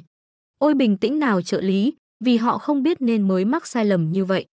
Nói xong cậu cũng trở nên giận dữ nói với những người khác, tộc người Mio rất xấu hổ khi lộ mặt mình ra trước loài người, đó là lý do tại sao họ luôn đeo mặt nạ khi đi cùng tôi. Thực ra trong lòng cậu cũng âm thầm thở phào, may mà mình đã chuẩn bị trước thứ này cho con bé, phòng khi những chuyện thế này xảy ra. Chiếc mặt nạ mèo có biến đổi giọng nói đấy, nhưng nếu mặt nạ bị gỡ ra, một ma pháp chú dùng để biến mục tiêu thành mèo sẽ được kích hoạt. Chà, Min Tê Uông anh sẽ làm gì trước suy đoán sai lầm của mình đây? Mà lúc này Kim Su Ho cũng quát lớn đối với anh ấy, Min Tae Uông, lập tức xin lỗi ngay. Tôi xin lỗi vì đã gỡ mặt nạ khi chưa được cho phép. Và ngày hôm sau, Kim Su Ho đã tuyên bố tình huống khẩn cấp trên truyền hình và đài phát thanh. Thưa các công dân Hàn Quốc, hôm nay tôi đứng tại đây để thông báo về một cuộc khủng hoảng nghiêm trọng với Đại Hàn Dân Quốc. Đã có một số lùm xùm sau thông báo, nhưng toàn bộ người dân đã nhanh chóng thích ứng với thực trạng, quân đội, các công hội, cảnh sát, thợ săn ngay lập tức mở ra các cuộc huấn luyện quy mô lớn. Mà hai người Lim Da In và Lily thì đang ngồi thành thơi uống trà, lúc này cũng có một nhân viên bước vào, "Ngài hiền nhân, tôi nghe nói là hôm nay ngài sẽ rời khỏi đây." "Vâng, ma pháp dịch chuyện chiều không gian sắp hết tác dụng rồi, tôi sẽ phải trở lại trong vài giờ nữa." Lúc này anh chàng nhân viên tiếp tục nói, "Vậy trước khi ngài đi, tôi có thể đưa ra một yêu cầu nhỏ không? Tất nhiên, tôi rất vui lòng nếu có thì làm gì đó trong khả năng của mình." Lim Da In vui vẻ đáp, đây là những cuốn sách mà tôi thu được như chiến lợi phẩm trong quá trình phục quốc, tôi chỉ đem đến những cuốn còn trong tình trạng tốt thôi, ngài có thể xem qua được không? Linda In hơi do dự một chút rồi nói, việc này, tôi không còn nhiều thời gian nên chỉ xem cuốn nào quan trọng thôi nhé, tôi không am hiểu lắm đâu nên đừng kỳ vọng gì nhiều. Xin cảm ơn ngài khiêm tốn quá. Sau đó Linda In cũng bước vào thư viện này và quan sát. Mình có thể nói được bất kỳ ngôn ngữ nào, nhưng chỉ đọc được những ngôn ngữ của lục địa Gaia và thế giới võ thuật thôi, và dù vậy, mình chỉ đọc hiểu tốt được ma pháp và võ thuật. Đúng lúc này liền có một quyển sách thu hút sự chú ý của cậu. Đây là ghi chép về kiếm vương. Ta là Nam Cung Vũ Tuyết, kiếm vương trong thế giới võ thuật, ta được biết đến như một hiện thân, bla bla bla. Mới đọc qua một chút là Lim Da In biết đây thực sự là cuốn sách mà kiếm vương để lại rồi. Mà người nhân viên thấy cậu chăm chú như vậy thì liền hỏi, hiền nhân, cuốn sách đó có gì sao? Tự nhiên bú được quyển võ công kinh khủng nên cậu lập tức bật chế độ diễn xuất. Cuốn sách này, có vẻ nó được viết bởi một con quỷ. Lời này khiến cho anh chàng nhân viên ngạc nhiên, gì chứ, một con quỷ sao? Lim Da In hỏi tiếp. Khi cậu tìm thấy cuốn sách này có còn gì khác nữa không? Một thanh kiếm hay cái gì đó chẳng hạn. Thanh kiếm đó cũng có một con quỷ ở trong nó và nó sẽ dụ dỗ người ta vung kiếm làm hại người khác. Anh chàng nhân viên trở nên lo lắng lập tức rút điện thoại ra kiểm tra. Mà Lim Da In cũng bắt đầu mong đợi, sẽ tuyệt hơn nếu thanh thiên kiếm của kiếm vương cũng ở đó. Nhưng kết quả làm cho Lim Da In khá thất vọng, không có thanh kiếm nào ở đó cả, họ nói chỉ tìm được có cuốn sách này và một số y phục cũ ở trong hang động đổ nát đó thôi. Điều này làm cho cậu tiếc đứt ruột, nhưng mà thôi, bú được một quyển võ công cũng là hay rồi. Nghĩ tới đây cậu cũng liền tiện tay nhét cuốn sách vào trong ngực mình rồi nói, cuốn sách này rất nguy hiểm nên tôi sẽ đem theo nó và phong ấn nó lại, Đức vua hẳn rất bận nên xin hãy giữ bí mật nhé. Mà lúc này, sau khi anh chàng nhân viên rời đi thì Lim Da In cũng mang quyển sách ra để nghiên cứu kỹ hơn. Ta sinh ra là một nghiệt tử của gia tộc Nam Cung, ta được sinh ra với thiên phú võ thuật nhưng bị phân biệt đối xử vì là con hoang. Ta thậm chí còn không được quan sát tinh hoa võ thuật của gia tộc. Sau khi mẫu thân qua đời, ta đã đánh cắp võ công và tiên dược của dân tộc đi. Mấy cái lời giới thiệu cốt truyện kiểu này làm cho Lim Da In không nổi được một tí hứng thú nào cả. Mình không có hứng thú với phần này, đoạn sau đó mình biết cả rồi, kiếm vương người đã trở thành bậc thầy đã thất bại trong trận đấu với thiên ma chỉ trong một phần giây và biến mất. Cuối cùng sau một hồi cậu cũng tìm thấy được nội dung cốt yếu. Nó ghi chép lại một loại võ công được đặt tên là xuyên không thần công. Nó được giải thích theo cách mà đến cả con khỉ còn hiểu, nên nếu không hiểu thì hãy đọc đi đọc lại. Và sau khi quan sát một chút thì Lim Da In cũng thử tập tành làm theo. Đầu tiên Lim Da In ngồi xếp bằng, rồi bắt đầu vận chuyển mana trong cơ thể. Nội công được chia thành 3 loại chính, đầu tiên là tích lũy, tích lũy là lượng nội lực được tụ trong đan điền. Tiếp đó là cân bằng, thể hiện cho mức độ ổn định của quá trình vận hành nội năng trong cơ thể, cuối cùng là giải phóng. Chính là tốc độ giải phóng nội lực ra bên ngoài, nếu những tâm pháp mà mình chủ yếu học cho đến giờ chỉ tập trung vào sự cân bằng, thì tâm pháp vận chuyển nội lực này là sự điều hòa hoàn hảo của cả ba khía cạnh, đây thực sự là một môn nội công tâm pháp vô song hoàn mỹ. Mình hiểu tại sao các võ sư lại đặt cược mạng sống vào việc nâng cao trình độ võ công như vậy rồi, hôm nay tới đây thôi. Chủ yếu là do môn võ công này quá cao thâm, mới vận chuyển một chút thôi mà cơ thể cậu đã toát đầy mồ hôi. Mà lúc này Lim Da In cũng để ý lên đồng hồ, đã quá giờ ăn trưa, sao con bé vẫn chưa trở lại. Bỗng nhiên lúc này Lim Da In chợt cảm thấy điều gì đó rồi cậu vội vàng quay đầu. Ở bên ngoài bầu trời lúc này bỗng nhiên xuất hiện một cánh cổng, rồi một con quái vật đầu trâu chui ra từ đó, đây là Minotaur. Mấy người trong sân thấy con quái vật khổng lồ này thì sợ vãi cứt, thậm chí bọn họ còn không thể di chuyển nổi khi nhìn thấy nó. Mà con trâu điên này thì cũng không do dự tặng cho bọn họ một chùy, may mà Lim Da In chạy ra kịp thời, tạo khiên phép bảo vệ cho bọn họ. Đồng thời lúc này cậu cũng dặn dò thêm, đừng rời khỏi lá chắn này cho tới khi có người khác đến, ma pháp sư bảo vệ mọi người. Đây cũng là cơ hội để cho Lim Da In kiểm tra sức mạnh của nội công tâm pháp mới. Bên này, con trâu điên cũng lao vào tấn công Lim Da In. Nếu mình dùng ma pháp mạnh mẽ ở đây, cung điện sẽ sập mất, nên phải tự thân vận động thôi, vừa nói cậu cũng vừa nhanh nhẹn né tránh được đòn tấn công của nó. Rồi sau đó cây trượng của Lim Da In phát sáng lên khiến cho con trâu kinh ngạc, nhân cơ hội này thì cậu đấm luôn cho nó một phát, khiến cho nó bay xa cả chục mét. Nhưng mà điều này cũng làm cho Lim Da In suy nghĩ, đây có thực sự là Minotaur không vậy, sao mà nó yếu nhất thế? Và rồi khi con trâu điên tấn công lần nữa thì Lim Da In lại dễ dàng né tránh. Thậm chí nó còn không kịp nhìn thay la cậu đang né đi đâu, nhân lúc con trâu này vẫn còn đang tìm kiếm Lim Da In, thì cậu liền tặng cho nó một đấm. Lúc này Lim Da In cũng hiểu ra, không phải là con quái vật yếu mà là do mình đã mạnh hơn, mình phải nhanh học các chiêu thức mới này thôi. Và chỉ trong phút chốc, ngài pháp sư hệ vật lý đã hạ gục được con trâu điên. Cùng lúc này trên bầu trời, Lily cũng cưỡi khiên chắn thong thả bay tới. Ma pháp sư, trợ lý của ngài tới rồi đây. Linda in thấy vậy thì vội vàng hỏi, nhóc từ đâu về đấy? Cháu về sau khi đi ăn với bạn, nhóc còn kết bạn luôn cơ à? Và trong khi cuộc trò chuyện của bọn họ còn đang giang dở, thì trên bầu trời lại tiếp tục có những con quái vật chui ra từ cánh cổng. Vậy là một đàn châu điên đã được tập hợp. Ta không muốn gây tổn hại gì tới cung điện đâu, nhưng chúng đông quá nên đành vậy thôi. Lily cũng ngay lập tức bắt được tín hiệu. Đồng thời lúc này Lim Da In cũng giơ cao cây trượng của mình rồi nói, hỏa ma pháp, hạ vũ. Theo lời nói của cậu ấy, có vô số quả cầu lửa bắt đầu lao về phía mấy con trâu này. Cảnh tượng này cũng khiến cho những nhân viên khác kinh ngạc, quả là một câu thần chú vĩ đại, đến tận sau này một bức tượng của đại hiền nhân sẽ được dựng ở quảng trường Wang Wamun. Chẳng bao lâu sau cũng đã tới thời điểm mà Lim Da In rồi đi, Kim Su Ho đang tiễn đưa cậu ấy. Asimus, ta sẽ không bao giờ quên ân huệ này, tôi chỉ làm những gì mình phải làm thôi, xin hãy cố gắng hết sức để ngăn chặn thảm họa sắp tới. Lúc này Kim Su Ho cũng cho người mang ra một cái vali rồi nói, không nhiều nhưng xin hãy nhận lấy thứ này thay cho lòng biết ơn của chúng tôi. Lim Da In vội vàng từ chối, không, không, tôi không thể nhận lấy thứ như thế này được, chúng tôi không thể tiễn cậu đi nếu cậu không nhận được. Nghe Kim Su Ho nói vậy, cậu đành miễn cưỡng nhận lấy, trong lòng cậu thầm nghĩ, không biết có bao nhiêu viên đá ma thuật cấp cao ở trong này nữa. Có vẻ như tôi không thể nán lại đây lâu hơn được nữa rồi, vòng tròn ma pháp dịch chuyển, chúng tôi xin cáo biệt tại đây, cùng lúc này ở phía dưới cho họ cũng xuất hiện một vòng tròn. Lily cũng đưa tay ra chào người bạn mà cô mới làm quen, hẹn gặp lại bạn tôi, Lim Da In cũng tươi cười nói với mọi người, mong cho tất cả mọi người đều bình an vô sự. Và buổi tối hôm đó, Lim Da In và Lily đã trở về nhà như chưa từng có chuyện gì xảy ra, trong nhà ngoan chứ hả, em thèm đồ ăn anh làm lắm rồi. Bánh đậu đỏ nghe được lời nói của hai người thì mừng tới phát khóc, vội vàng bò ra, anh, đó giờ anh đi đâu vậy, một chuyện khủng khiếp đã xảy ra đó. Lim Da In tuy biết rõ đó là chuyện gì, nhưng cậu vẫn phải giả vờ nói, chuyện gì. Bánh đậu đỏ bắt đầu giải thích, nếu tất cả cầu vồng lơ lửng trên bầu trời biến mất, một thảm họa sẽ rơi xuống chỗ chúng ta, ngài tổng thống nói rằng hàng trăm cái cổng sẽ mở ra.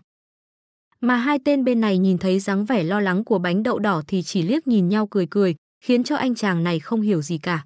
Đợi sau khi hai người Lim Da In và Lily thay đồ xong, bánh đậu đỏ cũng nói tiếp, Wang Guho cũng đã đến công hội ngay sau cuộc gọi khẩn, mà cũng làm ơn nói cho em biết lúc nào anh quay về đi. Lim Da In nghe vậy thì cũng nói, được rồi, làm tốt lắm, giờ thì tới công hội ngay thôi. Mà chuyện này cũng khiến cho cậu có cái nhìn khác về bánh đậu đỏ. Nói thật thì Lim Da In đã nghĩ là cậu ta sẽ cao chạy xa bay cơ, kể cả trong tình cảnh này, thật tốt khi cậu ấy vẫn chờ mọi người. Cậu được thông qua, gói ghém hành lý đi, vâng thưa anh, bánh đậu đỏ hớn hở trả. Lời, sau đó Lim Da In cũng nhìn lên cầu vồng trên trời rồi suy nghĩ, chỉ còn chưa đến một tuần nữa, trước tiên thì chúng ta đến công hội đã.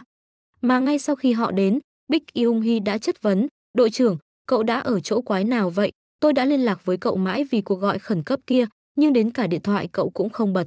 Cậu có biết vấn đề vừa xảy ra lớn đến mức nào không hả? Nhưng mà Lim Da In chỉ bình tĩnh trả lời, trên đường đến tôi đã nghe đủ từ cậu ta rồi. Vừa nói cậu vừa quay sang nhìn bánh đậu đỏ. Xin chào quý cô thư ký, lúc này Bích Yung Hi cũng nhận ra đây là ai. À, chúng ta đã từng nhau gặp nhau ở bờ hồ rồi nhỉ, cũng được một thời gian rồi, nhưng mà cậu đang sơ tán đi đâu đấy. Linda In nghe vậy cũng bắt đầu nói, công hội còn phòng nào không, tôi sẽ ở đây một thời gian. Đồng thời lúc này cậu cũng bảo đánh đậu đỏ mang hành lý vào. Mà Bích Yung Hi bên này thì vội vàng kéo cậu ta đi gặp đại diện. Vừa đi cô ấy vừa nói, cậu có biết mình là người duy nhất không phản hồi cuộc gọi khẩn cấp không, dù là chủ tịch thì cũng sẽ tức giận. Mặc dù nghe cô ấy cần nhắn nhiều như vậy, nhưng mà mặt Lim Da In thì vẫn cứ đơ đơ ra, lúc họ không nhận điện thoại vào ngày cuối tuần thì họ tức giận đầu Lúc này họ cũng gặp mặt Wang Guho, đội trưởng, ừ là tôi đây, cậu khỏe chứ? Mà sau khi thấy Lim Da In thì Wang Guho ngay lập tức lao vào ôm ấp. May mà cậu ta nhanh nhẹn né được. Cậu điên à, tự dưng lại tấn công tôi, vì tôi mừng quá thôi mà, tôi tưởng anh đã bỏ rơi tôi rồi. Dù người khác có phớt lờ và chỉ trỏ nói xấu cậu, thì tôi cũng không bao giờ bỏ rơi cậu đâu, vừa nói Lim Da In vừa đưa tay ra. Dù sao thì cậu vẫn rất hữu dụng với tôi, đó là những gì mà Lim Da In suy nghĩ. Sau đó Lim Da In cũng bắt đầu gõ cửa rồi nói chủ tịch, đội trưởng Lim Da In tới rồi ạ. Ngồi đi mọi người, Bích Yung Hee vội vàng giải thích, đội trưởng Lim Da In đã ở ngoài khu vực hạn chế lúc đó. Nhưng mà Bách Trang Su không để ý cho lắm, đó không được coi là cái cớ, đội trưởng Lim Da In, cậu biết vì thảm họa sắp tới chứ, trên đường tôi đã nghe về nó, Lim Da In trả lời. Thấy được cậu đã hiểu rõ tình hình, Bách Trang Su liền nghiêm mặt nói, ngài đại hiền nhân Asimus, ngài ấy đã gọi riêng tôi và đưa cho tôi một lời tiên tri. Thật kỵ sĩ, hãy để bánh xe vận mệnh cho họ xoay chuyển, rồi họ sẽ đem vinh quang đến. Đó là những gì trong lời tiên tri mà ông nhận được. Tôi nghĩ ngài ta đang nói tới đội của cậu. Bích Yung Hi và Wang Guho cũng đồng tình với điều này. Mà Lim Da In nghe được ông ấy nói vậy thì hơi xấu hổ, cái này chính mình là người nói đấy, nhưng giờ nghe nó thì xấu hổ quá. Nếu thảm họa bắt đầu, hãy để đội 7 tiến hành hoạt động độc lập và mọi chuyện sẽ đâu vào đây thôi, chuyện là vậy sao? Mà lúc này, Lim Da In cũng suy nghĩ, sẽ tốn rất nhiều thời gian nếu đảm đương việc thanh trừng quái vật ở một địa điểm chỉ định sẵn. Tốt hơn hết nên khiến cho họ có khả năng hành động độc lập và tự chủ, sau đó phá hủy cánh cổng trụ cột. Lý do mà thảm họa này được gọi là đêm thất nguyệt là vì có 7 cánh cổng đặc biệt mang màu sắc của cầu vồng xuất hiện giữa hàng trăm cánh cổng khác. Cánh cổng trụ cột là gốc rễ của mọi cánh cổng xung quanh, nếu xử lý được 7 cánh cổng này thì những cánh cổng còn lại cũng sẽ biến mất. Và Lim Da In cũng đã truyền đạt thông tin về 6 cánh cổng cần bị phá hủy trên danh nghĩa Asimus. Còn lý do tại sao cậu không tiết lộ nốt cánh cổng cuối cùng là bởi vì cánh cổng này có ẩn chứa một viên đá linh hồn. Lần này mình sẽ lấy được nó và đạt được ước mơ trở nên đẹp trai. Bên này Bách Trang Su cũng đang tự thắc mắc không biết rằng lời tiên tri liệu có đơn giản như thế không, hay là nó còn có sự ẩn ý nào nữa. Bích Yung Hi cũng đang suy đoán, và chiều hướng thì đang cho rằng dường như còn sự ẩn ý nào đó. Và để tránh cho vụ việc này mất thêm thời gian thì Lim Da In liền nói, liệu một vị hiền nhân muốn giúp đỡ chúng ta sẽ đưa ra lời tiên tri khó hiểu như vậy ư, tôi không nghĩ chúng ta cần đào thêm sâu nữa đâu. Và cuối cùng sau một hồi thuyết phục, đội 7 đã được cho phép hành động độc lập. Ba ngày sau, tại sân huấn luyện Nhà Trắng, lúc này Lim Da In đang cố gắng dạy cho Wang Guho Kim Cương Quyền. Cậu có thể nhớ được đường dẫn mana đã luân chuyển trong cơ thể mình ngay vừa nãy không? Không, tôi không thể. Tôi sẽ làm lại lần nữa, cố gắng mà nhớ nhé. Vừa nói cậu vừa nhìn vào cái màn hình điện thoại chụp lại ghi chép về kiếm vương. Kim cương quyền trong ghi chép của kiếm vương là một loại võ công tập trung vào ngoại công nên phương thức hô hấp cũng rất đơn giản. Nó chỉ đủ khiến cơ thể cường tráng hơn và trợ lực được các kỹ năng cơ bản, nhưng sẽ hữu dụng đối với Wang Guho. Và sau vài lần dạy thì Wang Guho vẫn chưa nhớ nổi khiến cho Lim Da In hơi nghi ngờ, Kiếm Vương đã nói rằng ông ấy học rất nhanh, nhưng tại sao giờ lại thế này? Và khi đến lần thứ 30 thì nó cũng đã đạt tới giới hạn chịu đựng của Lim Da In. Mẹ nó, lần thứ 30 rồi đấy, cậu còn phế hơn cả một con khỉ nữa. Tôi đang dần hiểu rồi, tôi sẽ luyện tập thêm kể cả khi chỉ có một mình, làm vậy đi, tôi phải đi đây, vì giờ có thứ tôi phải xem qua. Hiện tại chỉ còn màu tím là vẫn còn ở trong cầu vồng thôi, thảm họa đang rất gần rồi. Lúc này Lim Da In cứ quay về nhìn Lily, cún con ngon vậy sao? Gâu, cô bé vừa cười vừa sủa bằng tiếng chó, chị vì chút đồ ăn này mà em ấy đã bán đi cả linh hồn mình rồi ư, hay là do tên Lim Da In này đã huấn luyện em quá tốt? Anh mua ba cái mà đã ăn hết luôn rồi à, nếu ăn xong rồi thì đứng lên đi trả tiền thôi nào, vừa nói cậu ấy vừa lau miệng cho Lily. Đây là lý do anh mua nó à, Cánh cổng màu đỏ mà bọn họ sẽ phải thâm nhập ngay khi thảm họa bắt đầu cũng sẽ xuất hiện cùng lúc với những cái cổng khác. Nó được gọi là thung lũng lửa bởi nơi đây là một địa hình với những cột lửa cao vút và dung nham sôi sục. Nên họ sẽ phải vừa đi vừa vượt qua cái sức nóng đó, và cần có một vật phẩm thiết yếu cần đến khi đánh con trùng ở đó, chính là răng nanh của băng long. Nhưng nó đang được cất giữ tại trụ sở chính của hội Hắc Lạp Khuy, vậy nên tối nay cả hai tới đây để mượn tạm thứ này, còn bao giờ trả thì chưa biết. Hội Hắc Lạp Khuy cũng là nơi mà Lim Da In đã làm việc như một nô lệ trong 3 năm khi cậu ấy ở 20 tuổi kiếp trước. Trong thời gian đó gần như không có sự cân bằng giữa công việc và cuộc sống và trong 3 năm đó cậu ấy thậm chí còn không có lấy một kỳ nghỉ trừ khi bị ốm hoặc bị thương. Nếu kiếp trước mình phục hồi chức năng ở đầu gối, cuộc sống mình có lẽ đã khác đi chút, nhưng bây giờ kiếm kỹ đã thay đổi thành kiếm thuật của kiếm vương. Dù sao thì cũng nhờ mọi việc đã được chuẩn bị mà mình biết được mọi cấu trúc của tòa nhà này, vị trí của các camera giám sát cũng như các cơ sở vật chất trong yếu. Sau đó cả hai cũng an toàn xâm nhập vào trong tòa nhà.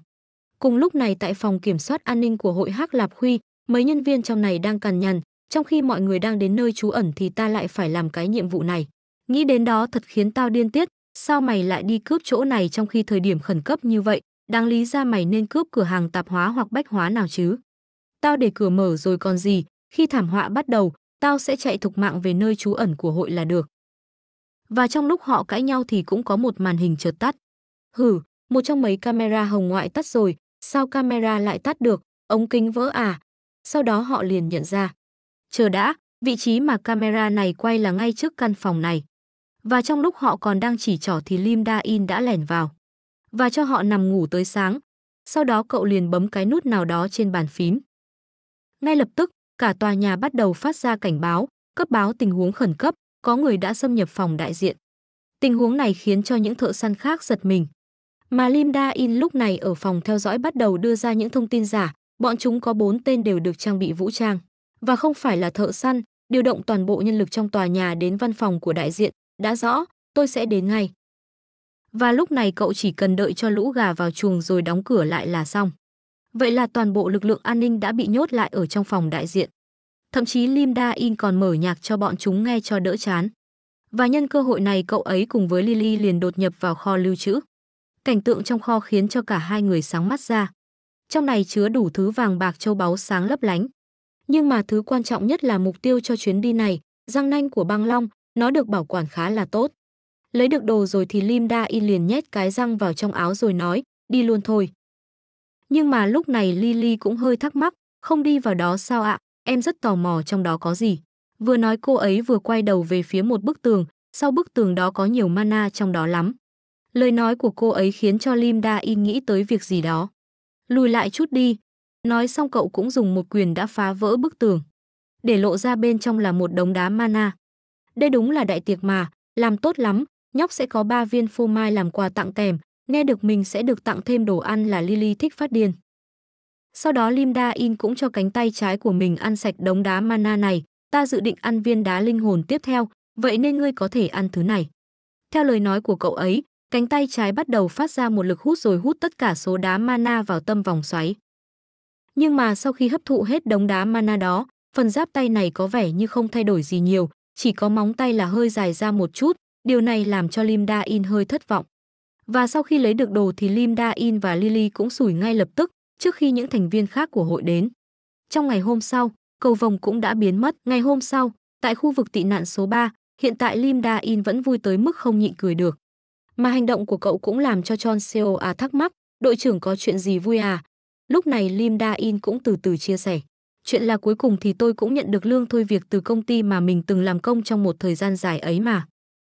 Nhưng mà vui mừng thì cũng không thể bỏ quên công việc được, Lúc này Lim Da In bắt đầu đi kiểm tra để đảm bảo mọi thứ ổn định. Thế này là hoàn thiện công cuộc chuẩn bị thiết bị rồi, e hèm, đội hỗ trợ nghe thấy tôi chứ, Chon In Nam đây, tôi nghe rõ nhé, đây là Chon In Nam, tiếng rất ổn. Thấy được đội hỗ trợ đã ổn định, cậu cũng quay sang hỏi Lily cùng với Wang Guho, hai người cũng chuẩn bị rồi chứ. Em không thoải mái chút nào vì nó thật quá, Lily bắt đầu phàn nàn. Con Wang Guho thì hơi xấu hổ vì bộ trang phục của cậu ta. Bộ giáp của Lily được tạo ra trên mục đích phòng thủ, còn chiến phục của Wang Guho được làm từ nguyên liệu mới đàn hồi nhằm tạo tính cơ động cao, những thiết bị này được làm riêng cho hai người. Mà bên này dáng vẻ của Wang Guho cứ bẽn la bẽn lẽn khiến cho Lim Da In phải chỉnh đốn, cái dáng đó là sao thế, cậu định cứ như vậy trong lúc chiến đấu luôn sao? Ừ thì chỉ là tôi cứ nghĩ đứng hóa đá khi chiến đấu thì sẽ có tác dụng thôi, quái cũng không làm gì được tôi cả. Mặc dù những điều cậu ta nói hoàn toàn là đúng nhưng mà cái dáng đứng này thì hơi mù mắt. Mà lúc này Big Young Hee cũng đi đến thông báo, đội trưởng, những người mà cậu nhắc đến mấy ngày trước đã được đưa tới khu tị nạn rồi, tuyệt, làm tốt lắm. Big Young Hee hỏi thêm, cậu là bạn của họ đúng không, cậu muốn gặp họ chứ? Hiện tại thì tới đó thôi là được rồi, Lim Da In đã yêu cầu rằng phải bảo vệ những người bằng hữu đã tham gia lễ nghỉ hưu của cậu ấy. Có vài người đã mất đi trong cuộc thảm họa tàn khốc của kiếp trước. Lần này cậu ấy nhất định sẽ không để chuyện đó xảy ra lần nữa. Và trong cái thời khắc mọi người đều đang lo lắng này, thì chẳng hiểu sao Bích Trang Su lại vô cùng vui mừng, thảm họa có thể đến bất cứ lúc nào, tôi Bích Trang Su sẽ ngăn chặn nó. Thấy ông ấy hành động kỳ quặc như thế này, Lim Da In liền quay sang hỏi Bích Yung Hi. có phải cô không ngủ được vì sự phấn khích của ngài chủ tịch đối với chuyện này không? Ừ đấy, đôi khi tôi cảm giác mình đang nuôi một đứa trẻ vậy. Cứ coi như đây là một chút không khí tích cực trong bầu không khí tiêu cực này đi, chà, dù sao thì thế này là đủ để chặn nó rồi. Lúc này ở gần khu vực tị nạn cũng được bao quanh bởi hàng tá xe tăng và vũ khí máy bay các loại. Đột nhiên lúc này một người hét lên, con quái vật này là thế nào đây? Chờ đã, nó là đồng minh đấy, đó là một trong số các tiểu đội của chúng ta. Mà lúc này Lim Da In cũng biết là ai đang tới, Giang Yeon thằng nhóc này, cậu ta thành công rồi nhỉ. Theo ánh mắt của Lim Da In, một con golem khổng lồ đang được Giang Ion Sin điều khiển. Mà lúc này Lily cũng vui vẻ tới chào hỏi, anh này, bên trong đó có nhìn ra ngoài được không vậy? Được, tôi nhìn rất rõ. Mà lúc này Lily cũng định chui vào thì bị Lim Da In kéo lại. Tôi nghe thấy giọng nói từ bên trong đó, cậu có thể sửa đổi nó để có thể truy cập thủ công đúng không? Cậu có được mẹ mình cho phép điều khiển thủ công nó như một bộ đồng phục chiến đấu chưa? Tôi sẽ bảo vệ cậu, đó là những lời mà Giang Ion Sin nói với Lily, còn câu hỏi của Lim Da In thì hình như cậu ta không nghe được. Mà Bích Yung Hi ở bên cạnh đột nhiên nhận ra điều gì đó rồi hét lên, đội trưởng, nhìn lên bầu trời kìa. Trên bầu trời, cầu vồng lúc này cũng đã bắt đầu tan biến, sắc mặt của Lim Da In liền trở nên lo lắng, bắt đầu rồi à, Bích Yung Hi hãy quay lại phòng chỉ huy tác chiến. Ngay sau khi cậu ấy nói xong thì bên trên bầu trời cũng xuất hiện hàng trăm cánh cổng cùng lúc và vô số quái vật bắt đầu tràn ra từ đó. Mặc dù đây đã là lần thứ hai chứng kiến rồi nhưng mà Lim Da In vẫn cảm thấy sợ, mới là làn sóng đầu tiên thôi mà đã đáng sợ như vậy rồi. Nhưng lúc này cậu cũng buộc phải vực dậy tinh thần của mọi ngu ồ, kẻ địch chỉ là những con quái vật mà chúng ta đã chiến đấu vô số lần, thôi mọi người tập trung chuẩn bị. Nghe được lời nói của cậu ấy, những người lính cũng bắt đầu trở nên vững vàng hơn. Điều này cũng làm cho Lim Da In cảm thấy yên tâm, tốt, giờ mọi người đã lấy lại tinh thần rồi, mình có thể để nơi trú ẩn này cho họ phụ trách. Cùng lúc này trận chiến cũng chính thức bắt đầu, hàng loạt xe tăng bắt đầu khai hỏa, các thức tỉnh giả cũng bắt đầu giải quyết những con đã áp sát được tới phía trước. Và Bích Trang Su là người hăng hái nhất, ông ta trực tiếp lao vào đám quái vật, ngươi cuối cùng cũng tới rồi, đã lâu lắm rồi ta mới lại ra chiến trường. Bích Trang Su cũng sẽ là người triệt tiêu cánh cổng trụ cột màu lam đậm, chính nó cũng là một yếu tố quan trọng. Trụ cột của cánh cổng được chia ra cho đội thức tỉnh giả tiên phòng và đội thợ săn chuyên gia. Lim Da In đang lên kế hoạch tách ra hành động riêng và vô tình vào phải cánh cổng trụ cột màu đỏ. Lúc này Lim Da In cũng quay sang nói với Giang Eosin, Sin, nhìn cho kỹ đây Giang Eosin, Sin, nơi đây chính là chiến trường. Anh ấy vốn định chỉ cho Giang Eosin Sin một chút tàn khốc của chiến trường, nhưng mà phản ứng của cậu ta thì hơi lạnh nhạt, em sẽ theo anh. Phản ứng của cậu ấy cũng khiến cho Lim Da In hơi thất vọng, thôi thì cũng không có thời gian mà tranh cãi, đi theo và hỗ trợ cho tôi. Sau đó Lim Da In cũng ra lệnh, đôi bảy đến vị trí đã được phân công tương ứng, tiến hành hành động độc lập. Sau đó cả nhóm bắt đầu lên xe di chuyển, kế hoạch của Lim Da In là kể từ giờ chúng ta sẽ giả vờ lang thang vu vơ, rồi cuối cùng hướng đến cánh cổng trụ cột đỏ. Lúc này đội hỗ trợ cũng thông báo, đội trưởng, quái vật từ khắp nơi đang hướng đến, cứ đi tiếp, rõ. Cùng lúc này Lim Da In cũng lấy ra vũ khí chuẩn bị chiến đấu, mình không dành vũ khí quân sự lắm, nhưng với 20 năm kinh nghiệm trong lực lượng thợ săn, mình vẫn có thể làm được ở mức độ này. Chẳng lâu sau đó họ đã chạm trán với quái vật, nhưng mà Lim Da In thì không muốn mất thời gian với đám loi choi này nên cậu ra lệnh cho xe cứ tiếp tục đi tiếp. Còn mình thì ở phía trên mui xe chém sạch mấy con quái vật dám làm lảng vảng lại gần. Dễ phải ở ngã tư trước mặt, mọi người cẩn thận quái vật, Lim Da In ra lệnh. Nhóc con sẵn sàng chưa? Sẵn sàng, Lily đáp, cùng lúc cô bé cũng đã tích tụ sẵn ma pháp trong lòng bàn tay, thấy vậy, Lim Da In liền ra lệnh thổi bay lũ đằng kia đi. Theo hướng chỉ của cậu ấy thì đang có một đám quái vật tiến lại gần. Em sẽ giải quyết nhanh gọn để có thể đi ăn tiệc gà rán, vừa nói cô bé vừa phóng ra một cột lửa khổng lồ bay thẳng về phía trước. Sau đó cả đám cũng phóng thẳng qua đám lửa này mà không thèm giảm tốc. Với hỏa lực mạnh mẽ của Lily, bọn họ gần như có thể di chuyển liên tục mà không cần phải dừng lại ứng chiến với đám quái vật. Điều này cũng làm cho Lim Da In hưng phấn, mọi người toàn lực tiến lên, rẽ phải ở bệnh viện trước mặt, đi qua hai dãy nhà nữa thì rẽ trái. Từng đạo mệnh lệnh được đưa ra bởi Lim Da In, qua một thoáng bọn họ đã nhìn thấy cánh cổng đỏ ở phía trước mặt. Đội trưởng, đó không phải là cánh cổng trụ cột đỏ đang ở cuối đường sao? Mọi người trong đội kinh ngạc. Tôi đoán đây chính là những gì lời tiên tri của ngài hiền nhân ám chỉ, John In Nam vui vẻ nói. Và ngay khoảnh khắc Lim Da In ra lệnh cho toàn đội tiến vào cổng, thì từ bên trong cánh cổng lại chui ra một con khủng long khổng lồ, tên đầy đủ của nó là T-Rex khổng lồ chung lửa. Chúng ta chỉ cách con quái vật một km nữa, tôi giảm tốc nhé, không cứ giữ nguyên tốc độ. Lúc này Lim Da In cũng suy nghĩ, nếu chúng ta bị kéo chân tại đây, những con quái vật khác sẽ tới và bao quanh chúng ta. Sau đó cậu liền nói, Wang Guho, chúng tôi giao hết cho cậu. Nghe vậy Wang Guho cũng nhảy ra khỏi chiếc xe, tôi sẽ cho anh thấy thành quả huấn luyện của mình. Vậy là một người một khủng long chuẩn bị đấm nhau. Và vào khoảnh khắc mà con khủng long chuẩn bị cắn Wang Guho, thì trên người anh ấy phát ra một luồng hào quang màu vàng. Đó là mana vàng kim của Kim Cương Quyền, nhờ vào sức mạnh của nó mà cậu đã có thì tạm thời chống lại được con khủng long. Bên này, Lim Da In tiếp tục chỉ đạo, Giang Iosin, tới phiên cậu rồi đấy, cậu đã nói chắc chắn sẽ bảo vệ con bé đúng chứ. Nghe vậy Giang Iosin cũng lập tức điều khiển robot bay về phía con khủng long và với năng lực sánh ngang với một tổ lái lâu năm, cậu có thể dễ dàng luồn lách và tránh thoát đòn cắn từ nó. Sau đó Giang Ionsin cũng nắm chặt đuôi con khủng long này rồi thực hiện một đòn vật ném thẳng nó xuống dưới đất. Nói thì dài nhưng mà tất cả hành động này chỉ diễn ra trong tích tắc, pha hành động này thực sự vô cùng ngầu lòi, khiến cho mấy tên này cũng rất là hâm mộ, mình cũng muốn lái nó nữa. Cuối cùng kết quả của trận chiến là sau khi con khủng long bị một đám lao vào hội đồng thì bị Lim Da In chém chết. Nhìn vào xác của con khủng long, Lim Da In cũng suy nghĩ, xét về độ lớn thì con quái vật này có thứ đó. Nghĩ tới đây cậu cũng bắt đầu mổ xẻ cơ thể con quái vật và từ bên trong nó lấy ra một nội đan, đây là một thứ rất tốt cho việc bồi bổ cơ thể. Mà trong lúc cậu đang vui vẻ vì lấy được đồ tốt, Wang Guho vội vàng thông báo, đội trưởng, quái vật lại tràn ra rồi. Và để tránh tình trạng bị ụp sọt, Lim Da In liền hạ lệnh để cho mọi người tất cả tiến vào cổng.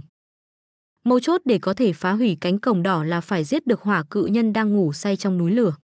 Sau khi tiến vào cổng xong, tất cả mọi người cũng đồng loạt thay đổi đồng phục chiến đấu. Thay thế cơ giáp hoàn tất, mấy bộ chiến phục này ngầu hơn mong đợi nhỉ, Lim Da In nói. Ngoài tạo cảm giác thoải mái khi chiến đấu, những bộ chiến phục này còn đẹp mắt nữa, sau này hành động sẽ tiện lợi hơn hẳn. John A cũng phải ngạc nhiên, tôi rất bất ngờ khi lần đầu tiên nhận được nó đấy. Giang Ion Sin cũng góp sức tạo ra những bộ đồ này, cậu ấy thật sự xuất chúng. Và sau khi mọi người đã chuẩn bị xong, Lim Da In liền nói, nếu mọi người đã sẵn sàng, chúng ta đi thôi, vâng. Chẳng qua bao lâu bọn họ liền chạm trán với một đám quái vật, hình dáng của bọn chúng giống như một đàn chó sói lửa. Mà ngay khi nhìn thấy đám quái vật này, Wang Guho đã sung phong nhảy lên phía trước, tôi sẽ chặn chúng. Hành động này của cậu ta cũng khiến cho Lim Da In hơi kinh ngạc, Wang Guho vào trạng thái chủ động khá nhanh đấy. Vì đã có người chặn trước rồi, nên ở phía sau Lim Da In cũng chuẩn bị ra tay. Và thứ vũ khí cậu lấy ra chính là một khẩu súng kiểu dáng công nghệ cao. Chà, cũng lâu rồi kể từ khi mình thể hiện kỹ năng thiện xạ của bản thân. Vậy là trận chiến bắt đầu, Wang Guho ngay lập tức sử dụng ra đá để bảo vệ bản thân, đồng thời chặn đứng tất cả những con sói này lại không cho bọn chúng tiến lên phía trước. Mà Lim Da In ở phía sau thì nã súng không trượt phát nào, mỗi một lần cậu bóp cò là sẽ có một con sói bị đóng băng. Trận chiến diễn ra khá là suôn sẻ. Cũng nhờ có thiết cự nhân mình mới có thể canh thời gian bắn chuẩn xác và cũng thật tốt khi nhờ họ chuẩn bị cho mình súng đạn nitơ lỏng từ trước. Cuối cùng là Giang Ion xin chỉ việc điều khiển golem lên phá hủy những con sói đã bị đóng băng là xong. Trận chiến diễn ra khá là trong vánh và thư thả, sau khi thu dọn chiến trường xong, mọi người tiếp tục tiến lên phía trước, cứ tiếp tục thế này và vượt qua con rết lửa phía trước, được. Mặc dù trận chiến đến hiện tại vẫn khá là suôn sẻ, nhưng mà Lily hơi buồn bởi vì lửa của cô ấy không có tác dụng ở đây. Lý do là bởi vì những loài quái vật ở đây có khả năng kháng lửa rất tốt. Nhóc cứ nghỉ ngơi đi được rồi Lim Da In nói, nghỉ, bây giờ ư, là do em vô dụng sao? Nói nhăng nói cuội gì thế, sau khi nghỉ ngơi nhóc sẽ phải đánh đấm nhiều đấy, nghe vui chứ, vui à, không nhé, em ghét nó.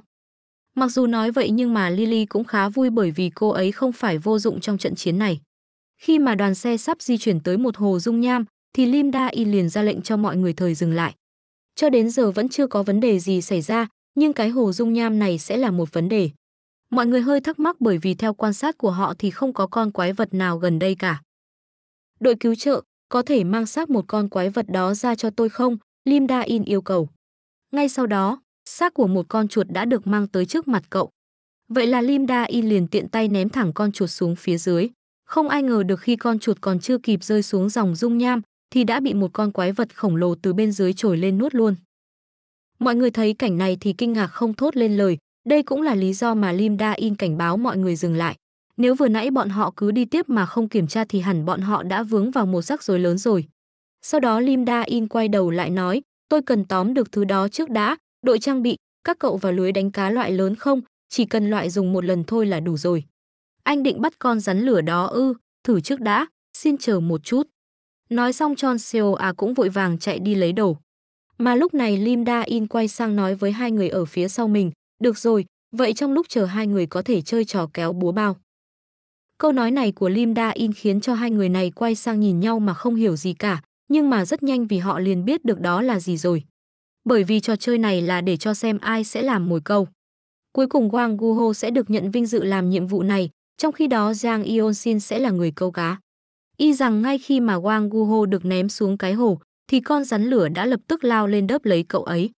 Giang Yeon Sin cũng ngay lập tức bắt lấy khoảng khắc này. Con golem lập tức khởi động quả động cơ 5.000 mã lực của mình để kéo con rắn này lên. Mà Wang Guho lúc này đang ở trong miệng con rắn cũng lấy ra một thiết bị nào đó trông giống như thanh kiếm, xem nào, sau khi vào được miệng nó thì phải lôi thứ này ra. Và bằng một cách nào đó, cậu đã khởi động được cái thiết bị này, khiến cho hai đầu mũi kiếm đâm về hai phía. Cùng lúc này, Giang Yeon Sin cũng dùng toàn lực kéo con rắn được lên bờ. Mà lúc này Wang Guho cũng chui ra từ trong miệng nó, Lim Da In thấy vậy vội vàng chạy lại hỏi, Wang Guho cậu không sao chứ hả? Vâng tôi ổn.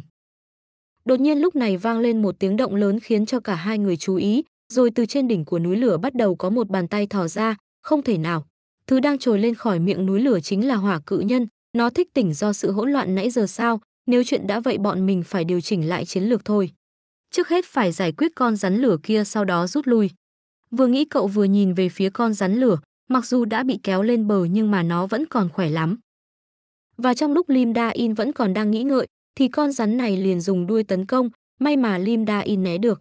Ngay lập tức Giang Ion Sin liền lao vào giữ đuôi nó lại để hạn chế di chuyển của nó, vậy là cả ba lúc này liền thi triển kế hoạch hội đồng tấn công. Tiếc là con rắn này trâu chó hơn họ tưởng, khốn thật, nó không cho tụi mình lấy một tí thời gian điều chỉnh nào cả. Các đòn tấn công của bọn mình không gây được sát thương nào qua lớp vảy cứng của nó, không một tí nào luôn. Mà con rắn chó này không chỉ biết cắn người mà còn biết phun độc nữa, ngay khi con golem của Giang Ionsin dính đòn thì một nửa cánh tay của nó đã bốc hơi ngay lập tức.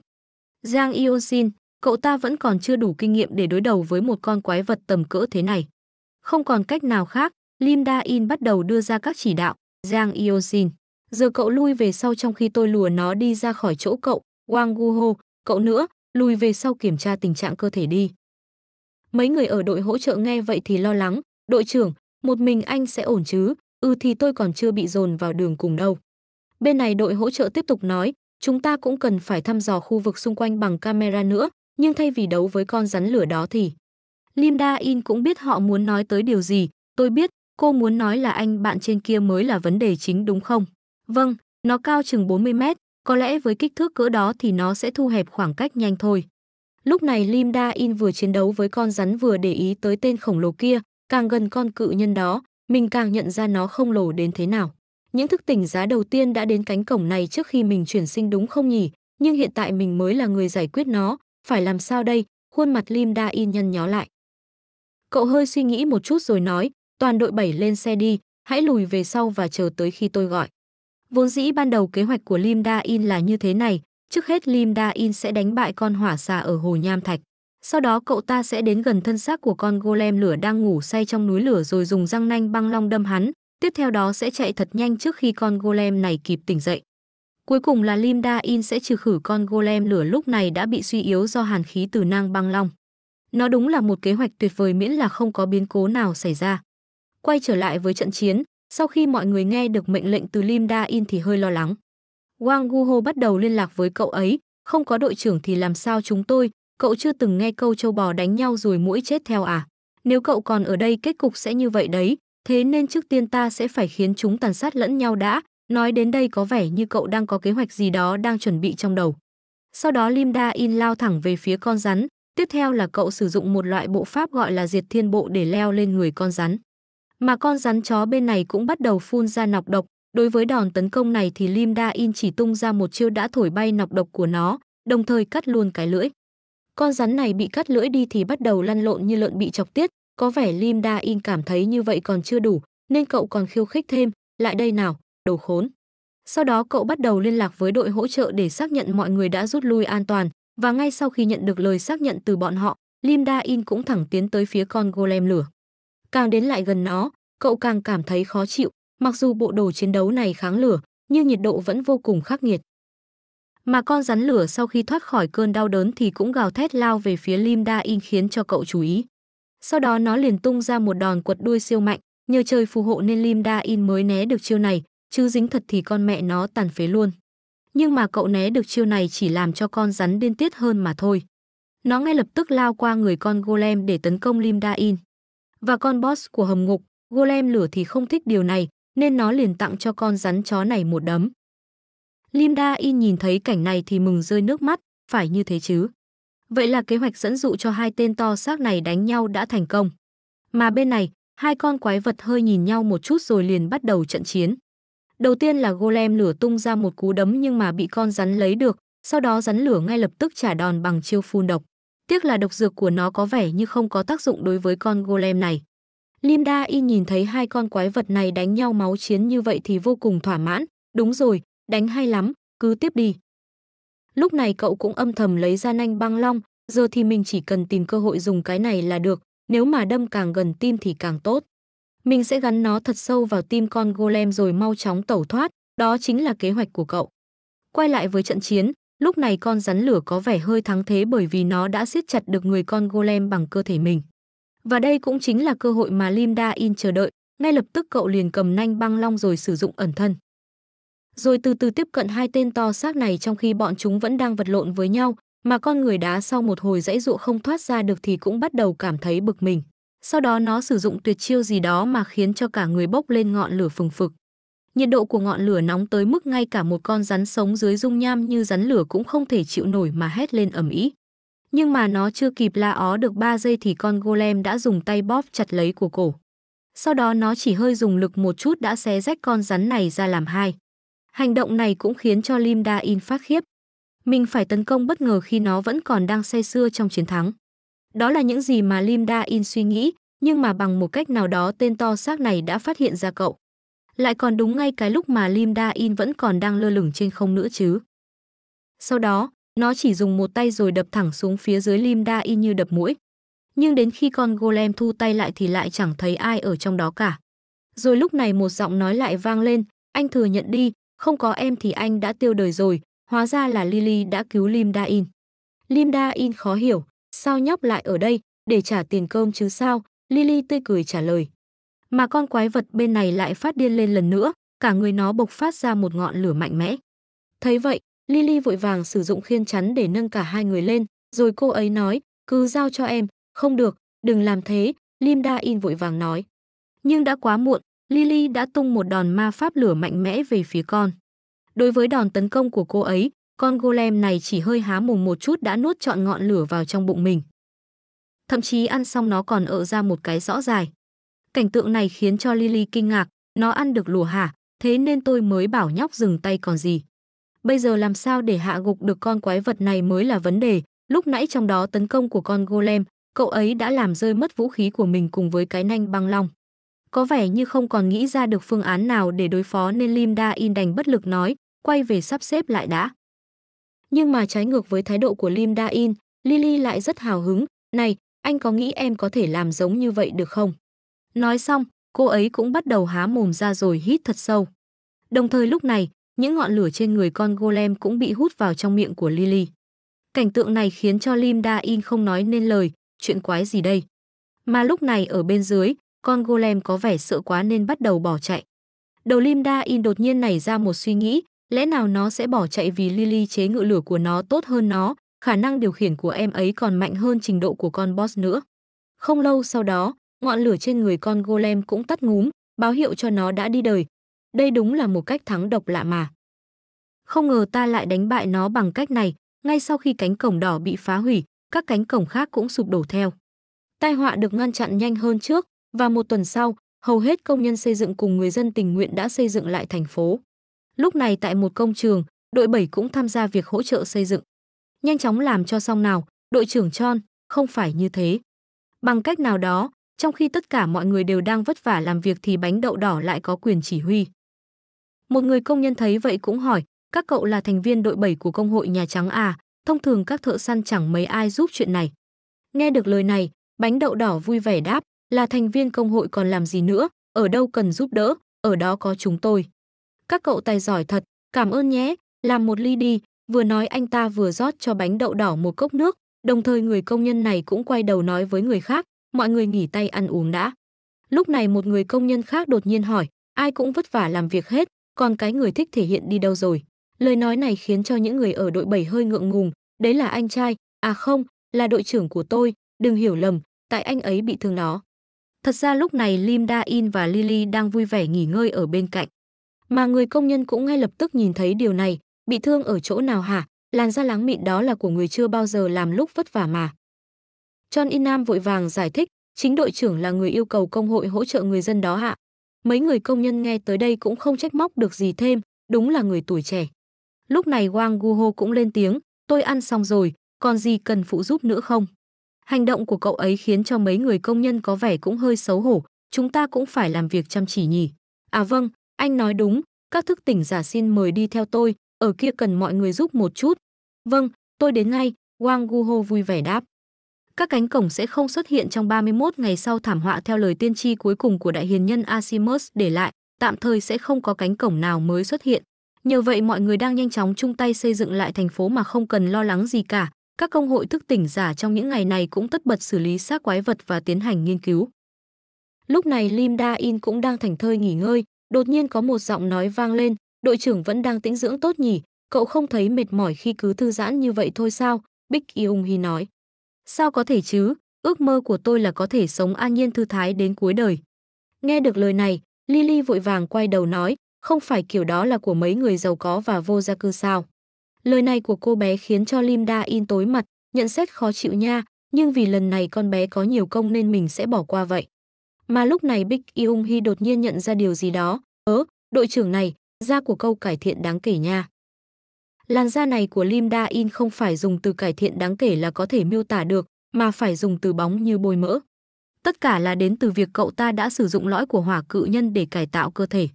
Giờ thì Lim Da In đã có thể hưởng thụ cuộc sống của một anh chàng đẹp mã với một làn da ưa nhìn ngay cả sau khi đã về hưu. Nhưng mà cậu ta không thể nói những lời này đối với Big Young Hee được, nên cậu đành bia ra, tôi vừa đi massage mặt vài ngày trước. Lời nói này liền khiến cho cô ấy tò mò, cảm giác thế nào và ở đâu vậy, cậu đưa tôi đến đó với được không? Linda In chưa tính được cô ấy sẽ hỏi câu hỏi này, làm quái có cái tiệm massage nào ở đây. Vậy nên cậu đành đánh lái, e hèm ngoài chính sự rồi. Nhưng mà Big Yung Hee vẫn chưa từ bỏ, đừng chỉ giữ riêng cho mình chứ, làm vậy ích kỷ lắm. Cô tới đây chỉ để hỏi thế thôi à, tất nhiên là không rồi. Thực ra lúc này Lim Da In mới chỉ dùng hết một nửa mana trong lõi của hỏa cự nhân mà thôi, nên nếu muốn thì cậu ta vẫn có thể sử dụng một lần nữa. Quan trọng là dùng vào việc gì. Mà lúc này Big Young Hy cũng đưa cho cậu một tập giấy từ rồi nói, tôi tới để bàn bạc về báo cáo liên quan đến ma dược. Chúng tôi đã tăng cường sản xuất nhưng nguồn cung vẫn không đủ, hơn nữa chúng tôi nhận được các yêu cầu hợp tác. Ma dược, dựa trên tên dược sinh lực gần đây đang được Nhà Trắng độc quyền cung cấp, nhờ vào ma dược này hàng tấn người vốn sẽ chết nếu không có nó đã sống sót. Kể cả những người đã được định là sẽ phải sống tàn tật đến cuối đời cũng đã được hồi phục lại. Ước chừng số ca tử vong đã được giảm còn 1 phần 10 của số ca ban đầu, nên hiển nhiên lượng cầu sẽ tiếp tục tăng cao. Tốt lắm, xin hãy tự giải quyết vấn đề với đối tác đi nhé, Lim Da In nói. Tiếp đến là báo cáo về xác của con hỏa cự nhân, báo cáo đó xong rồi, để lại 20 kg da, xương và máu cho tôi, và phần còn lại thì tự xử lý đi nhé. Cái thái độ buông thả của Lim Da In khiến cho cô ấy thở dài, hôm nay cậu có muốn tham gia tang lễ tập thể của những nạn nhân đã khuất không? Nghe lời này là Lim Da In từ chối ngay lập tức, tôi không định đi tới đó đâu, ngột ngạt lắm. Lời nói của cậu khiến cho Bích Yung Hi giật mình, Vậy câu yêu cầu thông tin về gia đình của những nạn nhân thiệt mạng trong trận chiến để làm gì? À, chuyện đó, tôi nghĩ tôi sẽ gọi ông già Noel tới dù đang là mùa hè. Buổi tối hôm đó đám tang đã được diễn ra, lúc này Kim Su Ho cũng đang phát biểu, 7 ngày trước. Chúng ta đã chiến đấu chống lại một hiện tượng mở cổng bất thường hay còn được gọi là thảm họa hoặc tai biến, 427 công dân đã thiệt mạng vào hôm ấy. Họ là những chiến sĩ, những sĩ quan cảnh sát và những thức tỉnh giả, mà tất cả bọn họ còn là những người cha, người mẹ, là những người con, người bạn của ai đó. Họ là người dân của đất nước này, chúng ta sẽ không bao giờ quên sự hy sinh mà những người anh hùng ấy đã cống hiến cho chúng ta. Nói xong, Kim Su Ho cũng bắt đầu lên thắp nhang cho những người đã hy sinh. Mà ở bên dưới từng tiếng nức nở cũng bắt đầu vang lên, một cô bé bỗng nhiên hỏi, mẹ ơi, bao giờ bố mới tới ạ? Lời nói vô tư của một cô bé lại càng khiến cho không khí trở nên đau lòng hơn. Mẹ, đừng khóc mà, nhớ ông già Noel thấy mẹ khóc thì sao đây? Không sao mà, mẹ ơi, đừng khóc nhé.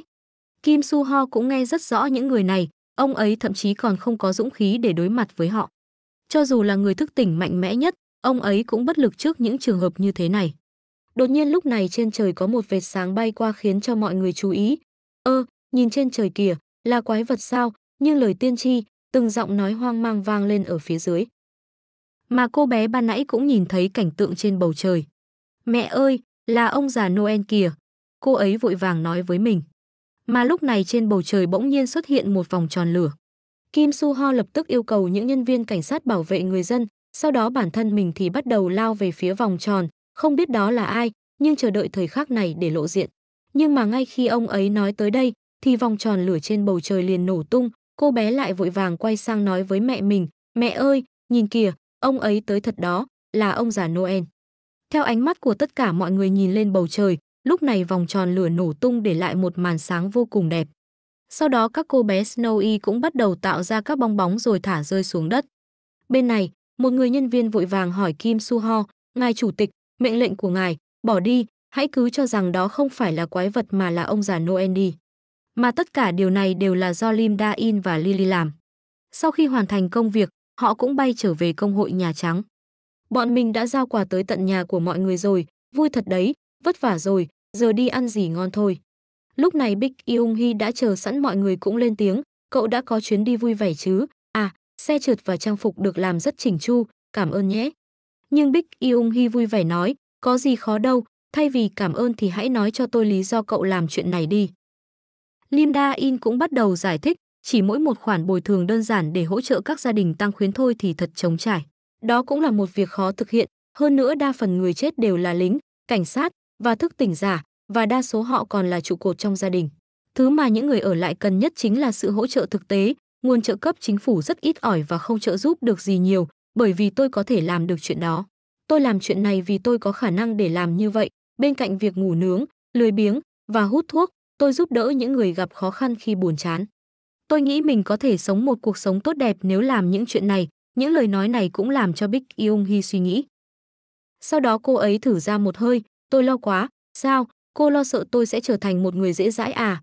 Tôi lo tôi sẽ thật sự đổ cậu đấy, tất nhiên tôi vốn đã thích đội trưởng rồi.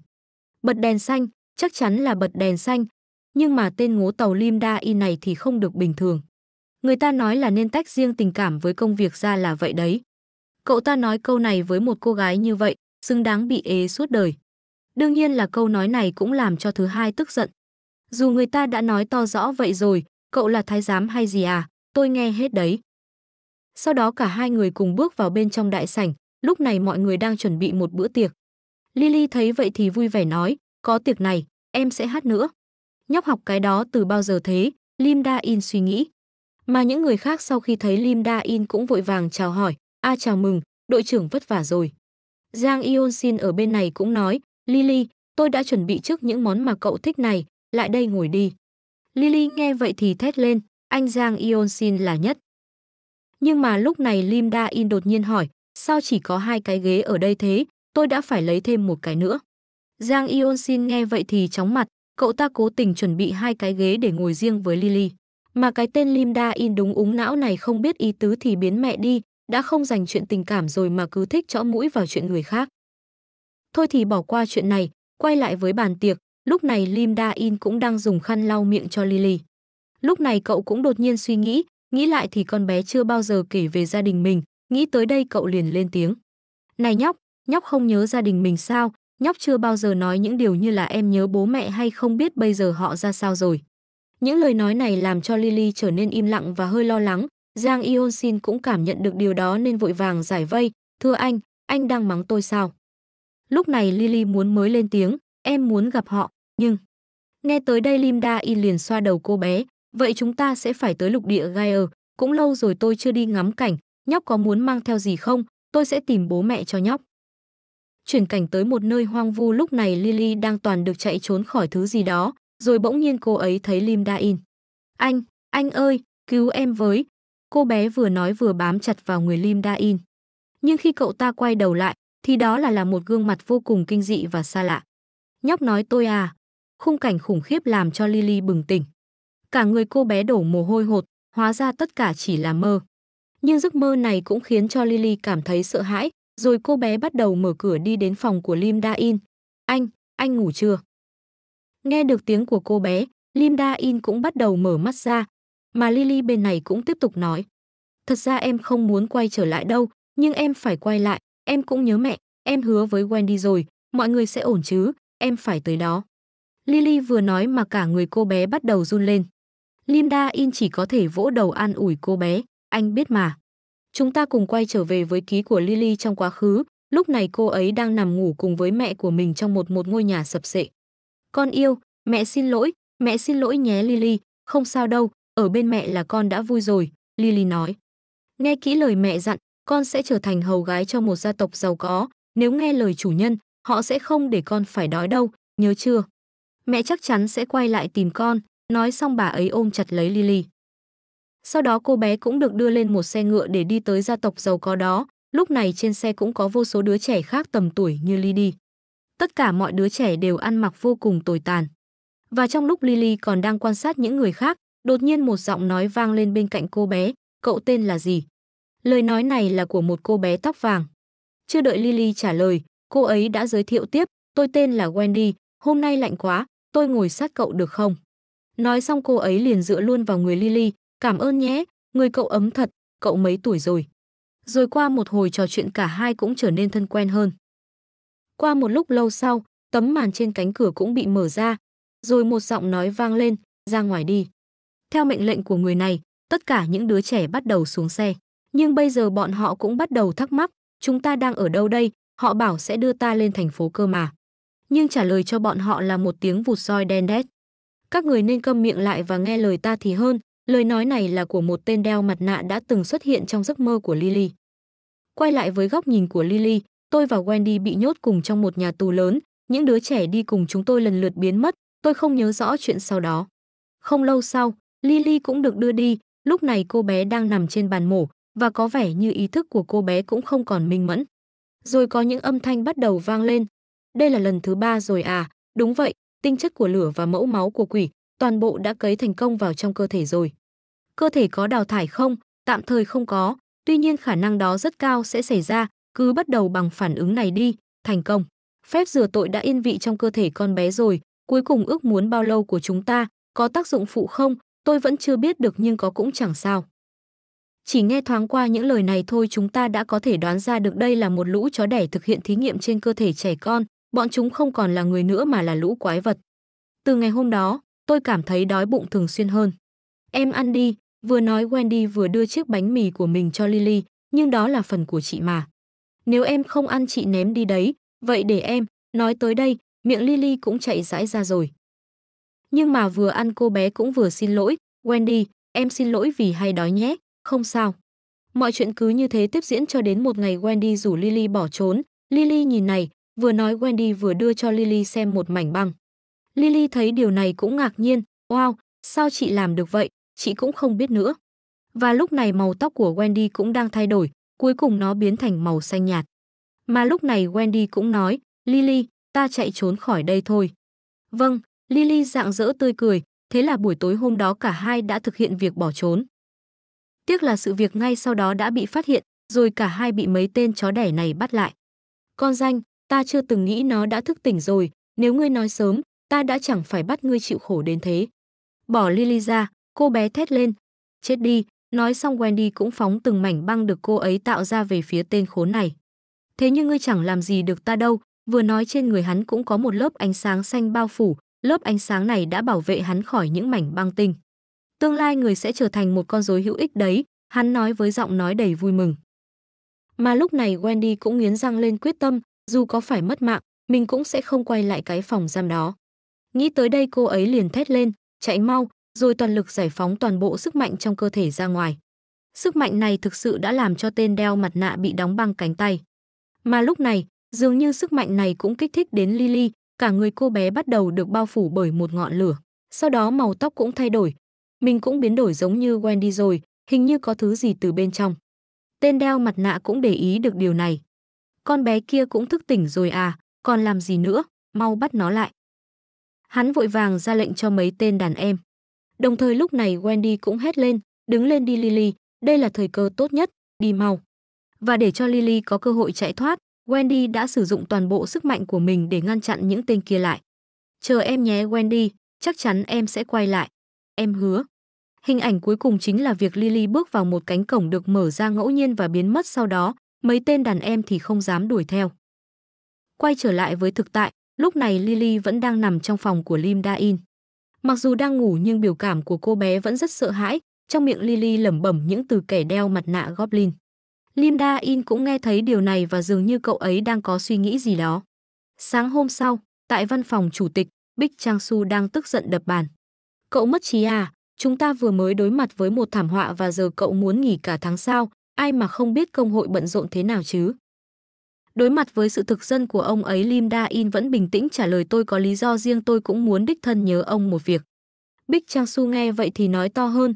Tôi không biết là kiểu gì nhưng mà khó nói, nếu muốn nghỉ ngơi cùng lắm cậu chỉ được nghỉ một tuần vào tháng sau thôi. Thấy ông ấy cứng rắn như thế này, không còn cách nào khác, Lim Da In liền quay đầu nói với Bích Kyung Hee. Cô Bích Kyung Hee, lợi nhuận dự kiến của công hội tháng này như thế nào? Bích Kyung Hee nghĩ vậy thì giật mình, hả, cái đó, tôi nghe nói nhu cầu mua thủy dược rất lớn nên chúng ta không thể sản xuất kịp, tôi có nên độc quyền hay không nhỉ? Tôi nghe nói đồ nhặt được từ cổng màu đỏ nhiều lắm, và lại chẳng phải ông bảo các đội khác cộng lại cũng không bằng đội 7 hay sao? Tôi không biết mình có nên ở lại nơi này không trong khi bị đối xử như vậy. Đây là một lời nguy hiểm trắng trợn đối với Bích Trang Su. Và lúc này ông ấy cũng thực sự chịu thua rồi, được rồi, được rồi, chúng ta đều được nghỉ ngơi chẳng phải hơn à, tên lỗ mãng. Nghe thấy lời này Lim Da In mới mỉm cười, cảm ơn ông, khi nào vì tôi sẽ mua quà cho ông. Bên này Bích Trang Su cũng thắc mắc, nhưng cậu định nghỉ cả tháng thật à, tôi cần tìm vài người. Bích Yung Hi ở phía sau liền đề nghị, nếu cậu muốn tìm người thì chúng tôi nhanh hơn đấy, hay là chúng tôi giúp cậu nhé, không cần, tôi phải tự tìm. Tôi định sẽ tìm ra cô ấy rồi đưa đến đây, còn người còn lại, đúng là một cục ung nhọt. Sau đó Lim Da In lại quay sang nói với Bích Trang Su, vừa rồi tôi cũng nói cần nhờ ông một chuyện, rồi, còn gì nữa, chẳng là, bla bla bla. Nội dung cuộc trò chuyện bị che giấu. Buổi tối tại công hội Nhà Trắng, căn hộ cho thuê. Cả Lim Da In và Lily đang có một cuộc thảo luận. Nội dung của cuộc thảo luận xoay quanh việc tìm ra vị trí mà Lily bị giam giữ cùng với vị trí của nhà cô bé. Sau đó bên ngoài bỗng nhiên vang lên tiếng chuông cửa, rồi hai người bước vào. "Chào cậu, chúng tôi vào nhà một lát được không?" Hai người tới chính là Giang Yeon Sin và mẹ cậu ấy. Lúc này bà ấy cũng nói, lý do tôi đột ngột tới đây là vì, con trai, con nói thay mẹ đi. Nghe vậy Giang ion Sin liền dõng dạc nói, em muốn đi chơi với Lily. Bên này Lim Da In cũng đoán được lý do mà Giang ion Sin tới đây, mình đã lỡ tiết lộ quá nhiều nên thằng bé nghe được cả rồi. Nếu có một tạo tác sư biết làm mọi thứ đi cùng hẳn chuyến đi cũng sẽ đơn giản hơn nhiều.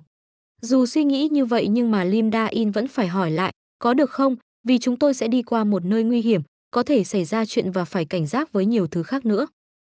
Em có thể lo con Golem, nhưng còn mẹ em.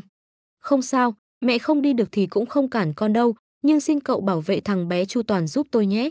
Linda In nghe vậy thì liền hứa với bà ấy, được, chúng tôi sẽ trở về an toàn. Lúc này Giang Ion Sin cũng tiến lên nói, Lily, có thể tôi yếu hơn cậu, nhưng tôi sẽ cố hết sức để giúp đỡ hai người. Cảm ơn nha Lily tươi cười đáp. Vào ban đêm, tại công hội Nhà Trắng, Lim Da In còn đang thắc mắc không hiểu tại sao mình lại bị gọi đến vào cái giờ này. Khi thang máy dừng lại đã là tầng hầm 12 của Nhà Trắng. Đây cũng là phòng luyện tập riêng của Bích Trang Su. Cậu đến trễ Bích Trang Su nói. Sớm 10 phút thì có, vậy à, đợi câu nãy giờ lâu quá nên tôi khởi động trước một chút rồi. Ai mà ngờ đích thân cậu lại yêu cầu được đấu tập với tôi ba ngày chứ, trong khi trước tôi hỏi thì cậu toàn né tôi mà. Là lý do Lim Da In yêu cầu như vậy bởi vì cậu cần gia tăng sức mạnh của mình, so với trên trái đất bây giờ thì trên lục địa Gaia cũng có không ít kẻ mạnh, trước khi khởi hành đến nó. Mình phải đấu tập cường độ cao để kiểm tra xem võ thuật đại hải của mình đã đạt tới trình độ nào, chủ tịch là người giỏi nhất trong số những người mình từng gặp, ngài ấy sẽ là một đối tượng thích hợp. Nghĩ đến đây, Linda In cũng bắt đầu rút kiếm ra, mong ông chiếu cố và giúp đỡ tôi trong 3 ngày tới, mong cậu cũng giúp cho tôi, Bích Trang Su trả lời. Chắc cậu cũng đã khởi động trước khi đến đây rồi đúng không? Vừa nói, trên người Bích Trang Su vừa bộc phát ra một vầng hào quang trói lọi. Khí thế kinh khủng của ông ấy khiến cho Lim Da In hơi ái ngại. Vâng thưa ngài, lúc trước tôi có hơi hổ báo. Phòng này nói chuyện bằng nắm đấm đó nhóc, vừa nói, Bích Trang Su cũng bắt đầu lao lên. Và sau 3 ngày, kết quả là Lim Da In mình đầy thương tích khi đấu tập với Bích Trang Su. Lily thấy vậy cũng hỏi, anh này, mắt anh bị sao vậy, ai đánh anh vậy, nói cho em biết đi, em sẽ mắng cho người đó một trận. Linda In bên này thì còn chẳng có sức mà giải thích nữa rồi, dọn đồ chuẩn bị đi về dùng cái đi, cậu ấy nói với Lily. Nhờ đấu tập với ngài chủ tịch trong 3 ngày mà mình có thể sử dụng võ thuật đại hải một cách thành thạo hơn. Tuy nhiên do sử dụng nó liên tục nên cơ thể mình đã bị mệt mỏi, thế nên là hôm qua ngài ấy đã đánh cho mình một trận như tử. Qua trận đấu này cũng làm cho Lim Da In cảm nhận được sức mạnh của Bích Trang Su một cách rõ ràng hơn. Thế giới này thật rộng lớn, vẫn còn một quái vật như ông ta sao? Lim Da In vừa uống một bình thuốc hồi phục vừa nghĩ. Ngày hôm sau mọi người cũng tới để chia tay với Lim Da In. Đội trưởng Lim Da In, cuối cùng cậu cũng đến rồi, hôm nay là ngày bắt đầu trong kỳ nghỉ của cậu rồi đúng chứ, đừng đi đâu để đi đánh nhé. Nhờ có ngài chủ tịch, tôi không nghĩ là mình còn chỗ nào để bị đánh đâu ạ. Sau đó Lim Da In cũng quay sang dặn dò Wang Guho. Wang Guho này, trong lúc tôi không có ở đây thì cậu sẽ là lãnh đạo của đội 7 nhé. Lời nói này khiến cho Wang Guho giật mình. Người như tôi có làm được không ạ? Tốt hơn hết là cậu nên làm cho tốt vào, trông nom đội bảy cho đàng hoàng vào khi tôi không có mặt ở đây. Và nếu lúc quay về mà tôi nghe nói cậu bôi cho chát chấu lên mặt đội bảy thì, vừa nói Lim Da In vừa thể hiện động tác cắt cổ. Lời nói này khiến cho Wang Guho khóc thét, tôi sẽ cố gắng. Bánh đậu đỏ cũng hiểu cảm giác này nên chỉ biết an ủi anh ấy. Lim Da In cũng nói với bánh đậu đỏ, cậu lo mà quan sát biểu hiện của Wang Guho đi đấy, vâng thưa anh. Sau đó Lim Da In lại quay sang nói với Bích Yung Hi, à còn cô Bích Yung Hi, Bích Yung Hi nghe vậy thì liền bắt đầu nhắm mắt lại, có vẻ như cô ấy đang chờ mong điều gì đó. Chỉ tiếc là tên ngáo Lim Da In không hiểu được điều này. Sao vậy, có bụi bay vào mắt cô à? Y rằng lời nói này làm cho Bích Yung Hi tức giận. Cậu không biết hôn tạm biệt là gì à? Là cái gì? Dù sao thì tôi đã dặn cái gì thì làm ơn nhớ làm cho tốt đấy. Thiệt tình, đội trưởng lúc nào cũng chỉ muốn bóc lột tôi thôi đúng không? Không phải đâu, chỉ là tôi chưa muốn chết thôi, Lim Da In thầm nghĩ.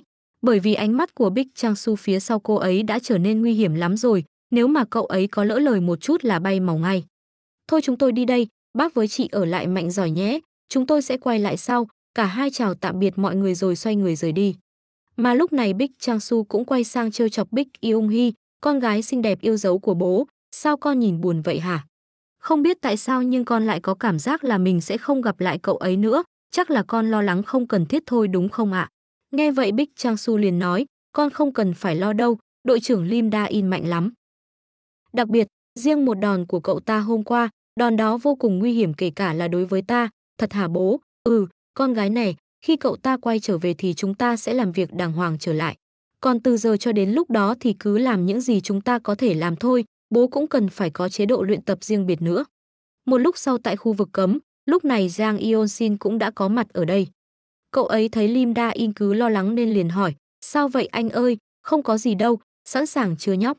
Rồi ạ, à. vậy là được rồi, cậu cũng có nghe anh nói trước rồi nên anh chắc là cậu sẽ không sao đâu.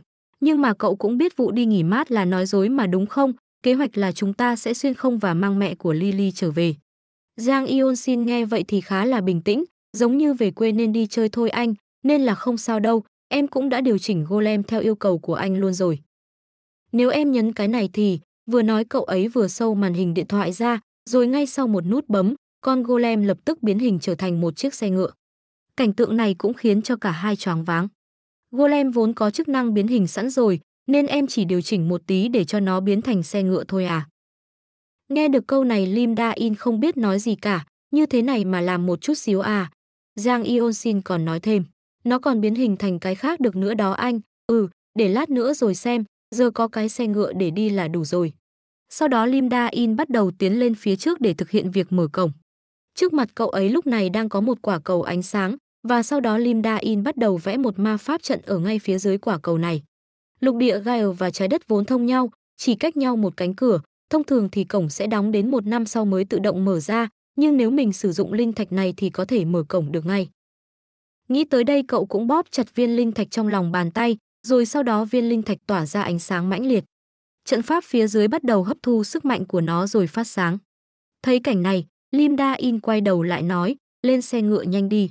Sau đó xe ngựa cũng đã được di chuyển tới ngay phía trước cánh cổng, nhìn vào cánh cổng phía trước, Lily bắt đầu run lên vì lo lắng. Lily, chúng ta đi thôi nào, Lim Da In nói.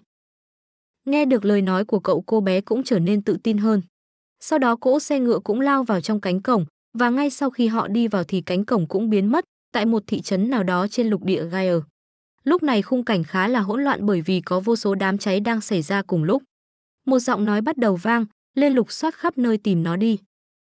Ngay sau đó là vô số kẻ bắt đầu tàn sát những người dân vô tội, có vẻ như những ai không phải là người chúng tìm thì chúng giết luôn. Lúc này một ông già bị trói vào cột cũng mắng mỏ bọn chúng, lũ khốn các ngươi phải bị trừng trị, sao các ngươi dám làm thế này? Nhưng mà tên thủ lĩnh thì không để tâm cho lắm. Nếu lúc đó các ngươi nghe theo những yêu cầu của bọn ta thì giờ không phải tốt sao, nếu mà ông cứ giấu hoài thì sau cùng chính ông cũng gặp chuyện đấy, muốn thấy mặt con cháu ông không hả? Nói cho ta mau lên, ông giấu nó ở đâu rồi? Lúc này, một người nấp ở bên cạnh cũng nghe chứng kiến được mọi việc. Trưởng làng, xin lỗi ông, nhưng tôi không thể thấy ân nhân của mình sắp chết như thế này mà không cứu được. Con xin, lỗi sư phụ. Nghĩ tới đây, người này cũng chuẩn bị rút kiếm ra rồi thét lên, này lũ khốn, ta biết chính xác các ngươi đang tìm gì rồi. Ai ngờ lúc này trên bầu trời đột nhiên xuất hiện một cỗ xe ngựa rơi thẳng xuống phía dưới. Điều này khiến mấy tên cướp ngạc nhiên, cái gì mới đột nhiên từ trên trời rơi xuống kìa. Mà người thần bí bên này cũng nhìn thấy điều đó, thứ đó là gì vậy, là thần chú dịch chuyển tầm xa phải không? Nhìn giống xe ngựa thì phải, mà lúc này trong xe cũng vang lên một giọng nói, trời ạ, chóng mặt quá. Linda In cũng nói, nếu lúc đó biết là sẽ chóng mặt như này thì đã dịch chuyển cái xe ngựa theo luôn cho rồi chứ ngồi làm gì cho chóng mặt.